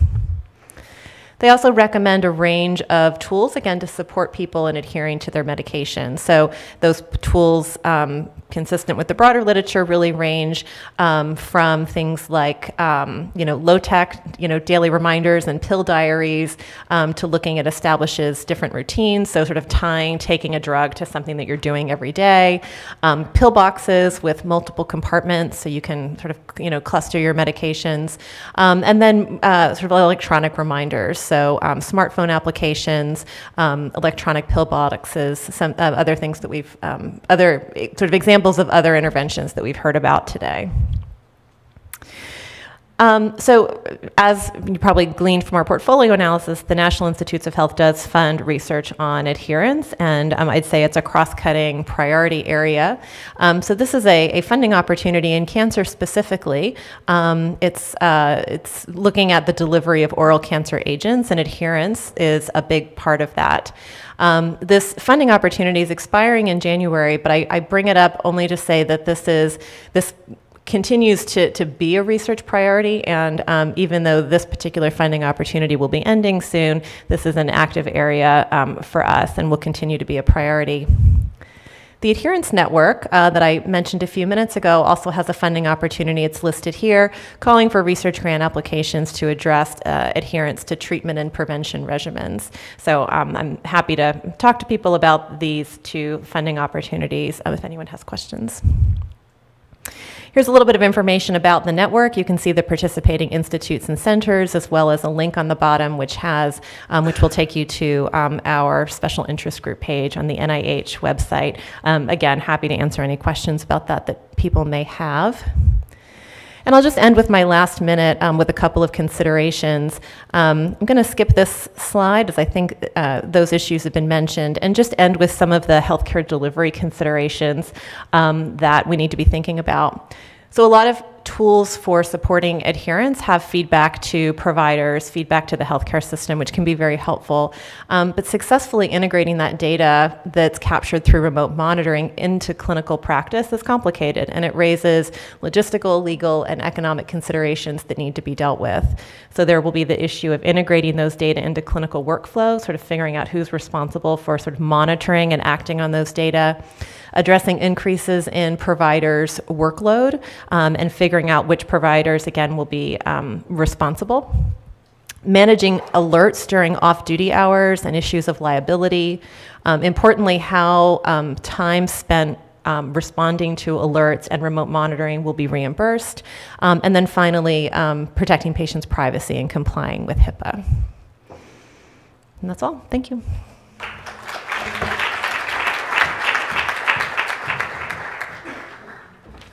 Great. Uh, thanks to the panelists. This was really helpful. A um, couple general comments to just try to wrap, summarize, and then open up for conversation. Um, Bernard, as always, did a nice job. I think that one slide where you see the different stages and the different measurements is absolutely crucial, and I think that really helps formulate the issue. Is is that depends upon the question we're looking at, really should reflect what the measurement that we're looking at. Um, I also like this quote that he made. I don't know if he did it purposely or not, but without adherence, there is no precision medicine. And I think that's really, uh, really important to acknowledge. The other thing that uh, I think Bernard was alluding to, which I just would want to emphasize, is if we really want to use measurements of adherence in clinical trials, I mean, if we're the cost of, to bring a new medication to market and do all the testing and everything is what is it, approximately 1.2 billion, maybe at least if half the people in those trials are not taking the medication, what are those implications? So I think that it's really becoming important. It's not to say that uh, you know we still need uh, intention to treat methodological, but at least we can do a better understanding of if the intervention or the drug doesn't work, is it because it's not efficacious or is it because people are adherent? And if they're not adherent, that's also important. Maybe there's side effects, but I think we're not we are not getting that data. It's crucial. The costs of bringing these products to market are huge, and this is one way to perhaps address those issues. So. Um, Mike did a nice job of really framing, I think, the reality of what refill data looks like. I just want to add a couple just additional things. One thing that we don't talk about is oversupply. So if we get these refills, uh, they're stockpiling. And actually, we've published a paper that showed that people that stockpile were just as bad in terms of outcomes, clinical outcomes, blood pressure, as if they were under adherence. So there's something about individuals that are stockpiling more than 20%. We use a 1.2. Um, so I just want to acknowledge that refill may be things for us to think about, but there is a tendency to just conti- continue to develop. And anybody that's gone into somebody's medicine cabinet will see that oftentimes there is accumulation of the medication over time. Um, related to that, um, we also had published a paper in Medical Care showing self-report versus refill. And we just, this was a student just playing around with the data and did a really cool analysis. The correlation between self-report and refill was 0.19. Both were independently predictive of blood pressure control. I conclude that they're just two measurements of two large constructs that we would call adherence, but they're measuring two different aspects. And yet they were contributing in this model. So I think it's important for us to imagine that maybe it's not one or the other. I think self report may be more of a symptom. Maybe it's a way of uh, identifying from a screening and then going into more detail. But if a patient tells you they're having trouble with your medication, you sure as bet can sure that there's a problem there. So just something to think more about. Uh, Neha talked a little bit about uh, also the practical aspects of the pharmacy. How do we get those medication, that information? That's not an easy thing. So if we're talking about refill, you know, are we really going to spend 25 minutes calling up the different pharmacies? We've done trials and we can't always get refill data. So um, if you're in a capitated system in the VA, that's great. But now we also have the Mission Act where patients are actually able to go outside the VA and go anywhere else and get those medications. So um, that also brings up who owns the, the, the data, right? So it's not that companies are willing to just hand over their refill data and say, here, would you like it? You can analyze it. It doesn't happen. So these are some of the things that we have to think a little bit more about. Um, I do want to emphasize one other aspect clinical outcomes. We haven't really talked too much about it. And the problem here is, is that just because you're adherent doesn't mean you're going to get clinical outcomes. And what I would like you to think about is clinical inertia. We have demonstrated this time and time again that if a patient is not if a provider is not prescribing appropriately, following guidelines, even if you're adherent, doesn't mean you're going to get the clinical outcomes. So there has to be something, if we're talking about clinical outcomes, we have to think a little bit about uh, adherence is not a direct correlation to clinical outcomes. So that's one other point I would just make. And then um, the, the, last uh, conversation, I think, really helped solidify this issue, which we haven't talked about HIPAA, liability, uh, logistical, these are all really important aspects. Um, and um, I just, the whole issue of oncology to me frames one of the challenges we're struggling with, and to think about that as another case study to, for us. So, those are just a couple summary points on my end to just share. But I just would like you know, the panel to think a little bit about hearing the diversity and, and thinking about um, how do we, um, I guess, you know, starting from there are different if you're doing research, you may do something different. If you're doing clinical practice, you may be doing different. And I, I think we had two different sides of that. So if you were um, to do clinical practice, what would you recommend? And then maybe uh, if you were to conduct a research, uh, what would be the questions you would want to ask before you're selecting what measures you would want to look at? So it's a two part, and maybe I made it too complicated. How about we start with the clinical? So um, for Neha and Mike, maybe start off there. So if you see a patient, you, Neha, you talked a little bit about this. Uh, imagine that they're on 10 different drugs, right? And so do we create a summary? And this is what, Mike, you were talking about. Do we create a summary measure that says, okay, red, yellow, green, and that summarizes, or do we get into all 10 drugs, or you prioritize and say, I really only want to look at their HIV drug, and all the other things uh, get pushed off to the wayside. So So what we found is um, there is definitely discordant adherence with a lot of disease states. Um, for the study that we that we had put together a couple years ago, we did focus on HIV medications, but once we uncovered a lot of the adherence issues with some of those HIV medications, we identified a lot of other medications that also were not being taken as well. What we also found is people had persisted on maybe one of their HIV medications, but the second HIV medication wasn't even in their profile. So I think the discordant adherence was definitely an issue for a lot of patients that we identified. I think it's easier for, from a prescriber standpoint, to focus on one and use that as sort of a, a targeting tool um, to be able to do that. But I mean, ideally, you'd want it all, right? You'd want Right. every single data point that you have. And I guess, Mike, to put you on the spot, as a specialist, as a cardiologist, um, you know, you may be focused in your particular area, but, uh, you know, patients are more than just their blood pressure or their uh, cardiovascular issues. How do, how do you handle all the other issues going on, or do you just focus on that and hope that somebody else picks up all the other things that are going on? Yeah, I mean, uh, well, just to answer your first question, I mean, it seems like we need to have multiple strategies for assessing adherence. I mean, one, you know, is just asking patients, but that should probably be complemented with, you know, looking at refills or um, uh, pharmacy data. Um, you know, for me, I, I guess I focus on the cardiovascular medications and start there because that may start the conversation of why the patient is not adherent um, because you know the reasons may be generalizable across multiple classes of medications. Um, although i agree with neha it seems like sometimes patients are selective uh, with their non-adherence. You know they may not like their diuretic because it makes them go to the bathroom all the time and that's the one they don't take you know. Um, So uh, I'm going to now ask Julie and Bernard their question on more of the research side, but for those of you that have questions for the panel, please uh, step to the mics if you don't mind. Um, We have a little more time, so it would be uh, nice to hear some questions. But, um, so uh, I think you both did a nice job of presenting and uh, identifying, and I think it's really helpful also, particularly the portfolio of measurement issues. Um, But um, I guess, uh, how would you approach or suggest if someone comes up to you, I want to do research in adherence, what would you suggest to them, or how, what, what, is there kind of like a, a path that they, you could recommend, or what, what would you think? I- think I start with the taxonomy. I, I think that it's very important if you want to do research. The, the first problem we have in medical practice 20 to 30 percent of the patients who don't even initiate. So if you want to work, if, if that's the problem you want to focus, that's a hard uh, population probably. And, and that's, you have to work on initiation and find the best measure for initiation. Mm-hmm. For example, I showed a lot of example for electronic monitoring.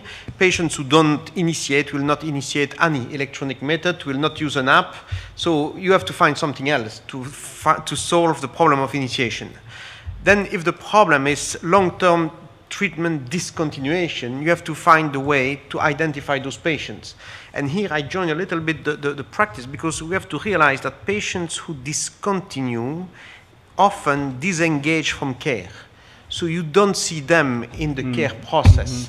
So that's very clear when, when for example, I, I, I start a project with somebody, uh, he, he, the, with a physician, whatever, with a center, they keep seeing patients who come back. And this is already, already a high selection of patients who are already engaged in care, and, and we are not having the non-persistent patients. And, and John, in the previous, uh, I think, I think it's John Ujak, he said we have to focus on the patients who need it most. And, and that is very key in adherence research, is how do you identify those patients who have disengaged, are, are, are disengaging, are no more in the care. And then if you have a problem of implementation, I'm thinking you have a drug that has a very uh, narrow therapeutic window. Oncology treatment, probably a lot of them have a narrow therapeutic window.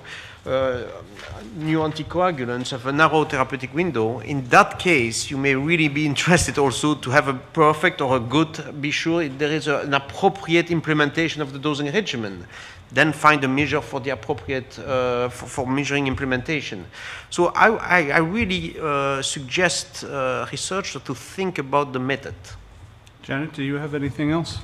Yeah, I'll just briefly add, um, and, and I've advised people um, who have been applying to the NIH uh, along these lines that um, it's really it's, it's critical to, to, to know your population and to sort of have thoroughly developed uh, the conceptual model of what you think is going on. So, um, you know, thinking about uh, if you recall back to my presentation, and sort of thinking about those multi-level factors that influence whether or not someone's going to be adherent or not, and at a minimum, collecting some data about those factors that are going to be most relevant to the to the question that you're asking and, and, and what you're looking at, um, so that after you have done your study and collected your data, you'll be able to, um, you know, that, that those data will be very important for um, interpreting your findings. Um, also encouraging people, again, to, to think beyond self-report and to think about including um, both if you're going to include a self-reported measure, to also think about how you could um, objectively assess adherence as well. There was a question also about uh, data linkage opportunities. So thinking a little bit also building upon that, um, uh, any thoughts on that or opportunities there or how, um, anything that we should be thinking about with regards to data linkage? Wh- What do you mean by data linkage? Well, I'm asking, Ta- Adam asked this question, so I'm trying Adam, do you want to clarify? Yeah, sure. So uh, bringing together different data sources um, to improve the data set. So you know, you have one data uh, to identify the factors, but then there's lots of other uh, situations um, where there's opportunities to get other sources of data, and then get a bigger picture potentially.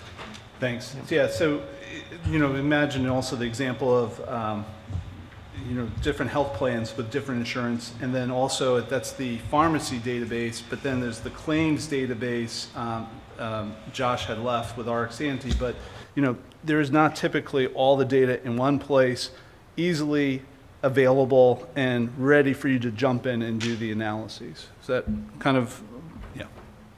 So any thoughts, or is this one of these things that we all know, it's a dirty secret that it's hidden, uh, but, but there's a lot of challenges with using these data, and this goes back to the issue of who also owns it and who's willing to share it.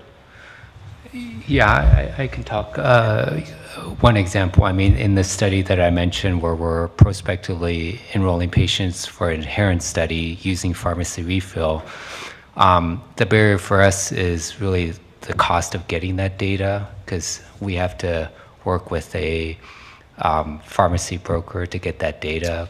But uh, there's a charge every time you query the data per patient. And so if you're trying to do large population-based studies, it become, becomes prohibitive in terms of cost. Uh, Ju- uh, Yeah, no, I'll just add, um, so, I mean, one data linkage that's been used pretty frequently for adherence research is the SEER Medicare data linkage, and, I- you know, we've heard some, some, um, some results that, uh, that were based on, on that linkage here today. Um, And that's become um, sort of an even more valuable data source now that some of the Part D data are available, um, going back several years. I will say that um, the surveillance research program at the National Cancer Institute has been pursuing a number of data linkages. They're still in um, sort of the the beta testing phase, um, but specifically pursuing linkages between um, SEER data and pharmacy record data. So um, that will be available uh, probably in the next couple of years and will end up being, um, I, I believe it's envisioned to be a, a sort of a, a publicly available data resource. There's also private Optum Health and others that have private, uh, a whole mixture of things, but those are very, very costly. Um, But um, we have questions. Thank you. Um, great panel. Stephen Thomas, again, University of Maryland. First, uh, a, a thank you, an observation, and a question. The thank you. Thank the organizers for bringing Dr. Pandit and I together in the same room for the first time. 35 miles separate us. And uh, so the power to convene is very important. So I'm, I'm glad you have some diversity in, in the room and continue to bring us together. The observation, Dr. Bernard, I can help you find those high risk patients, man. I work on them all the time. We call them neighbors. Uh, I know where they are, I know where they live, I know where they come back time and time again. We can do this. Now, my question it's very clear that adherence is like hugely, hugely important. And when it's accomplished, it's a win win for everybody. But who benefits with lack of adherence? Who's benefiting when we have non adherence? I'm just not convinced that it's nobody. Somebody is benefiting, somebody, something, some entity benefits from the lack of adherence. Who is that?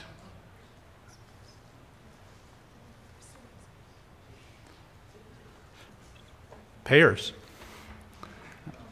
Sometimes it's payers, but it also depends upon the vet. Got what- what- disagreement over here. What's that? Yes, right. Well, that's a short-term versus long-term.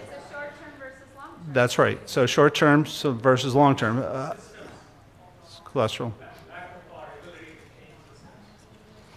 Well, so I think, though, Stephen, you're getting at a point, though, is what, what is the barrier to helping to move this forward, and what would be the incentive to put some more resources to trying to address the problem? Is that um, paraphrasing, or is that where you were hoping to go, or what? What, What were you I was to hoping do? for was what just happened. The room lit up. Okay. The room lit up with disagreement. The room lit up with, us- uh, let's test our assumptions. Let's test our assumptions. And I don't think, I think that's healthy. And we need a space, a safe space where that can happen. And only through that will we find some solutions. Bernard, I, I just wanted to make one comment because uh, who, benefit, who benefits from non-adherence, it's very different also from the, the system in place. I come from Belgium where healthcare is almost free. And, we and France is completely free, and we have the same level of non-adherence that you have here in the States. so we have huge issue of non-adherence as well. I think the problem is we don't have the appropriate incentives today. Because if a patient, if a, it, the consultation with a physician is a short consultation, it's seven minutes, it depends on countries, seven, ten minutes, and so.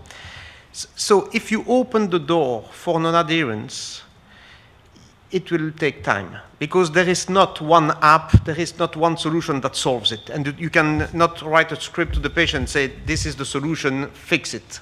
No, it, it takes time. And nobody in the healthcare system, physician, pharmacists, nurses, have been trained to non-adherence. So it's just, if I open that door, it will cost me time and I'm not sure where I'm going. And, and that's the biggest problem today. The, the, it's, we don't have the appropriate incentives. And it, we need collaboration between the professions, pharmacists, physicians, nurses, social care most probably needs to be in the picture, but there is nothing to make those healthcare professionals to collaborate. And the systems technically are not in place, the incentives are not in place, and if I take a country like Belgium, there is even fight between the professions, between pharmacists and physicians, for example. So, so we are not ready for that at the moment. Your honesty is refreshing. Thank you. Thanks. Yep.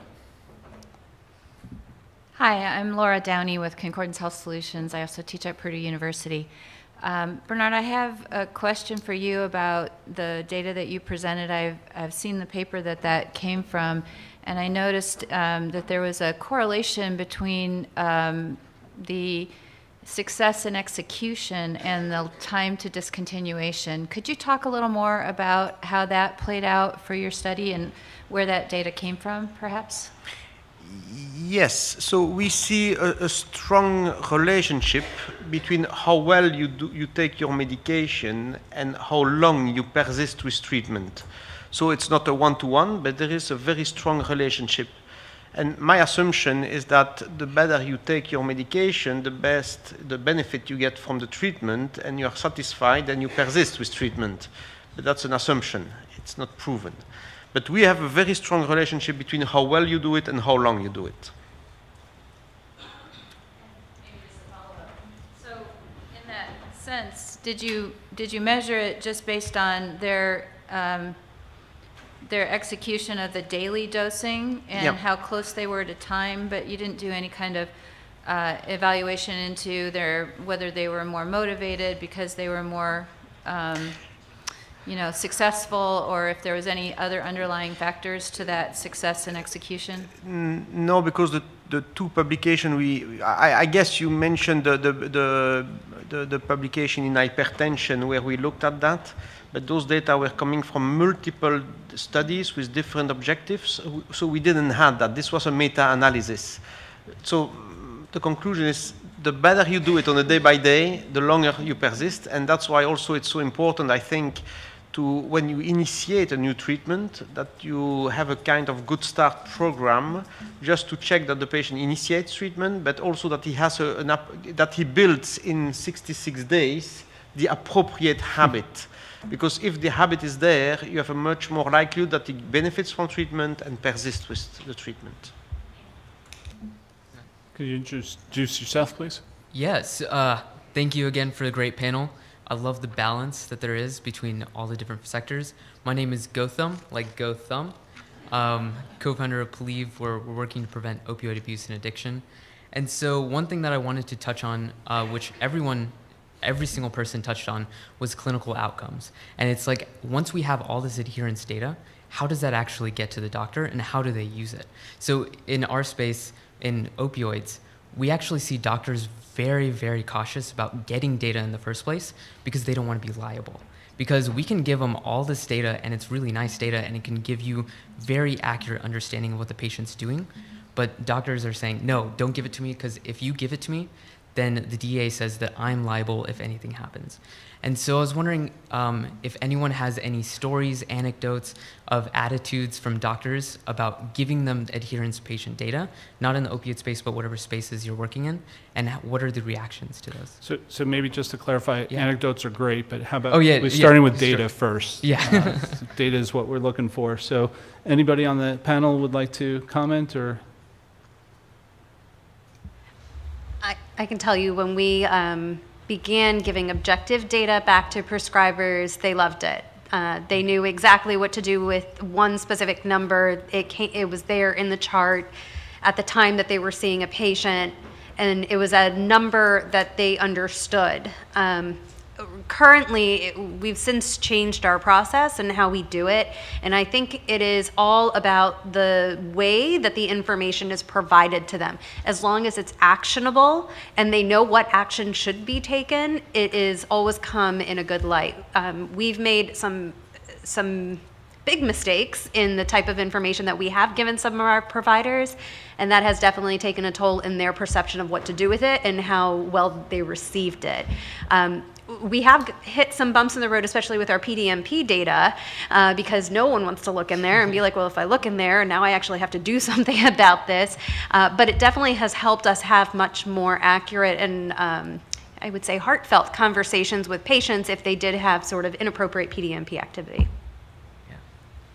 Yeah, we, we see exactly what you mentioned. Physicians have no time, and so they, they, they, they, are, they don't want to get those data, and even worse, they don't want to get those data in real time. The, the, where we have really excellent uh, feedback about the, when you feedback the data is when there is a multidisciplinary team in place. And for example, I'm working in Belgium with a, a major clinic, cardiology clinic, which is nurse-led clinic. It's a new model. It's led by the nurses. The first contact is with a nurse, and then it's reference to, to the cardiologist when needed, and so, and, and they love it. They love the data. And the cardiologist is at the end and gets the final data. He doesn't have to process, it doesn't, doesn't have to talk to the patient about that. So it's really when you have a coordinated team, a multidisciplinary team in place, that they love to receive those data, in, primarily in the excellence centers. Mike? Yeah, I would agree. I, I think the challenge is, you know, what to do with the data and how much time you have with the patient um, to address the issues of non-adherence, because sometimes it could be pretty straightforward. Sometimes, you know, it's pretty complicated. And I would agree that in places where it works well is when there's a team of people to address it. Um, and you know, I, I'm both at the VA and the university, and at the VA, I mean, there's you know more of a team structure where there's a pharmacist working with you, and I think in those settings, it's a lot easier to use that data to and then make a plan. Whereas, you know, at the university, it's really you know there's not a, less of a team, and so it's just the individual physician. And there the challenge is really the time and then the, co- the what the reason for non-adherence is um, and, and the ability to be able to deal with it within a short time frame of a visit So I think also opioid is a different beast in itself, and I think that there's a pendulum has gone back the other way. So there is a sense of um, being um, punished. But I think um, you know this is also quality improvement in some respects. So I think part of it is what people are. We we typically do red, yellow, green. So if it's green, I leave it alone. Red, um, I know I need to do something, but then what do I do? How do I facilitate that? Uh, you need to give people the tools to do something. Just because you can tell them there's a problem doesn't mean that you're going to solve it. But you know, I, th- I think the reason why it's important to consider the context, though, is Mike's done some work with PCI. So these are patients come in, they get a procedure, and then um, prescribe them a, compo- um, a drug, uh, and basically find that what about 20% of people don't even they've just had the procedure in 24 hours they're still not almost 20% not filling it but there in that context the cardiologists want to know and the actual the intervention is trying to close that loop so that the patients get those drugs so i think in that situation where i've just spent the time i've just done the procedure i really want the patient to help so i think there's some variations that we have Because to it's a figure yes out. or no. Great. Um, Ma'am, do you want to introduce yourself? And I think this may be uh, the last question before break. Hi, Adina Knight, I'm from IQVIA. Just curious on the clinical trial data, have you looked at it to see if there are differences in adherence whenever there are either drugs being studied that have a lot of adverse uh, side effects or those that show more clinical benefit versus placebo that the patients can perceive? So if the patient's already feeling better on the drug, do they adhere better than those on placebo? Or if they're having more side effects on the drug, do they adhere worse than those that are on placebo? Yes, and I would say each study is its own story. Uh, because uh, we see a, a lot of different, it's, it's clear side effects is a driver for non-persistence, that's very clear. Uh, but we have seen, uh, for example, those, those ranging studies, phase two, where you have eight arms and different doses. And we, we see in cardiovascular, in particular, we have seen a study where the highest dose was taking less medication in terms of number of tablets than the lowest dose. So they were auto-adjusting to the same dose, whatever the, the, the, the dose they were randomized to, and things like that, where if you don't know the exposure, you, you don't know which dose to pick. So really, uh, each study is its own story, and we see huge differences across treatments, so across studies, but also across centers. Uh, adherence across centers is cr- critical, and, and you, you, you can put in place management plans of centers, countries, as soon as you, you have those data. So tons of variability, uh, Yeah. variables no matter what. Yeah. All right, let's give the, uh, the panel a round of applause. Thanks. Uh, Let's take, uh, be back here at quarter two for the last one, so 2:45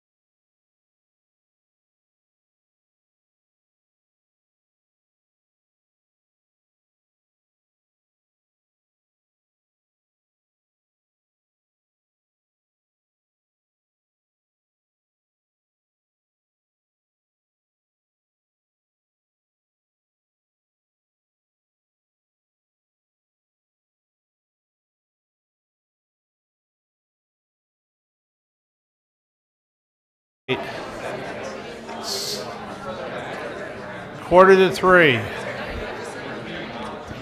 Last one, we're almost done.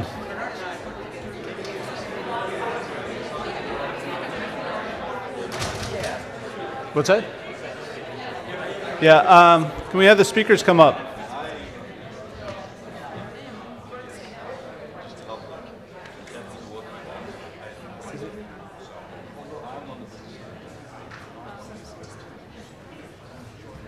They spelt it out phonetically.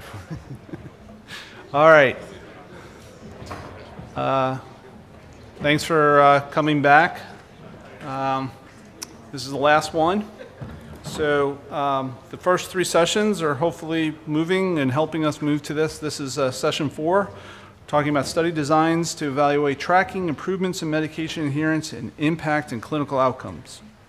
So um, we've talked a little bit about this, so we're all pretty familiar with the traditional RCT, randomized clinical control trial, uh, and knowing what the benefit, the, the, the pluses and the minuses, um, thinking about the time that's involved to conduct them, the cost that's involved with them, and thinking about is there other, is that the right model that we should be thinking about in terms of validating and uh, testing uh, uh, adherence uh, programs?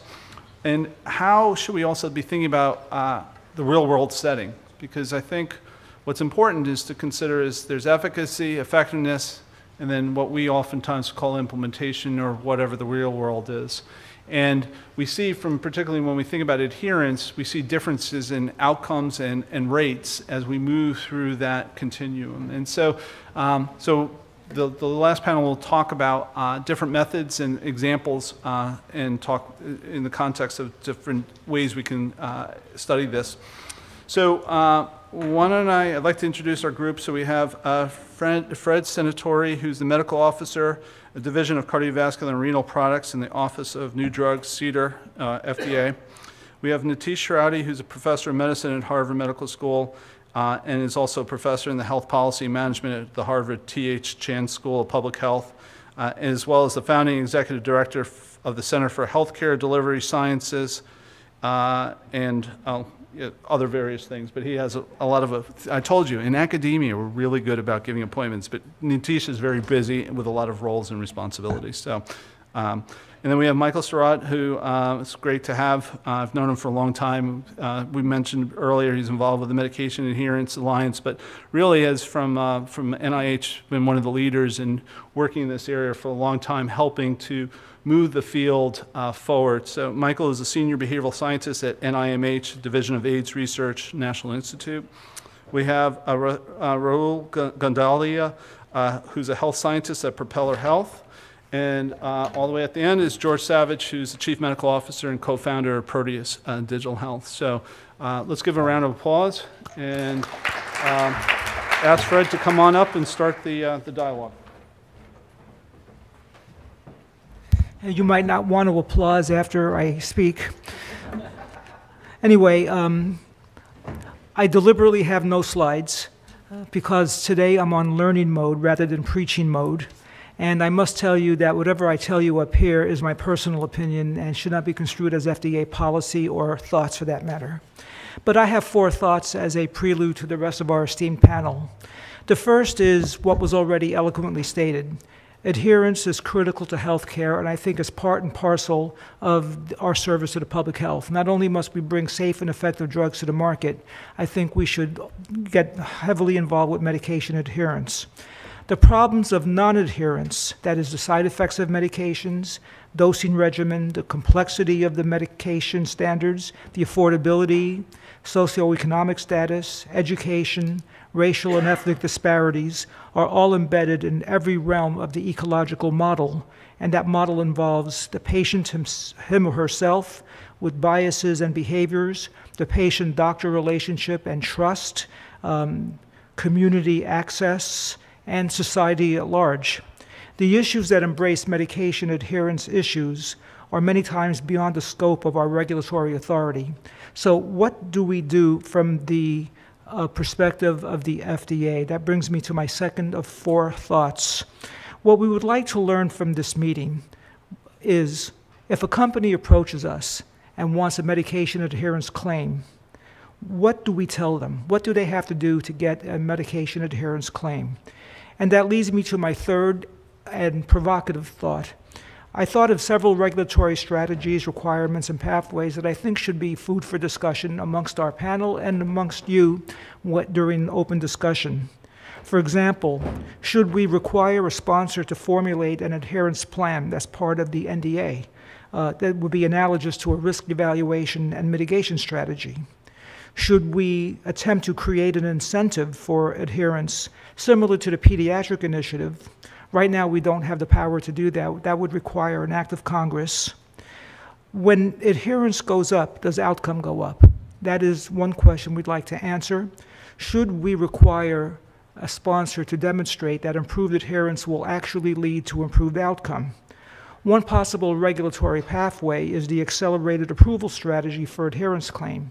So the sponsor would come to us and present a proposal to improve adherence by a certain percentage. And that percentage improvement in adherence should reasonably be likely to predict what improvement in clinical outcome would occur. And that would involve performing a clinical trial as a commitment to actually demonstrate what the adherence improvement will show. That might be too costly, but that's a food for thought for discussion.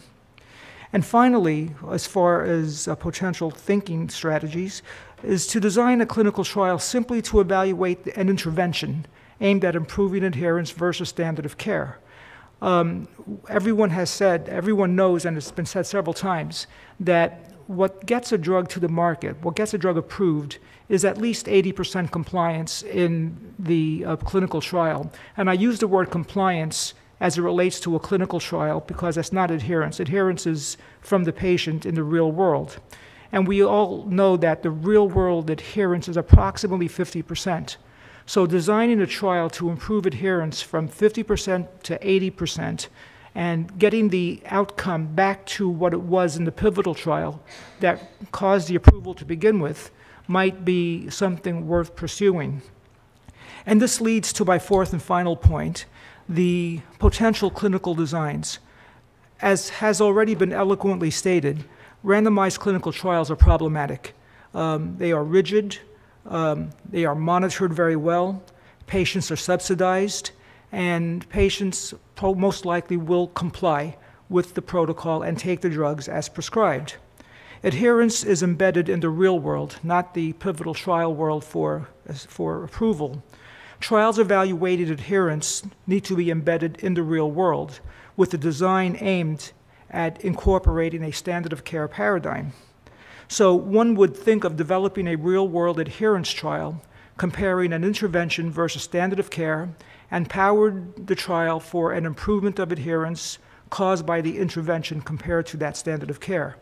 This could be a cluster design trial based upon regional variations in standard of care. Careful consideration should be focused on ensuring that adherence in the real world is not, mis- not mistaken for compliance in a trial. The trial should mimic what actually takes place in the real world. How to measure adherence and how to validate that measurement is an issue that has already been discussed. And consideration should also be focused on ensuring that if you do a trial, for example, with a fancy gadget, that people could afford that gadget uh, or be given that gadget. If you're going to have people in a trial that possess these gadgets to begin with, you might be excluding the very patients where adherence is the most problematic. And finally, most of all, we need to address the ethnic and racial disparities that are intrinsically tied to adherence in order to ensure that adherence, adherence means something, that people who don't adhere to the drugs are not because they don't want to adhere, but maybe because they can't. So that concludes my presentation, and I'm looking forward to hearing from my esteemed uh, panel here. Thank you.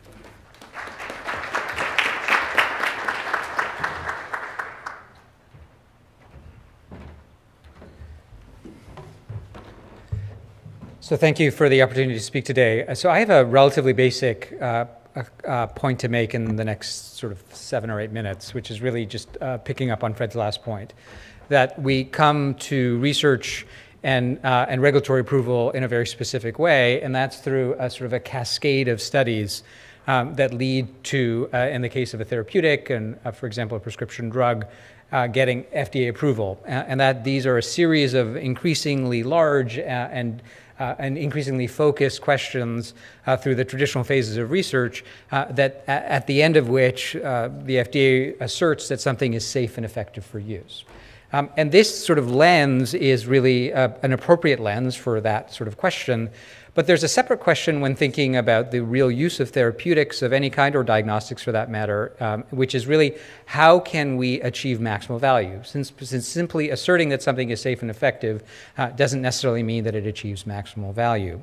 Uh, and instead, there's a second parallel pathway uh, of things that need to happen um, in order for something to achieve maximal value.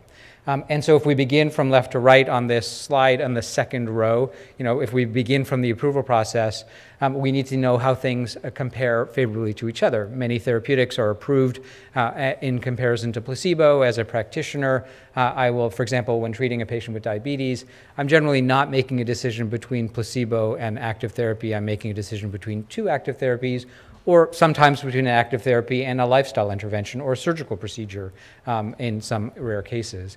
A- And, so we need to know that, um, and that sort of effectiveness uh, writ large.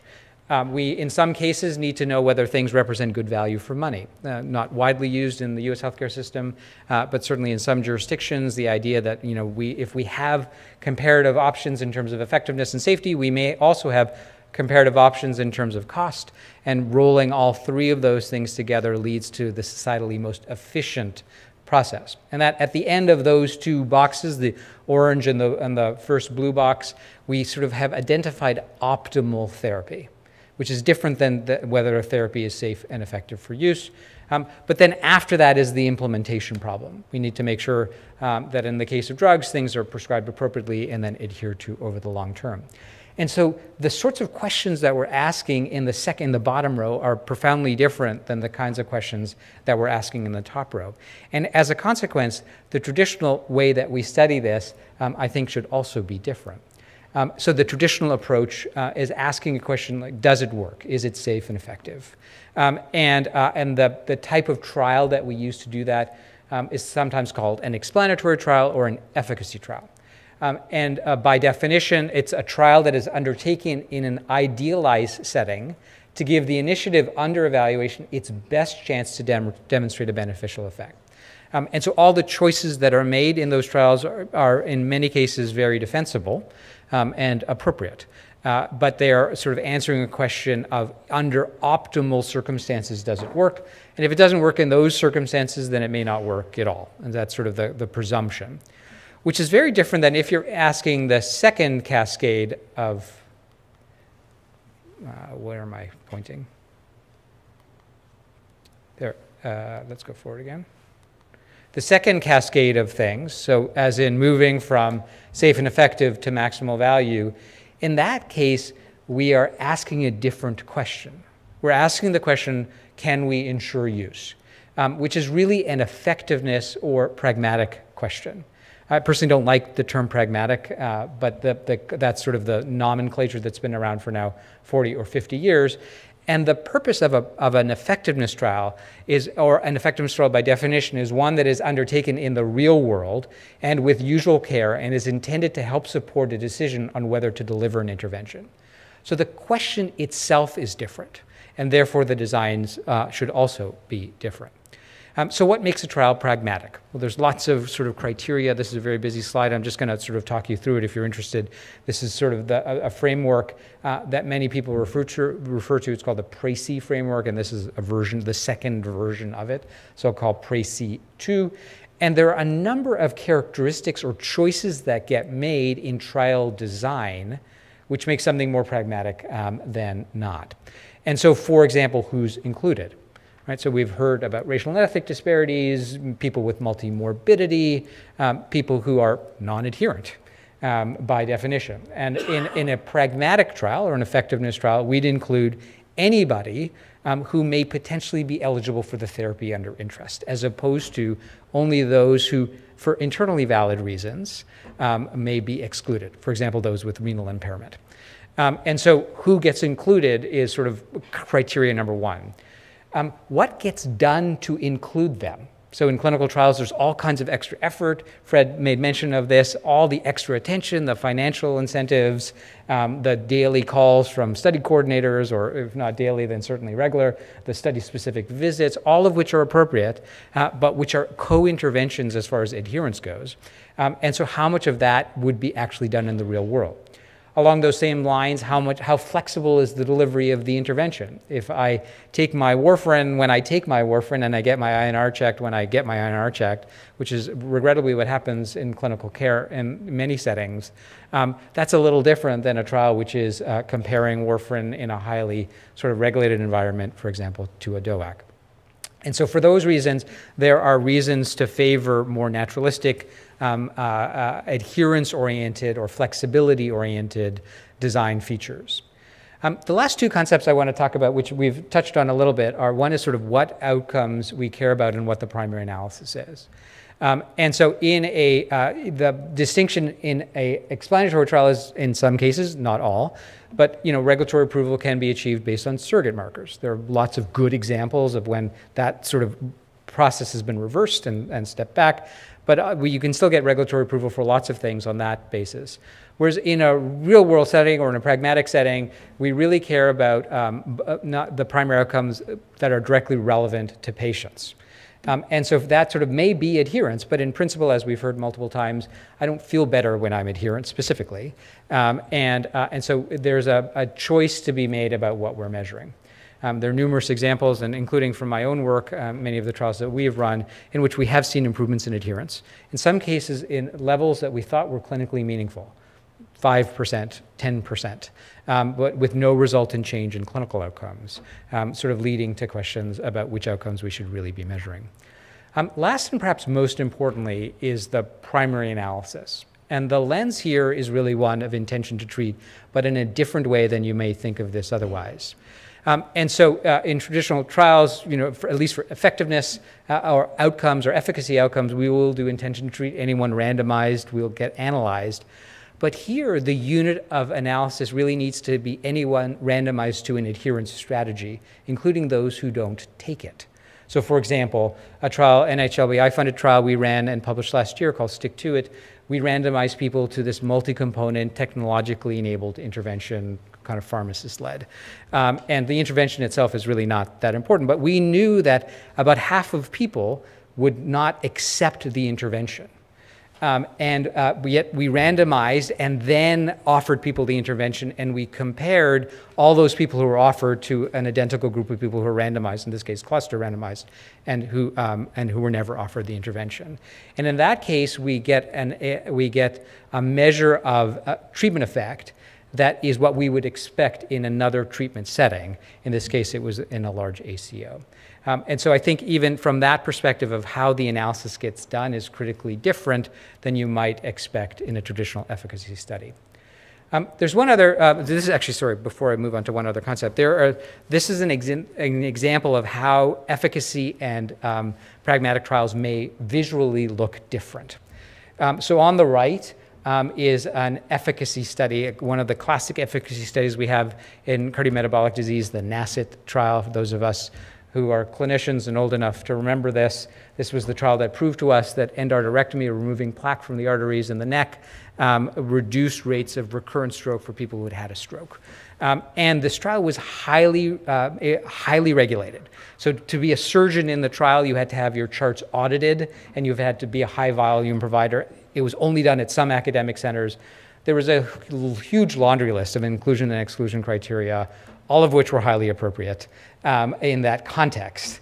Um, but nevertheless, um, they, so it was highly efficacy oriented, and by the framework of the Precis criteria, they are all clustering towards the central E or explanatory.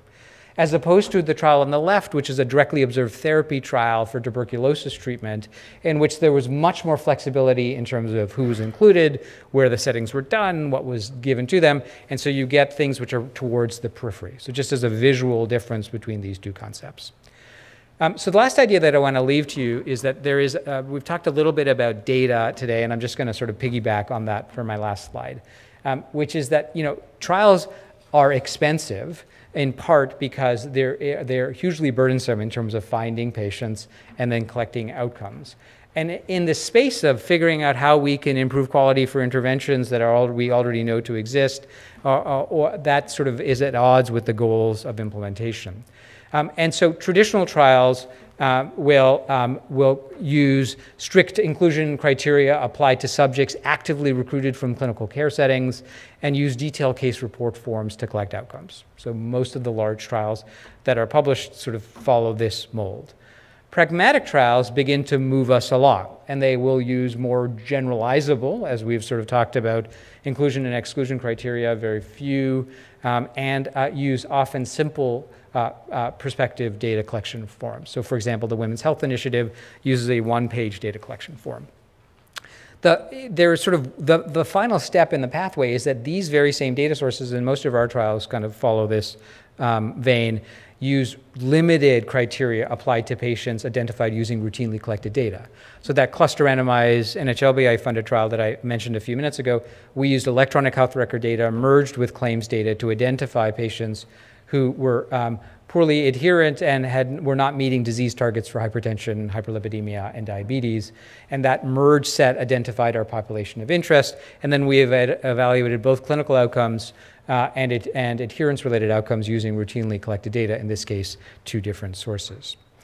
Um, so, the very last uh, comment that I'll make, and then I, I will uh, turn over to uh, the other speakers, is that in principle, you know, I've sort of set up this dichotomy, right? That there is efficacy kind of stuff and there's effectiveness or implementation oriented studies.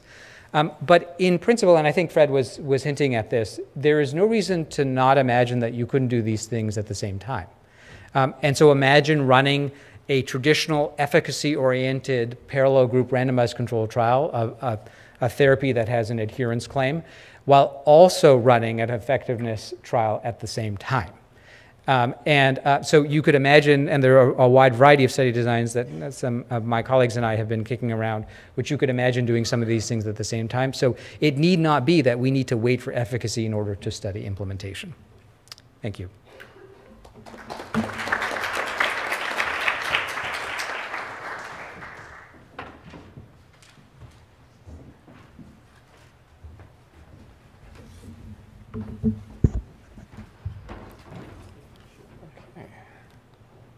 Great. Uh, well, it's a pleasure to be with you today, and I offer my great thanks to the organizers at Duke, Margolis, as well as to Hayden uh, for convening us today and also for leading the field forward. Really appreciate it. Uh, so my name is Mike Stirratt. I work at the NIMH Division of AIDS Research. We're the component of NIMH that focuses on HIV AIDS, and I'm also pleased to co-lead the NIH Adherence Network alongside my colleague Janet de Moor. Um, I think that uh, for my talk today, it's really very complementary to what Niteesh has just told us. I think we're really reading from the same page. And that is that when it comes to trials that are testing adherence interventions, we want to find this sweet spot, this happy middle ground between real world relevance and rigor in terms of our, our study design. And, and, I'm happy to think with you about that today. Um, so, uh, you know, at the NIH, we're really about science. And science is about accumulating evidence. And when it comes to the evidence in the space of adherence interventions, the fact is, is that we have been subject to some criticism in the past. And this is this uh, well read and, and widely circulated Cochrane collaboration report from several years ago, which assembled the evidence base around adherence interventions. They looked at more than 180 trials that had tested adherence interventions, a whole variety of different ones from a variety of different areas of uh, medicine and uh, collectively uh, decide, uh, evaluated them to actually have pretty weak evidence overall. Uh, they found that many of these trials are compromised by a variety of biases. So, for example, the ones that they really call out in these trials are an over reliance on self reported measures, which are subject to uh, self presentational concerns. Uh, earlier this morning, we heard Marie Brown talk about how people don't always want to you know, be honest about their lack of adherence. Um, and then the other thing is that many of these trials actually have inadequate statistical power. They don't have sufficient numbers of participants in them to actually find an effect at one that would be statistically significant on either an intervention uh, adherence outcome or alternatively a health outcome. So uh, among 18, only about 10% of these trials that they decided were low bias did they find that uh, there was an impact on both behavior as well as clinical outcomes. And in many ways, this report was an invitation for us to do better, to do more rigorous science, and to find better ways to have real impact. Uh, relatedly, and more recently, uh, here's the meta-analysis uh, that was published in JAMA. Uh, this was a summary of trials that were testing adherence-related uh, text message interventions, text message interventions to improve medication adherence. And it did find favorable outcomes. Uh, text message interventions in this published research were, you know, indicated that people were much more likely to adhere to their medicines if they were receiving some kind of text message message-based intervention program. But the thing is, is that there's this strong caveat to this meta-analysis, and that's you know shown here. It's just that the results should be interpreted with caution given the short duration of trials. Many of these trials did not last more than three months. And in the context of a chronic illness where people are dealing with medications on a day-to-day basis, that's really not a very long interval. And again, a reliance on self-reported medication adherence measures, ones that are subject to bias and to misreporting. But it's not just the quality of the science, it's also the speed of the science. And Hayden has thoughtfully and importantly pointed us to this that it just takes far too long for our traditional trials to really produce real movement, real impact on uh, clinical practice, and for our proven interventions to ultimately enter into uh, clinical care. Uh, so we, there is something that we need to do, not just about the quality of the science, but also the speed of the science. And, and I want to suggest that there are some ways that we can do this. Uh, so one of those ways would be to pursue, just as Niteesh has mentioned, to think more about doing pragmatic trials. Pra pragmatic trials are trials that are designed to balance these two things, the need for scientific rigor, but also having real-world relevance. Uh, and this is a commentary that appeared in PLOS Medicine uh, just a couple years ago, uh, led by Elvin Geng. And here they kind of chart two axes. Uh, one is the degree of rigor in a clinical trial, and the other is its relevance to real-world practice contexts and you could be high or low on either. A pragmatic trial would combine high methodologic rigor along with real world relevance. Uh, these other kinds of trials uh, you know, fall a little bit short of having that mark. Uh, a pedantic trial, for example, would be very rigorous, but it's unlikely to have real world impact. It might be a Cadillac intervention, something that is just unlikely to ever be implemented in real world practice, for example. So we want to hit the sweet spot, which is the pragmatic box. Uh, and uh, has already gone through the PRECIS uh, 2 criteria, which are illustrated here. That's one helpful way for us to kind of organize our trials and to think about how we can make them uh, either uh, you know, very explanatory, you know, highly rigorous, or to broaden them out and to have kind of a large real-world relevance.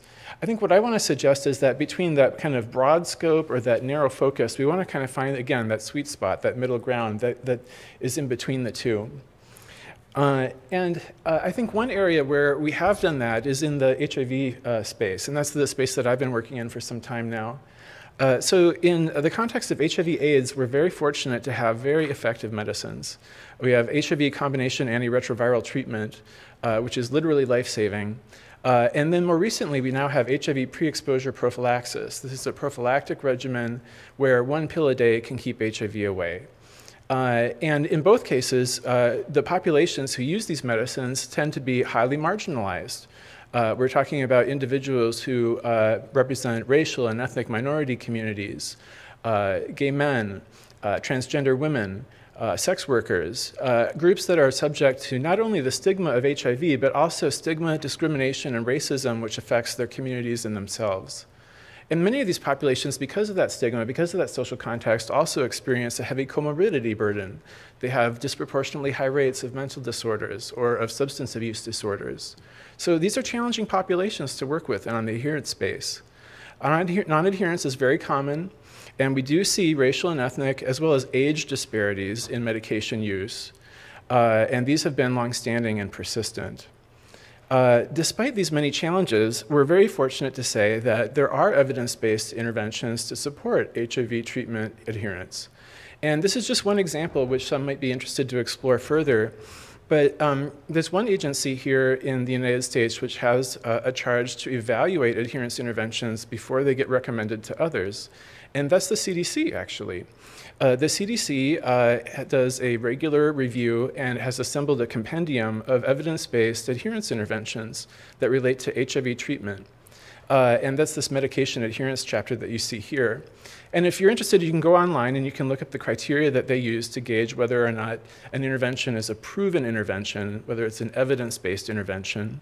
Uh, and I won't go into those in detail here, I, will say that some of the criteria are pretty heady. Uh, you know, they, they really ask a lot of these interventions, but uh, as we stand here today, uh, there are 20 interventions that meet their criteria for being good for addressing HIV treatment medication adherence.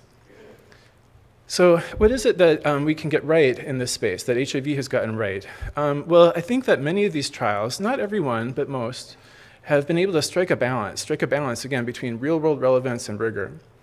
Uh, and so, one way that they tend to be more pragmatic in their nature is uh, thinking about how they work in real world care settings. Most of these intervention trials have really done, been done in HIV treatment clinics, places where people are receiving care. Uh, also, many of these trials have relatively limited exclusion criteria.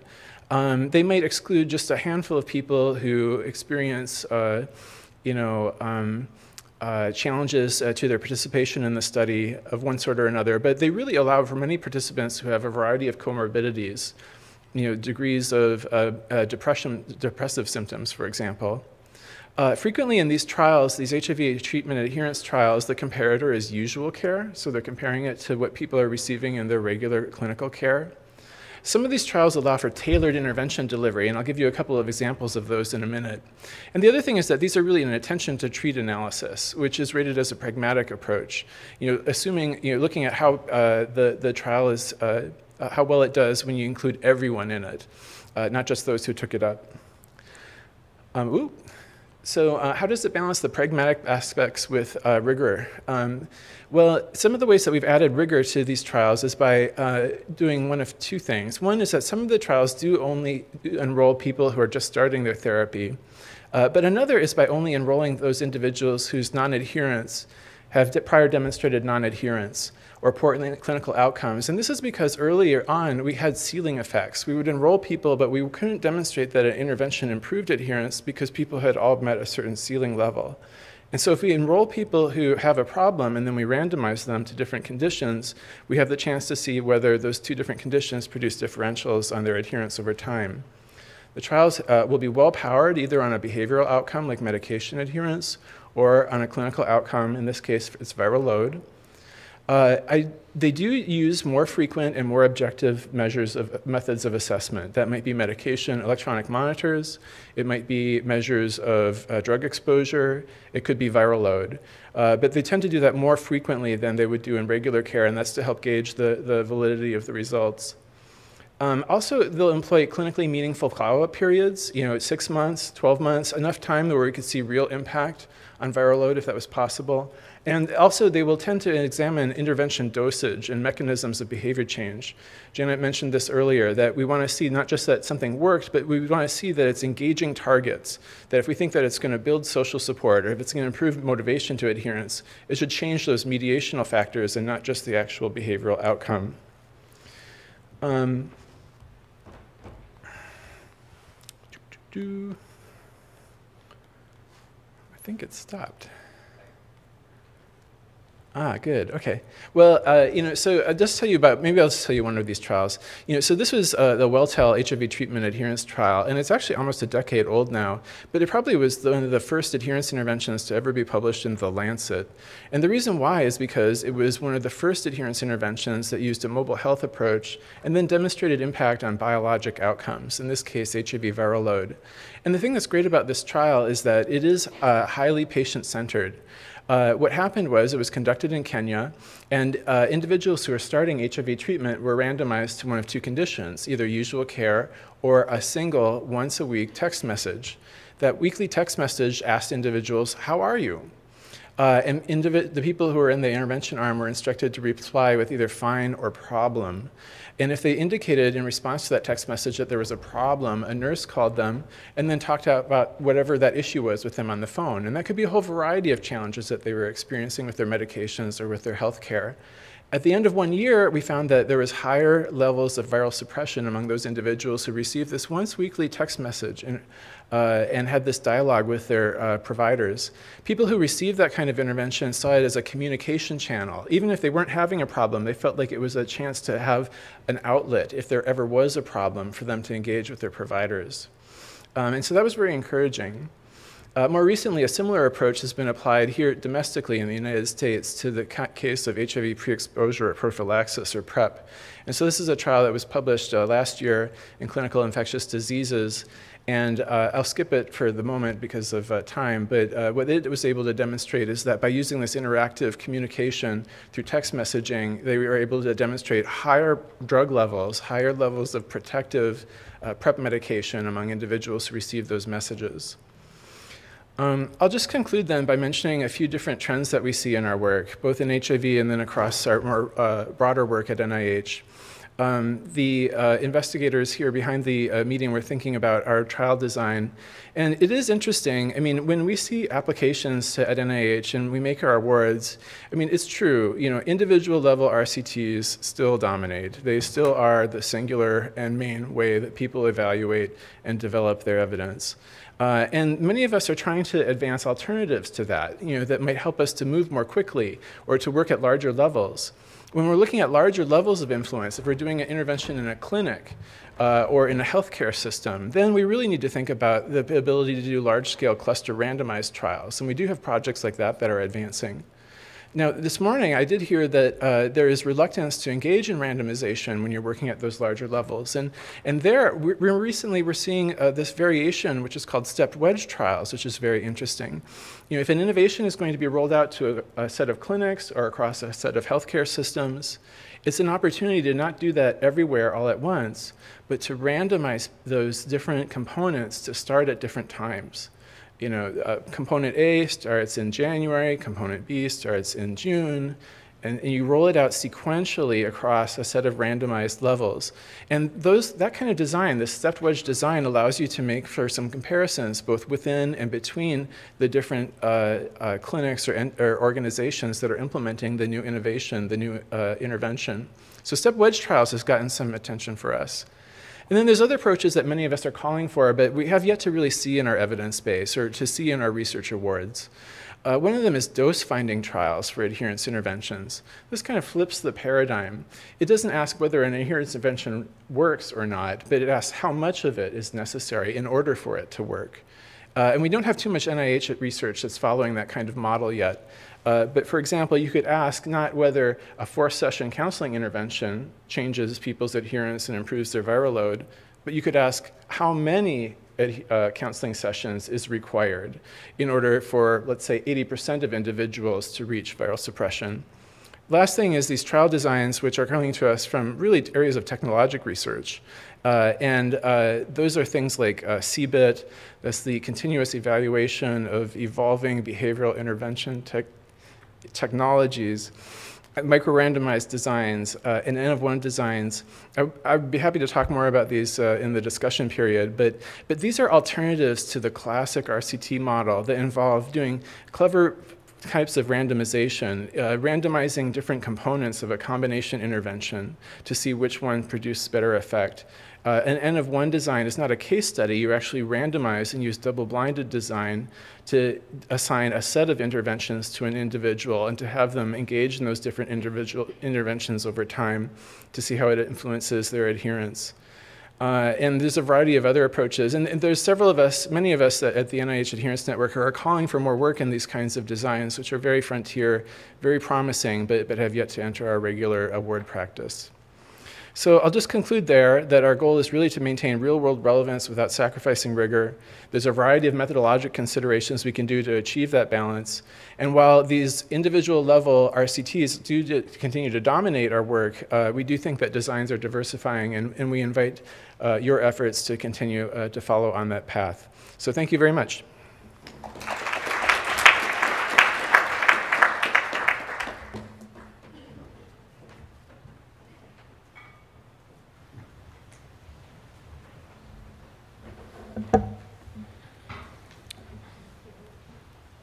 Hello, everybody. Um, second to last presenter. Uh, so hope you all are still paying attention. Um, I am Rahul Gondalia. I am a health science, health research scientist at Propeller Health, and I'm going to be talking about our electronic medication monitors and how that relates to medication adherence, as we've been talking about today. Um, so COPD and asthma are leading causes of morbidity and mortality throughout the U.S. and abroad, and this is going to be a larger issue as the, as the population ages. Um, but this burden can be uh, diminished or uh, at least lessened in some way by improving the treatment and management of these diseases. Part of that includes improving adherence to daily inhaled medications. For example, inhaled corticosteroids, uh, long-acting beta agonists, and, and, and some others.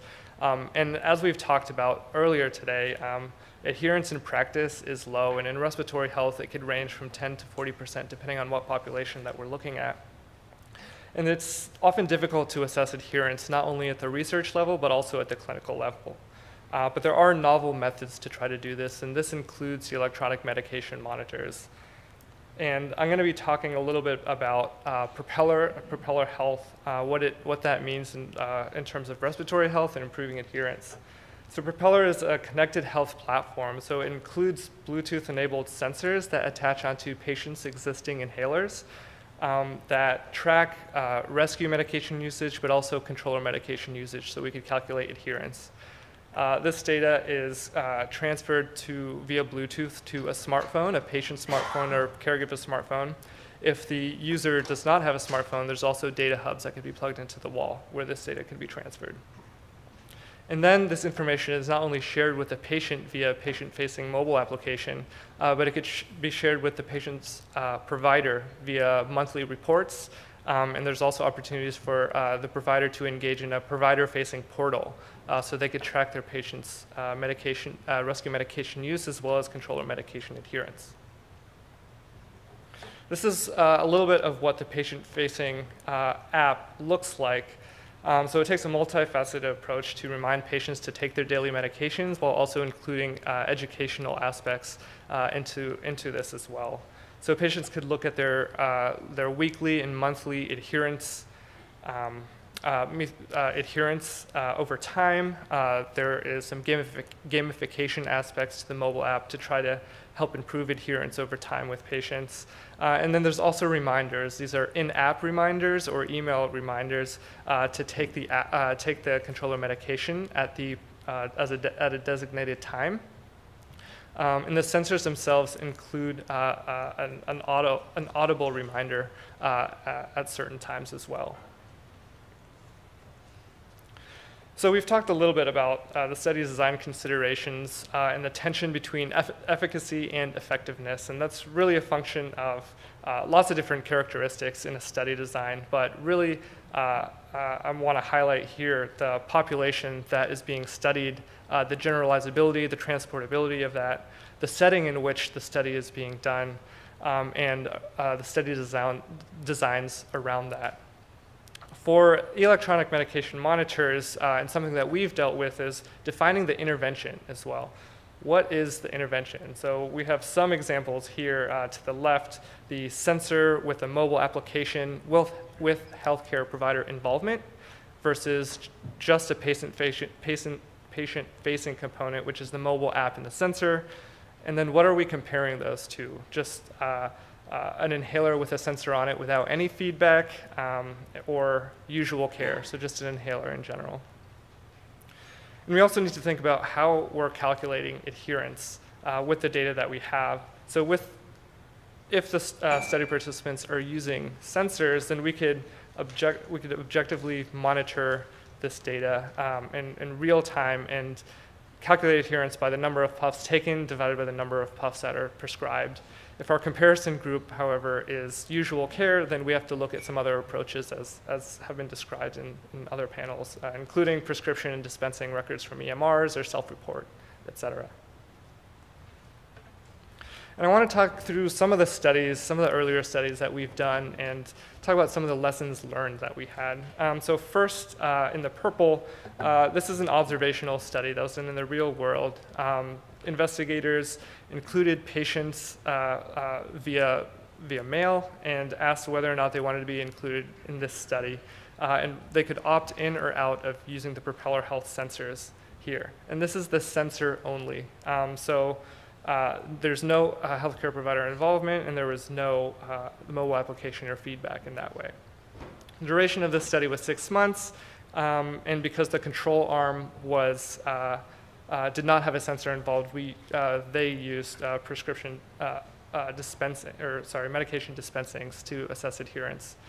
Uh, and what we saw was that the intervention group had higher, higher mean dispensings over that six month period. So just including a sensor, or adding a sensor to their controller medications, that in and of itself improved adherence over a certain amount of time. Uh, the, the second, the second uh, uh, study that I want to go over is a randomized control trial that was done in an integrated health system. Um, in this case, the patients were randomized to either receive the Propeller app, uh, a sensor, as well as uh, sharing that data with a healthcare provider versus uh, the other arm that had a sensor only.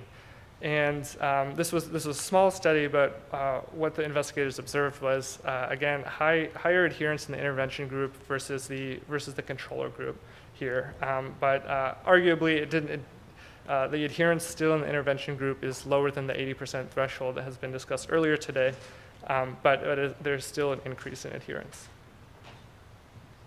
And finally, I want to go over another randomized control trial that uh, some investigators have looked at. And this was a multi-center RCT. It had very, a very rigorous protocol, um, and it had five arms. And I'm only showing uh, three of those arms here today. So the control experience was just including the medication uh, sensor, uh, and it was compared to sensor versus sensor with app and sensor with app and healthcare provider input. This was a six-month study as well, and uh, the outcome was uh, uh, inhaled corticosteroid LABA adherence. Um, what we saw here was very high adherence even in the controller group. So this is 69% adherence uh, in that group. Uh, and we were actually surprised to see still improved adherence in the two other arms that, that were statistically significant um, and slightly higher adherence uh, with, uh, with healthcare provider involvement. But the high adherence that we're seeing here is uh, kind of reflective of what we often see in some trial designs and that may not really reflect what's happening in the real world. And it's common in respiratory health studies in general uh, to have these efficacy studies that don't translate to effectiveness. Um, and to get to effectiveness, uh, we, we need to think about the target population and, and some of these aspects that are laid out here and that other panelists have talked about. So what if the uh, intervention that we have uh, is, uh, is efficacious and actually is effective in terms of improving adherence if it's not really improving clinical outcomes. Um, there have been many null studies uh, in the respiratory health field that found null associations between improved adherence and reduced exacerbations, um, as defined by ED visits or hospitalizations. Um, but not all of these studies, of course. But the ones that the ones that we tend to see that are null are oftentimes not powered uh, to, to what they could be, um, and they have different aspects of the study design that, uh, that I think could be improved. And this includes the selection of the patient population, um, not only the size of the samples, uh, but also the, the, the panel of, of patients. Uh, these could be relatively low risk patients, maybe people that aren't, at, aren't really at high risk of experiencing exacerbation during the study duration. Um, they may already include patients that are already adherent uh, to their medications to some extent. There's oftentimes inadequate follow-up. Um, so if the outcome here is an exacerbation uh, or hospitalization ED visit, um, six months may not be long enough depending on what population is being studied. Um, so, so that's another thing uh, that's important to consider. And finally, the exposure measurement error. So if the, the more exposure measurement error there is, so the more noise there, er, there is around the adherence measure, um, the, less, uh, the less power there is to, uh, to estimate an association with, with, uh, with, a, with an outcome. Um, so this includes the error that we have in self-report, but also error from uh, prescription, uh, uh, prescriptions and dispensings, et cetera. So effectiveness in these types of studies also needs to be considered, and there's several different uh, mechanisms to do that, um, but cluster randomization could be an option. Um, it, it's not always perfect, but um, I think it's a very interesting approach that one could take to, to, to look at effectiveness. Um, and uh, yeah, we don't want to delve into that too much at the moment, but um, in, this, in, in this situation, uh, clusters of patients. Uh, for example, a practice is randomized to either usual care or an, or an intervention. And I want to highlight uh, one specific study that's planned with some of our research partners that is a cluster randomized trial. Um, and the treatment here is usual care versus offering the Propeller Health uh, sensors with the mobile application. The, long, uh, the duration of the study is one year, which uh, I, I, think is good for trying to evaluate the outcome, which is treatment failure. And this is defined as an exacerbation, an escalation of the medication, uh, or mortality. Uh, and secondary outcomes here is adherence. Um, and we want to, sometimes randomized cluster trials uh, are not as well powered as individual, level RCTs. So it's important to uh, choose a patient population uh, that, that will help power the study itself. And this one is uh, at least 1,000 patients with, C, uh, with COPD from over 150 different clinics. And these patients specifically are going to have a history of exacerbation uh, in the prior year or two years um, and, and have poor adherence as documented through the EMR.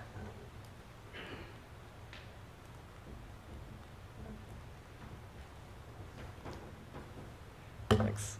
Um, and here's some takeaways, and I think this is uh, what some of the other panelists has also mentioned. Um, and it may seem obvious, but it's really important to have a study question and to have a clear goal uh, that, that is going to define what kind of study is, is going to be uh, implemented. And specifically with electronic medication monitors, it needs to be a well-defined intervention and a well-defined comparator that's going to be relevant for the real world. Population selection is extremely important uh, as well as the study duration. Um, so, so, so I guess kind of in conclusion, um, these factors and others uh, and the level of rig rigor and effectiveness is really going to be defined by how the study is, study is designed. And uh, I also have an acknowledgement section, and I want to specifically call out the patients that are using Propeller that have kind of helped form what the, what the intervention, what the app looks like right now. Uh, having patient insight into whatever we want patients to use, I think is critical in trying to make a product uh, that is going to be helpful to, to those patients.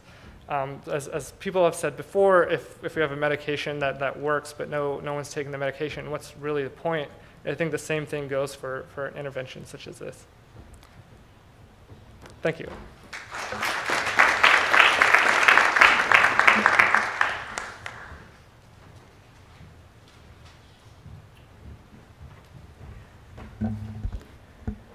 Well, good afternoon.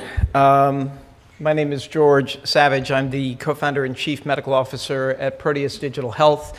I first want to thank the organizers, uh, the Margolis Center, for inviting me. Uh, I'm, I'm a little bit nervous, so bear with me because uh, it's a daunting prospect to uh, follow so many very impressive speakers uh, on such an important topic. Uh, so I'll, I'll, I'll do the best I can, realizing that I'm the only thing that stands between you and, and, and, wrapping up.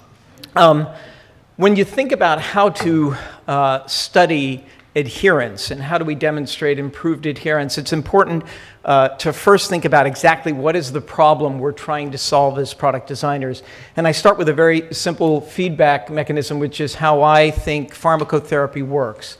And medicine really came into its own about a century ago in the hospital environment when this was the loop. Uh, physicians diagnose, they prescribe, nurses administer treatment and record how the patient is doing. Uh, they get together with the doctors on rounds and what have you, and you have a joint assessment and discussion. That leads to a revision of the diagnosis, since uh, we quite often don't get it quite right initially.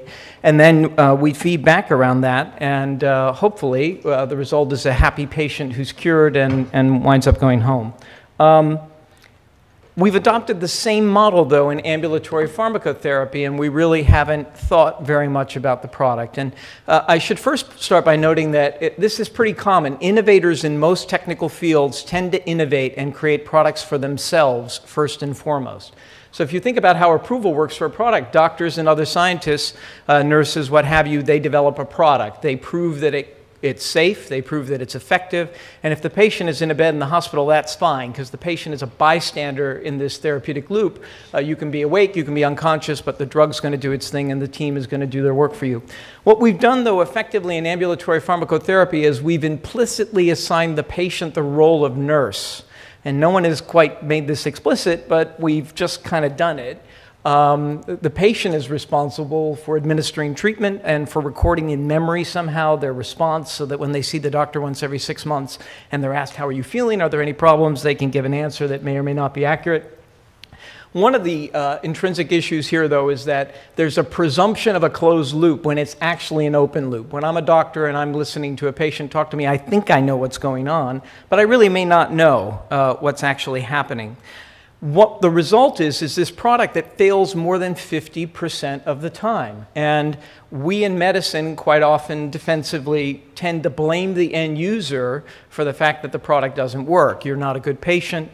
Uh, if only you would listen to me, things would be fine. And something we need to understand is that a whole product, rather than an incomplete product, has to work for people who aren't like us. Uh, a lot of people in this room are probably on the obsessive compulsive side of the spectrum. That's why we're good at medicine and science. Uh, a lot of our patients aren't. That makes the world an interesting place. But we really need to design products for this because uh, where I come from in Silicon Valley, you wouldn't get away with blaming uh, half of your users if they couldn't succeed with your product.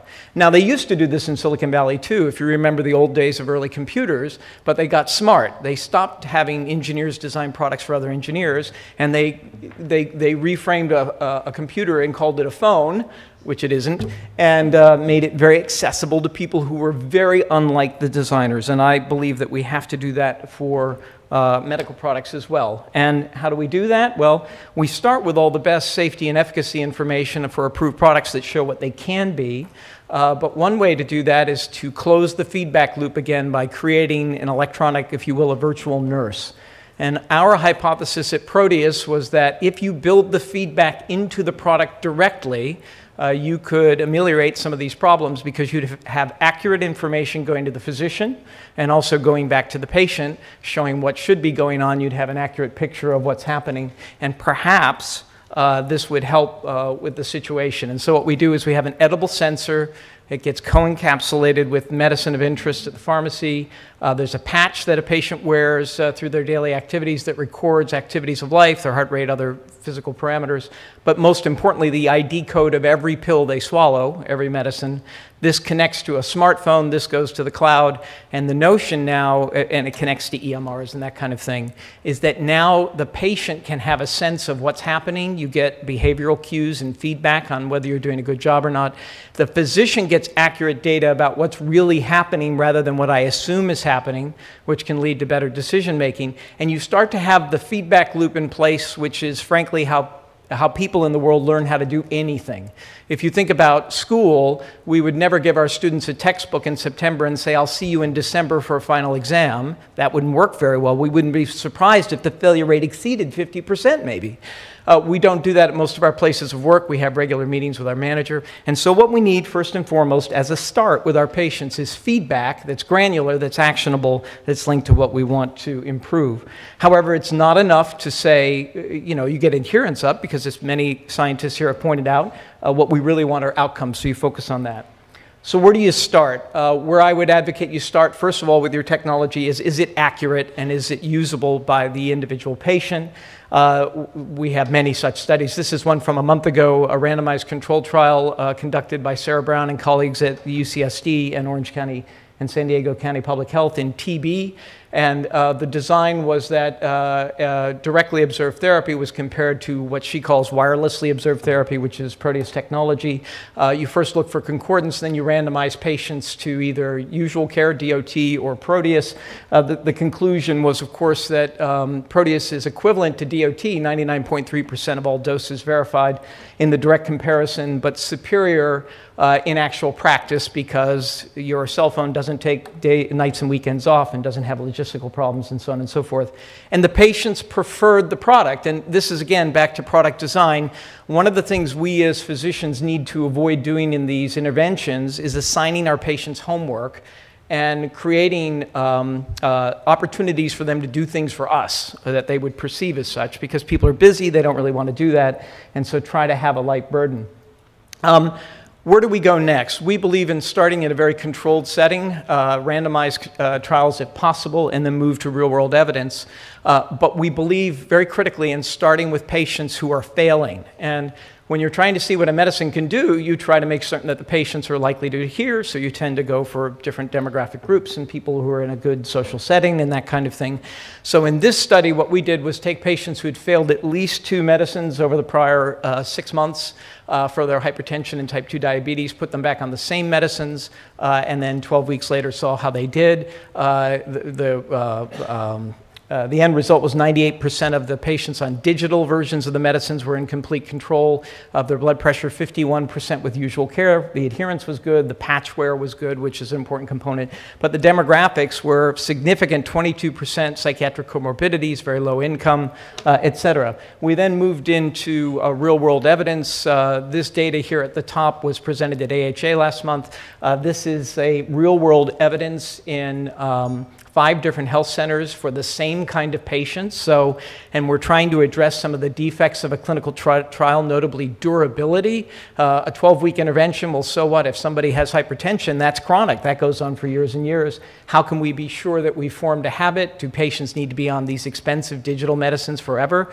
The answer is no. Uh, we found, as you see here, that if you enroll uh, patients who, who obviously have a range of inclusion exclusion criteria, a broader range than in a trial, uh, we saw a decided effect over the intervention period that persisted uh, up to a year so far in, um, in follow up. And the same held true with type 2 diabetes. Again, these are the same medicines they'd been failing before, so there was no initial change. However, this being feedback and not disease management, we didn't prescribe a particular approach to managing your patient. We simply provided the doctor and the patient with feedback, and then they could do what they needed to do.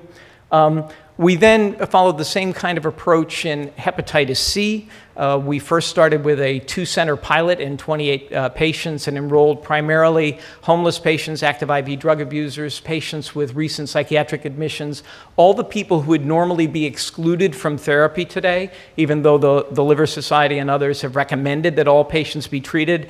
Uh, the sad fact is that many Medicaid budget directors are really worried about uh, making sure that money isn't wasted on these expensive therapies. Uh, we then followed up on that successful pilot with this data that was presented last month uh, in Boston. Uh, 18 centers, 288 patients, all of them uh, who had normally been denied uh, therapy, significant homeless and active substance abuse population. We got 99.5% uh, SVR 12, and again, all the metrics of adherence are good as well. Uh, the next step right now is in a month, we're starting a value based contract with the state Medicaid uh, uh, agency to do the same thing in their patient population. And this is something to highlight about digital. If it's really working, you should be able to make your real world evidence line up with your business models so that you get paid when the patient does well, and that way people are getting um, uh, value for money.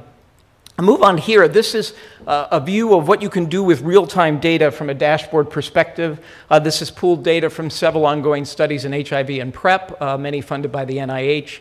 Uh, you can see a wealth of data uh, showing the number of patients enrolled, uh, average adherence to medicines. The aggregate adherence is quite high, but as Bernard was explaining before, that can hide a multitude of individual variations in terms of patients. something to focus on is if you look at the middle lower graph, this helps to improve labor productivity because what we find is that clinical pharmacists and physicians can do a better job when they can drill down on individuals who are having problems. Because while our average adherence here is quite high, you can see in that scatter diagram on the lower level in the middle, there are some individuals, about 10 or 12, who are having subpar adherence. And if you drill into that and look at their pattern, you now can have a directed, valuable conversation with that patient and, and not really bother the patients who are already doing well uh, on their own without you. And then uh, I'll leave you with this final thing. These products don't work if patients don't like them. And again, remember that these patients and these interventions, this is not you. These are people who are very different from either a healthy 20 something reporter who is uh, looking at this kind of thing or for many people in the medical world or PhDs in Palo Alto who have a very stable family situation and high income. These are people who are failing in the current situation right now. They often feel lost. They don't really remember or understand what the doctors and nurses are trying to tell them. They really benefit from this kind of feedback and they really appreciate it. So we have very high scores and we see this across these kinds of studies because if you design this the right way and you use it uh, with the right people, uh, you, you get better results and people like it. And so with that, I'll, I'll stop. Thank you.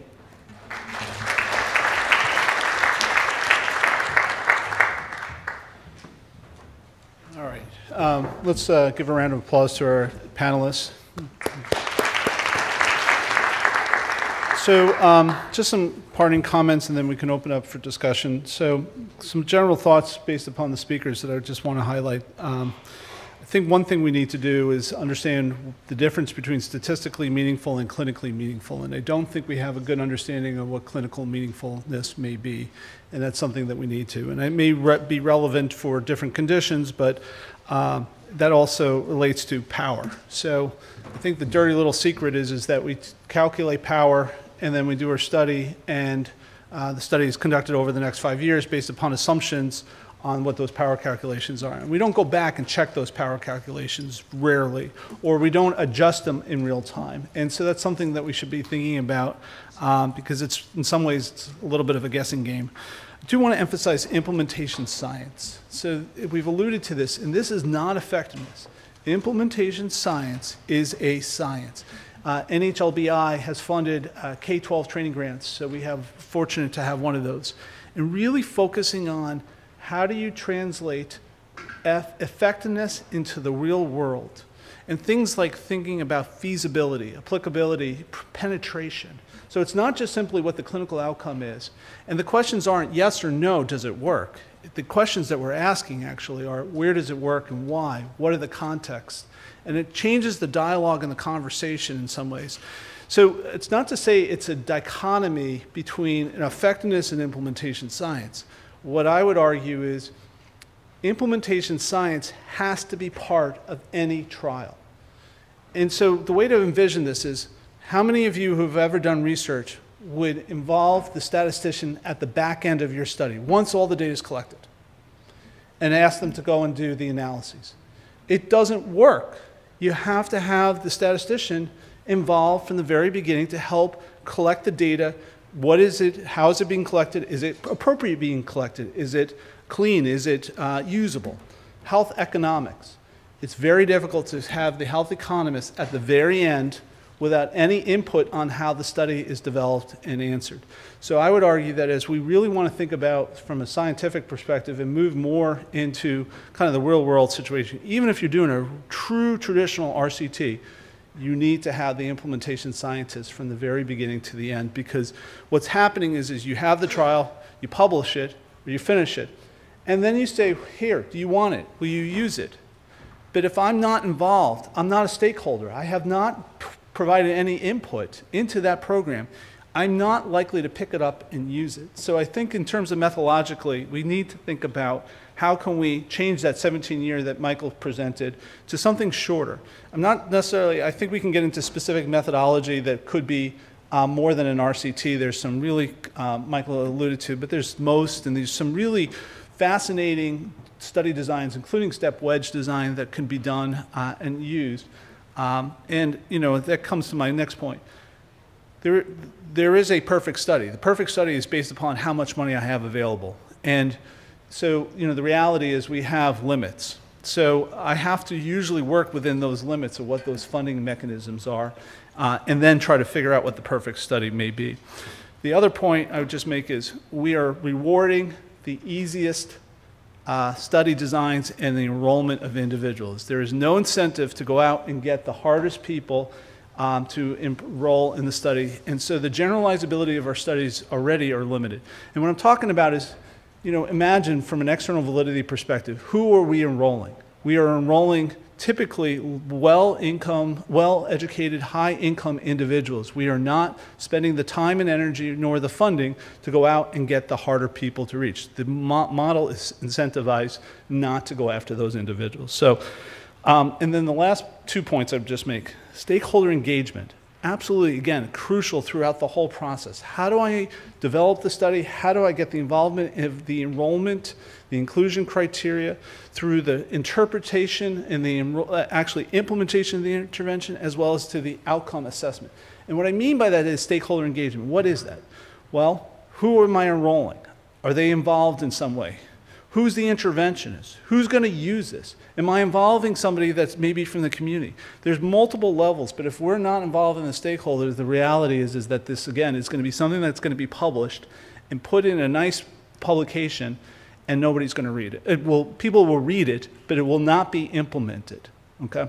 And the, you know, when you look at a publication in JAMA, Lancet, New England Journal, there is no way that anybody can take that paper and reproduce that study and do the same intervention. There's only 3,500 words. My protocols are two to 300 or 400 pages. There's no way that anybody could take that publication and implement that. The last point is real-time data. Well, we haven't talked too much about this, but if I'm waiting years for CMS to give me the refill data, or I'm looking to try to track down uh, data from a PBM or a pharmacy, that's not very useful. So it's really trying to think about can we get these data quicker, more efficiently, and use those in real time. Those are, I think, some things uh, just to point out. All right, that's I'm get off my soapbox, but those are some points I just, uh, as a uh, participant, wanted to just uh, allude to. We have a great commi- uh, panel here. So let me, uh, maybe for those of you who are interested, uh, start walking up to the microphone. I'm going to give a couple softballs to them, but uh, please, this is your opportunity. We, we have some time, so if you have questions, please walk up to the microphone. Um, so you all presented uh, variations on it, uh, on, and so um, I, I guess if you had the opportunity, um, what recommendations would you make or process of how we should be thinking about conducting and analyzing and evaluating medication adherence? And so, not to say that there's one solution, but is there a process or something that we're missing that from your discussions and hearing everything else so far, since you're the last panel, you get to kind of summarize. But any parting thoughts or suggestions that we're just really missing that really um, resonates for you? For me, it was implementation science, so I'll just open it up to you all. So maybe I'll, I'll go first. Um, so uh, I think one thing to distinguish, we've talked a, a bunch of times today, and, and other uh, participants have sort of made mention of the idea, well, we focused on people who are non-adherent. We want to focus on those who are in need. Um, and that sort of concept, I think, resonates very well with me. But I, what I think what we need to distinguish is what we don't really care about is whether you're adherent today. Mm-hmm. We care about whether you're going to be non-adherent tomorrow. Um, and because adherence, as we have also discussed, is dynamic. So, for example, we use a method um, called trajectory modeling, where we put people into bins of behavior. And some people are, you know, when they initiate a medication, they're good uh, for a long time. Other people are good for a while and dribble away. Other people stop right away. Other people, you know, dribble away and something happens and they return to God. They're back to sort of taking their medications. Um, and, uh, and ultimately, if I'm sort of uh, recruiting a cohort of people and I sort of say that I'm going to only am going to enrich it with people who are not adherent today, well, some of those people will be adherent tomorrow. Mm-hmm. Um, and so, what our real sort of, uh, I think, focus as one answer to your question, Hayden, is, you know, making sure we're thoughtful about the patient population. Um, and so, stuff like Josh uh, Benner was talking about this morning, and using predicting future non-adherence mm-hmm. is what we are really interested in. Great. Thanks, Niteesh. Other thoughts? Um, I, I, would just like to um, comment that the real critical thing for me is outcomes versus uh, just an adherence number. Mm-hmm. And, and then the second thing is it's very hard to standardize uh, around an adherence uh, implementation, and it's because of the different methods we're talking about. When you think about a randomized controlled trial on efficacy, you're trying to show what a drug could do, and what I think about the drug makes has nothing to do with it. But when you're then switch to trying to motivate people, well, motivating people is what what you, will motivate you will annoy me, and vice versa. And so you have to make room for a lot of different strategies that look more like the world of Facebook and what have you. Fred. Um, I have uh, two suggestions, and this is again food for thought because I'm on learning mode.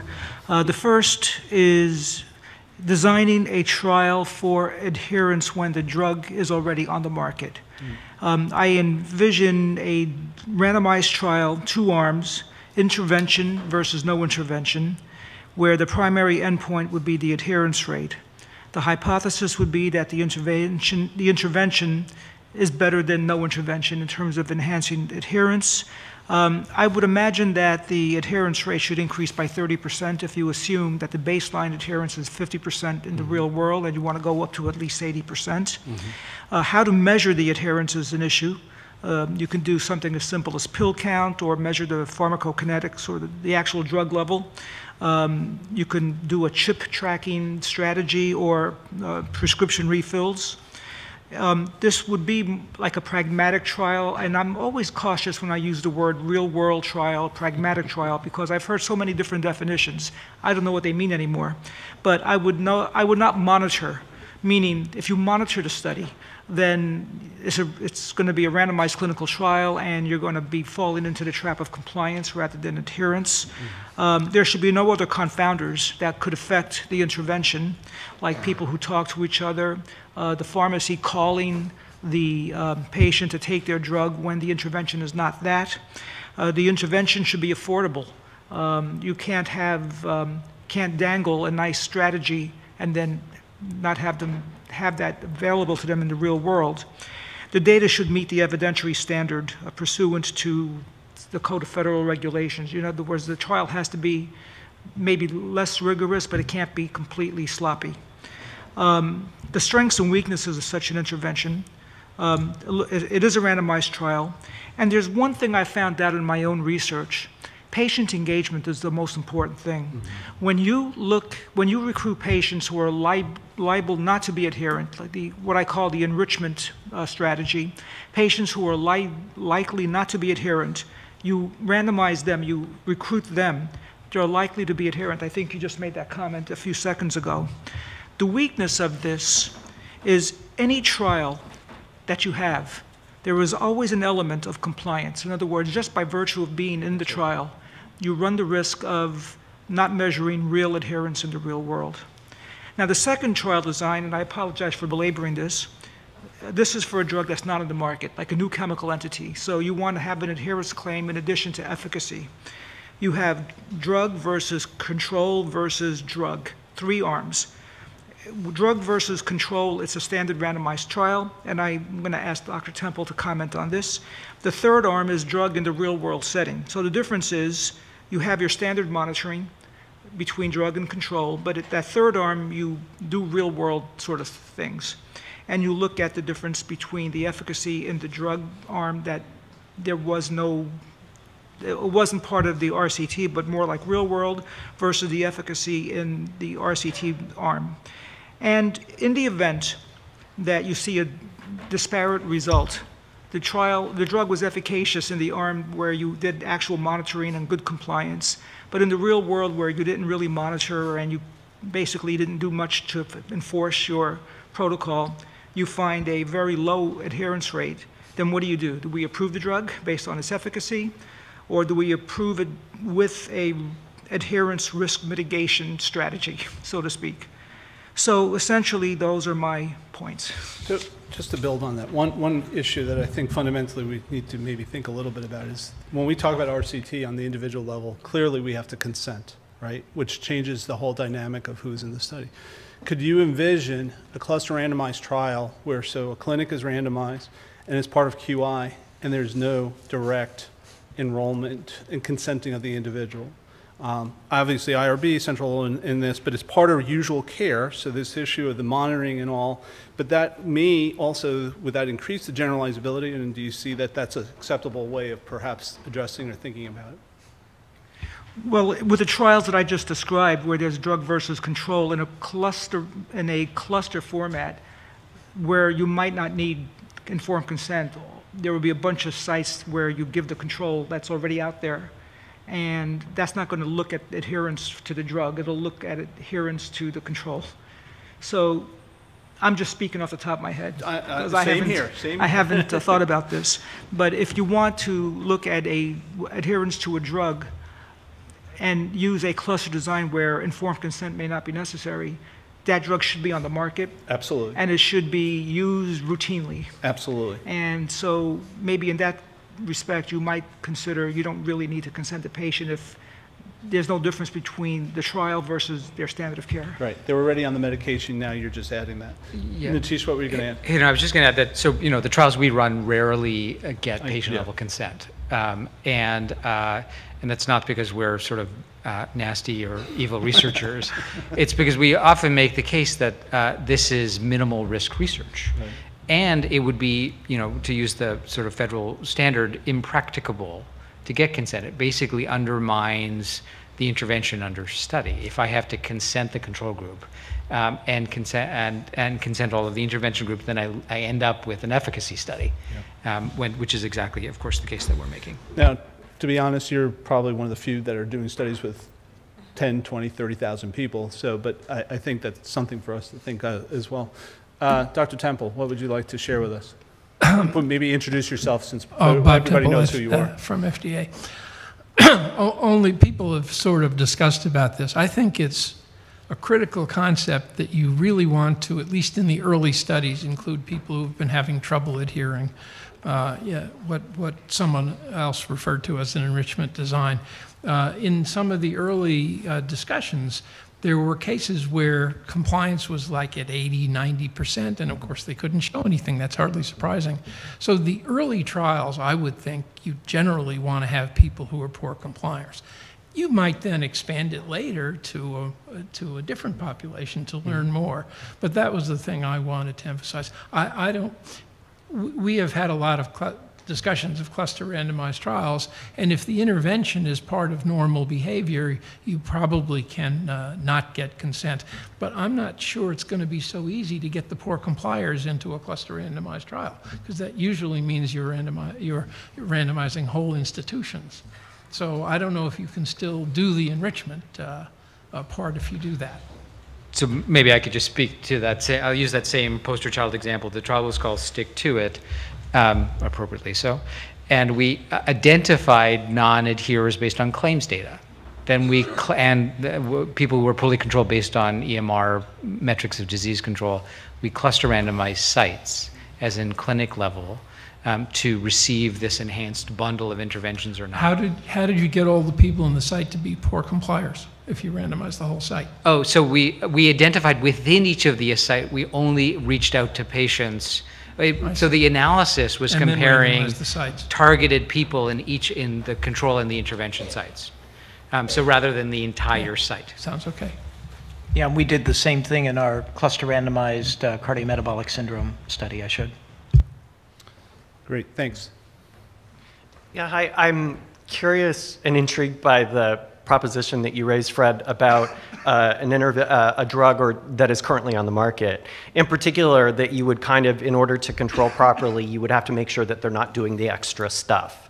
And, and I'm thinking back to the GRACE study in HIV, where for so long we had very little data on female uh, participants, uh, very little data on people of color.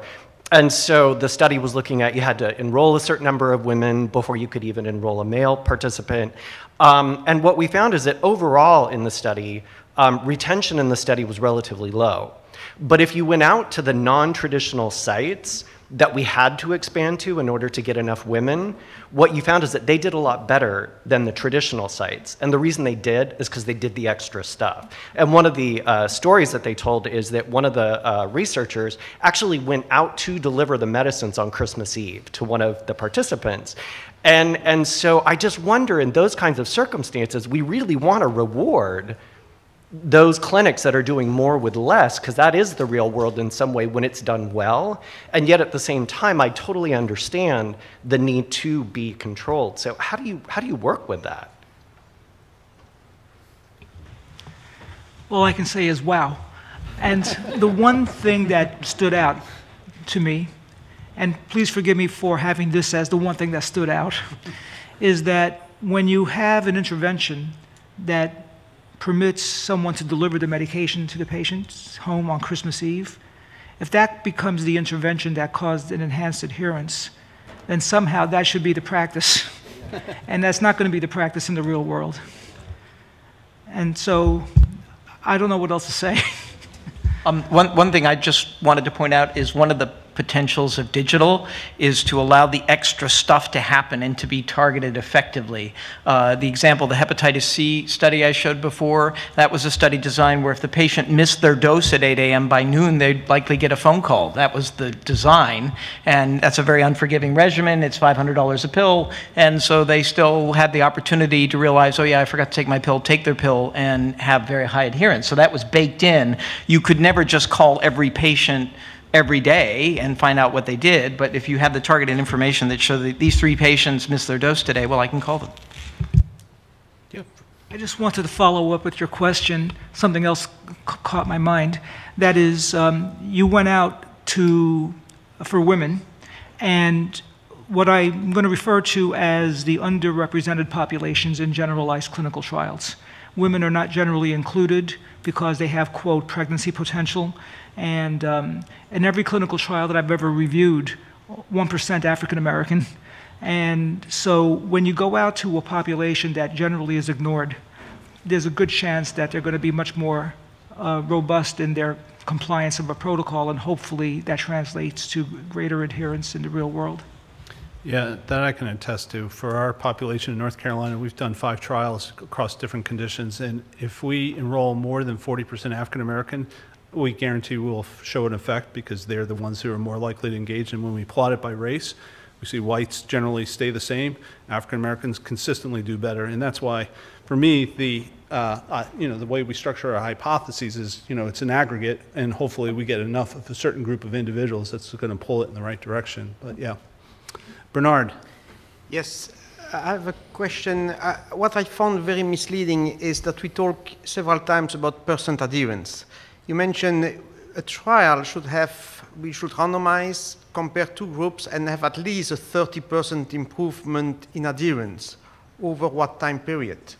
Because if adherence includes persistence, persistence is a time to event, a, a, a 30% improvement over three months, six months, one year is totally different.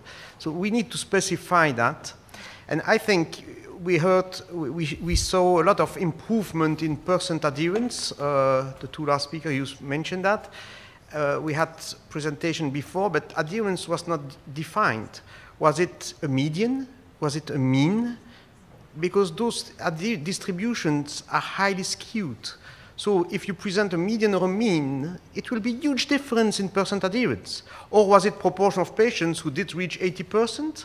So this is extremely confusing.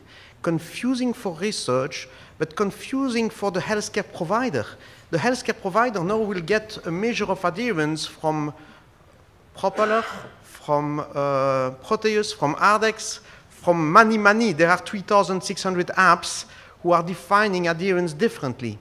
And then you have a little asterisk saying, for those who are on using the app, you know, that means they are measuring implementation or mm-hmm. people who have initiated. And, and I highly recommend that when we talk about adherence and what we expect, we expect that an intervention improves initiation by 10%, implementation by 5, and persistence at one year by 10. That will be a recommendation and expectation. The number has just out, out of my head. eh?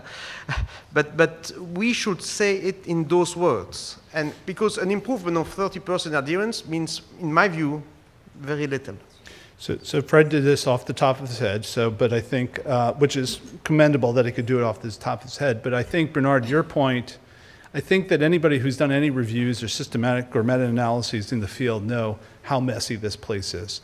And the reality is maybe one action item moving forward would be is consistently moving that you're using the same terminology so we're comparing apples to apples. It may be that you're using a different outcome, but I know what you mean and what that is. And so that may be, if anything, something that we as a field, because consist, we, when we go and look at the literature, you can't review it now. You just can't because there's just too many different terminology and different uh, um, operationalization, what a word. Um, so any last, we have John. Would you? Hey, go Hayden, ahead. thank you so much. I, I wanted to give you a shout out for talking about implementation, something close to my heart. My name is John Musaeus. I work with the Adherence Measurement Institute.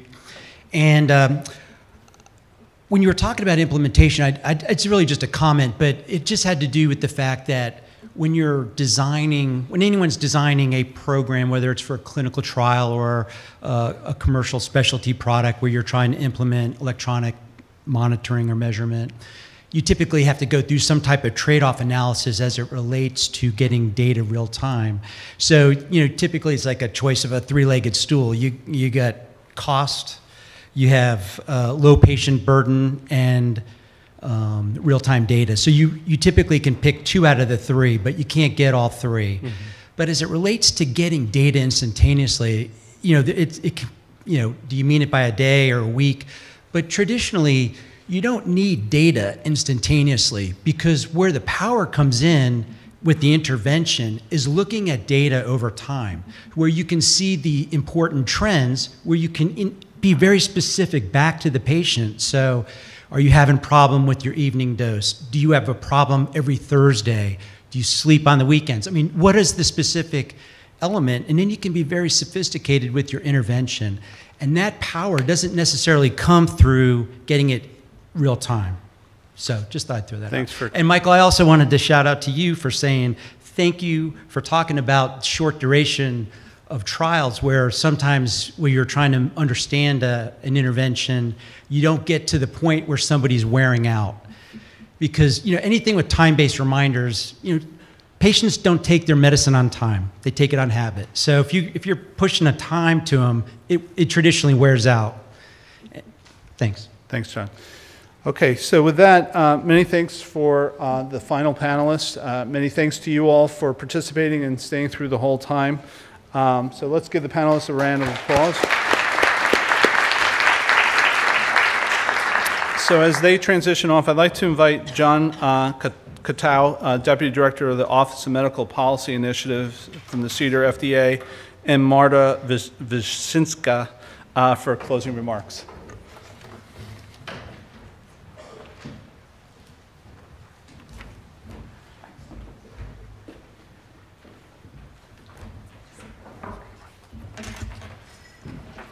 Well, thank you very much. Uh, I hope everyone agrees this has been an informative, engaging, and uh, very productive workshop. Uh, we started out by saying how much of a, problem, how much of a public impact it, adherence, non-adherence is, and I think we've established that. Uh, I'll keep my comments at a very high level, uh, but first, uh, to be a workshop, the problems are usually complicated. I would think we all agree medication adherence is particularly complex.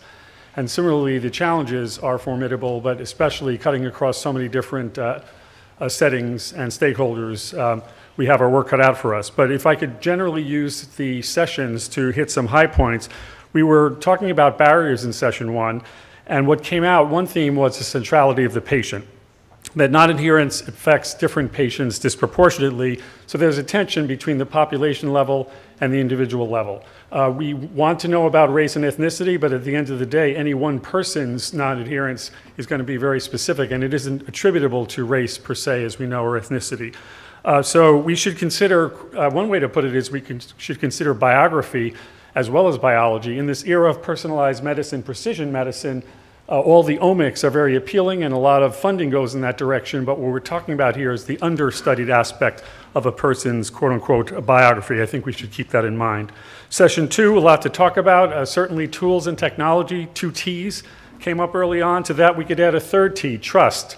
Uh, perhaps this is something that needs to start at the medical education level. The FDA is uh, invested in this field, but we can't control everything, but we certainly can take stock of how that element of trust is involved in any study that might come our way, uh, since it can affect the results. Uh, perhaps more obvious would be another T, the fourth T, time. Uh, when we're talking about these trials, uh, it's not acceptable at- in terms of basic state of the science to say that, well, we did a study of adherence. One of the key features has to be the duration, and how does that duration match to the condition. We didn't talk much. We don't really worry as much, say, about a seven day course of antibiotics, unless we're the ones with the infection, perhaps. Uh, but that adherence is different from chronic disease. Uh, we should consider, uh, so that's the issue of durability. Uh, I did hear, I think it was in this session, but the sessions blended together, which makes sense. There is some low hanging fruit. If we're hearing about synchronizing refills, uh, transitions of care being a problem. That was true 30 years ago when I was in training. Why is it that we're still dealing with the problem of someone being discharged, coming into the hospital, leaving the hospital? That needs attention. Uh, in terms of methods, some notes I jotted down. Well, one is we should consider conceptual models, uh, one of which was thoroughly discussed. We should apply that as the dialogue just uh, exemplified a few minutes ago, so that we just don't say, oh, it's adherence. We have to specify the question, apply it to a specific context. Uh, we have to be clear. Uh, for example, uh, again, to borrow from medicine, if we're nephrologists, we would never be caught confusing acidosis and acidemia. So why are we not uh, similarly paying attention to keeping the difference, uh, keeping clear the difference between initiation, uh, persistence, et cetera? That's one thing that we should do. And what lessons learned? If studies are done, this has been true for clinical research for decades, right? We learn from, we stand on the shoulders of others. If something went wrong, we learn from that a new user design in a different context. Let's start keeping track of these issues uh, that have gone awry. And perhaps we should also uh, dispel some myths. If I understand correctly with the issue of uh, forgiveness, et cetera, 80% sh- shouldn't be tossed around as casually as we seem to toss it around. So let's do better ourselves. Session four, a lot to talk about. I'll keep my uh, comments short since I'm about halfway through the time that we're allotted here. I want to give time to Marta. But what I uh, thought some take home messages were one, let's use the Cochrane as an example. The state of the science isn't that good. I know that's about five years old, but I don't think things have changed dramatically since then. So we should pay attention to methodologic issues. If anyone aspiring to do a study would take into account all the things they heard today, one could argue that the quality of research in, uh, in adherence, medication adherence, would go up tremendously.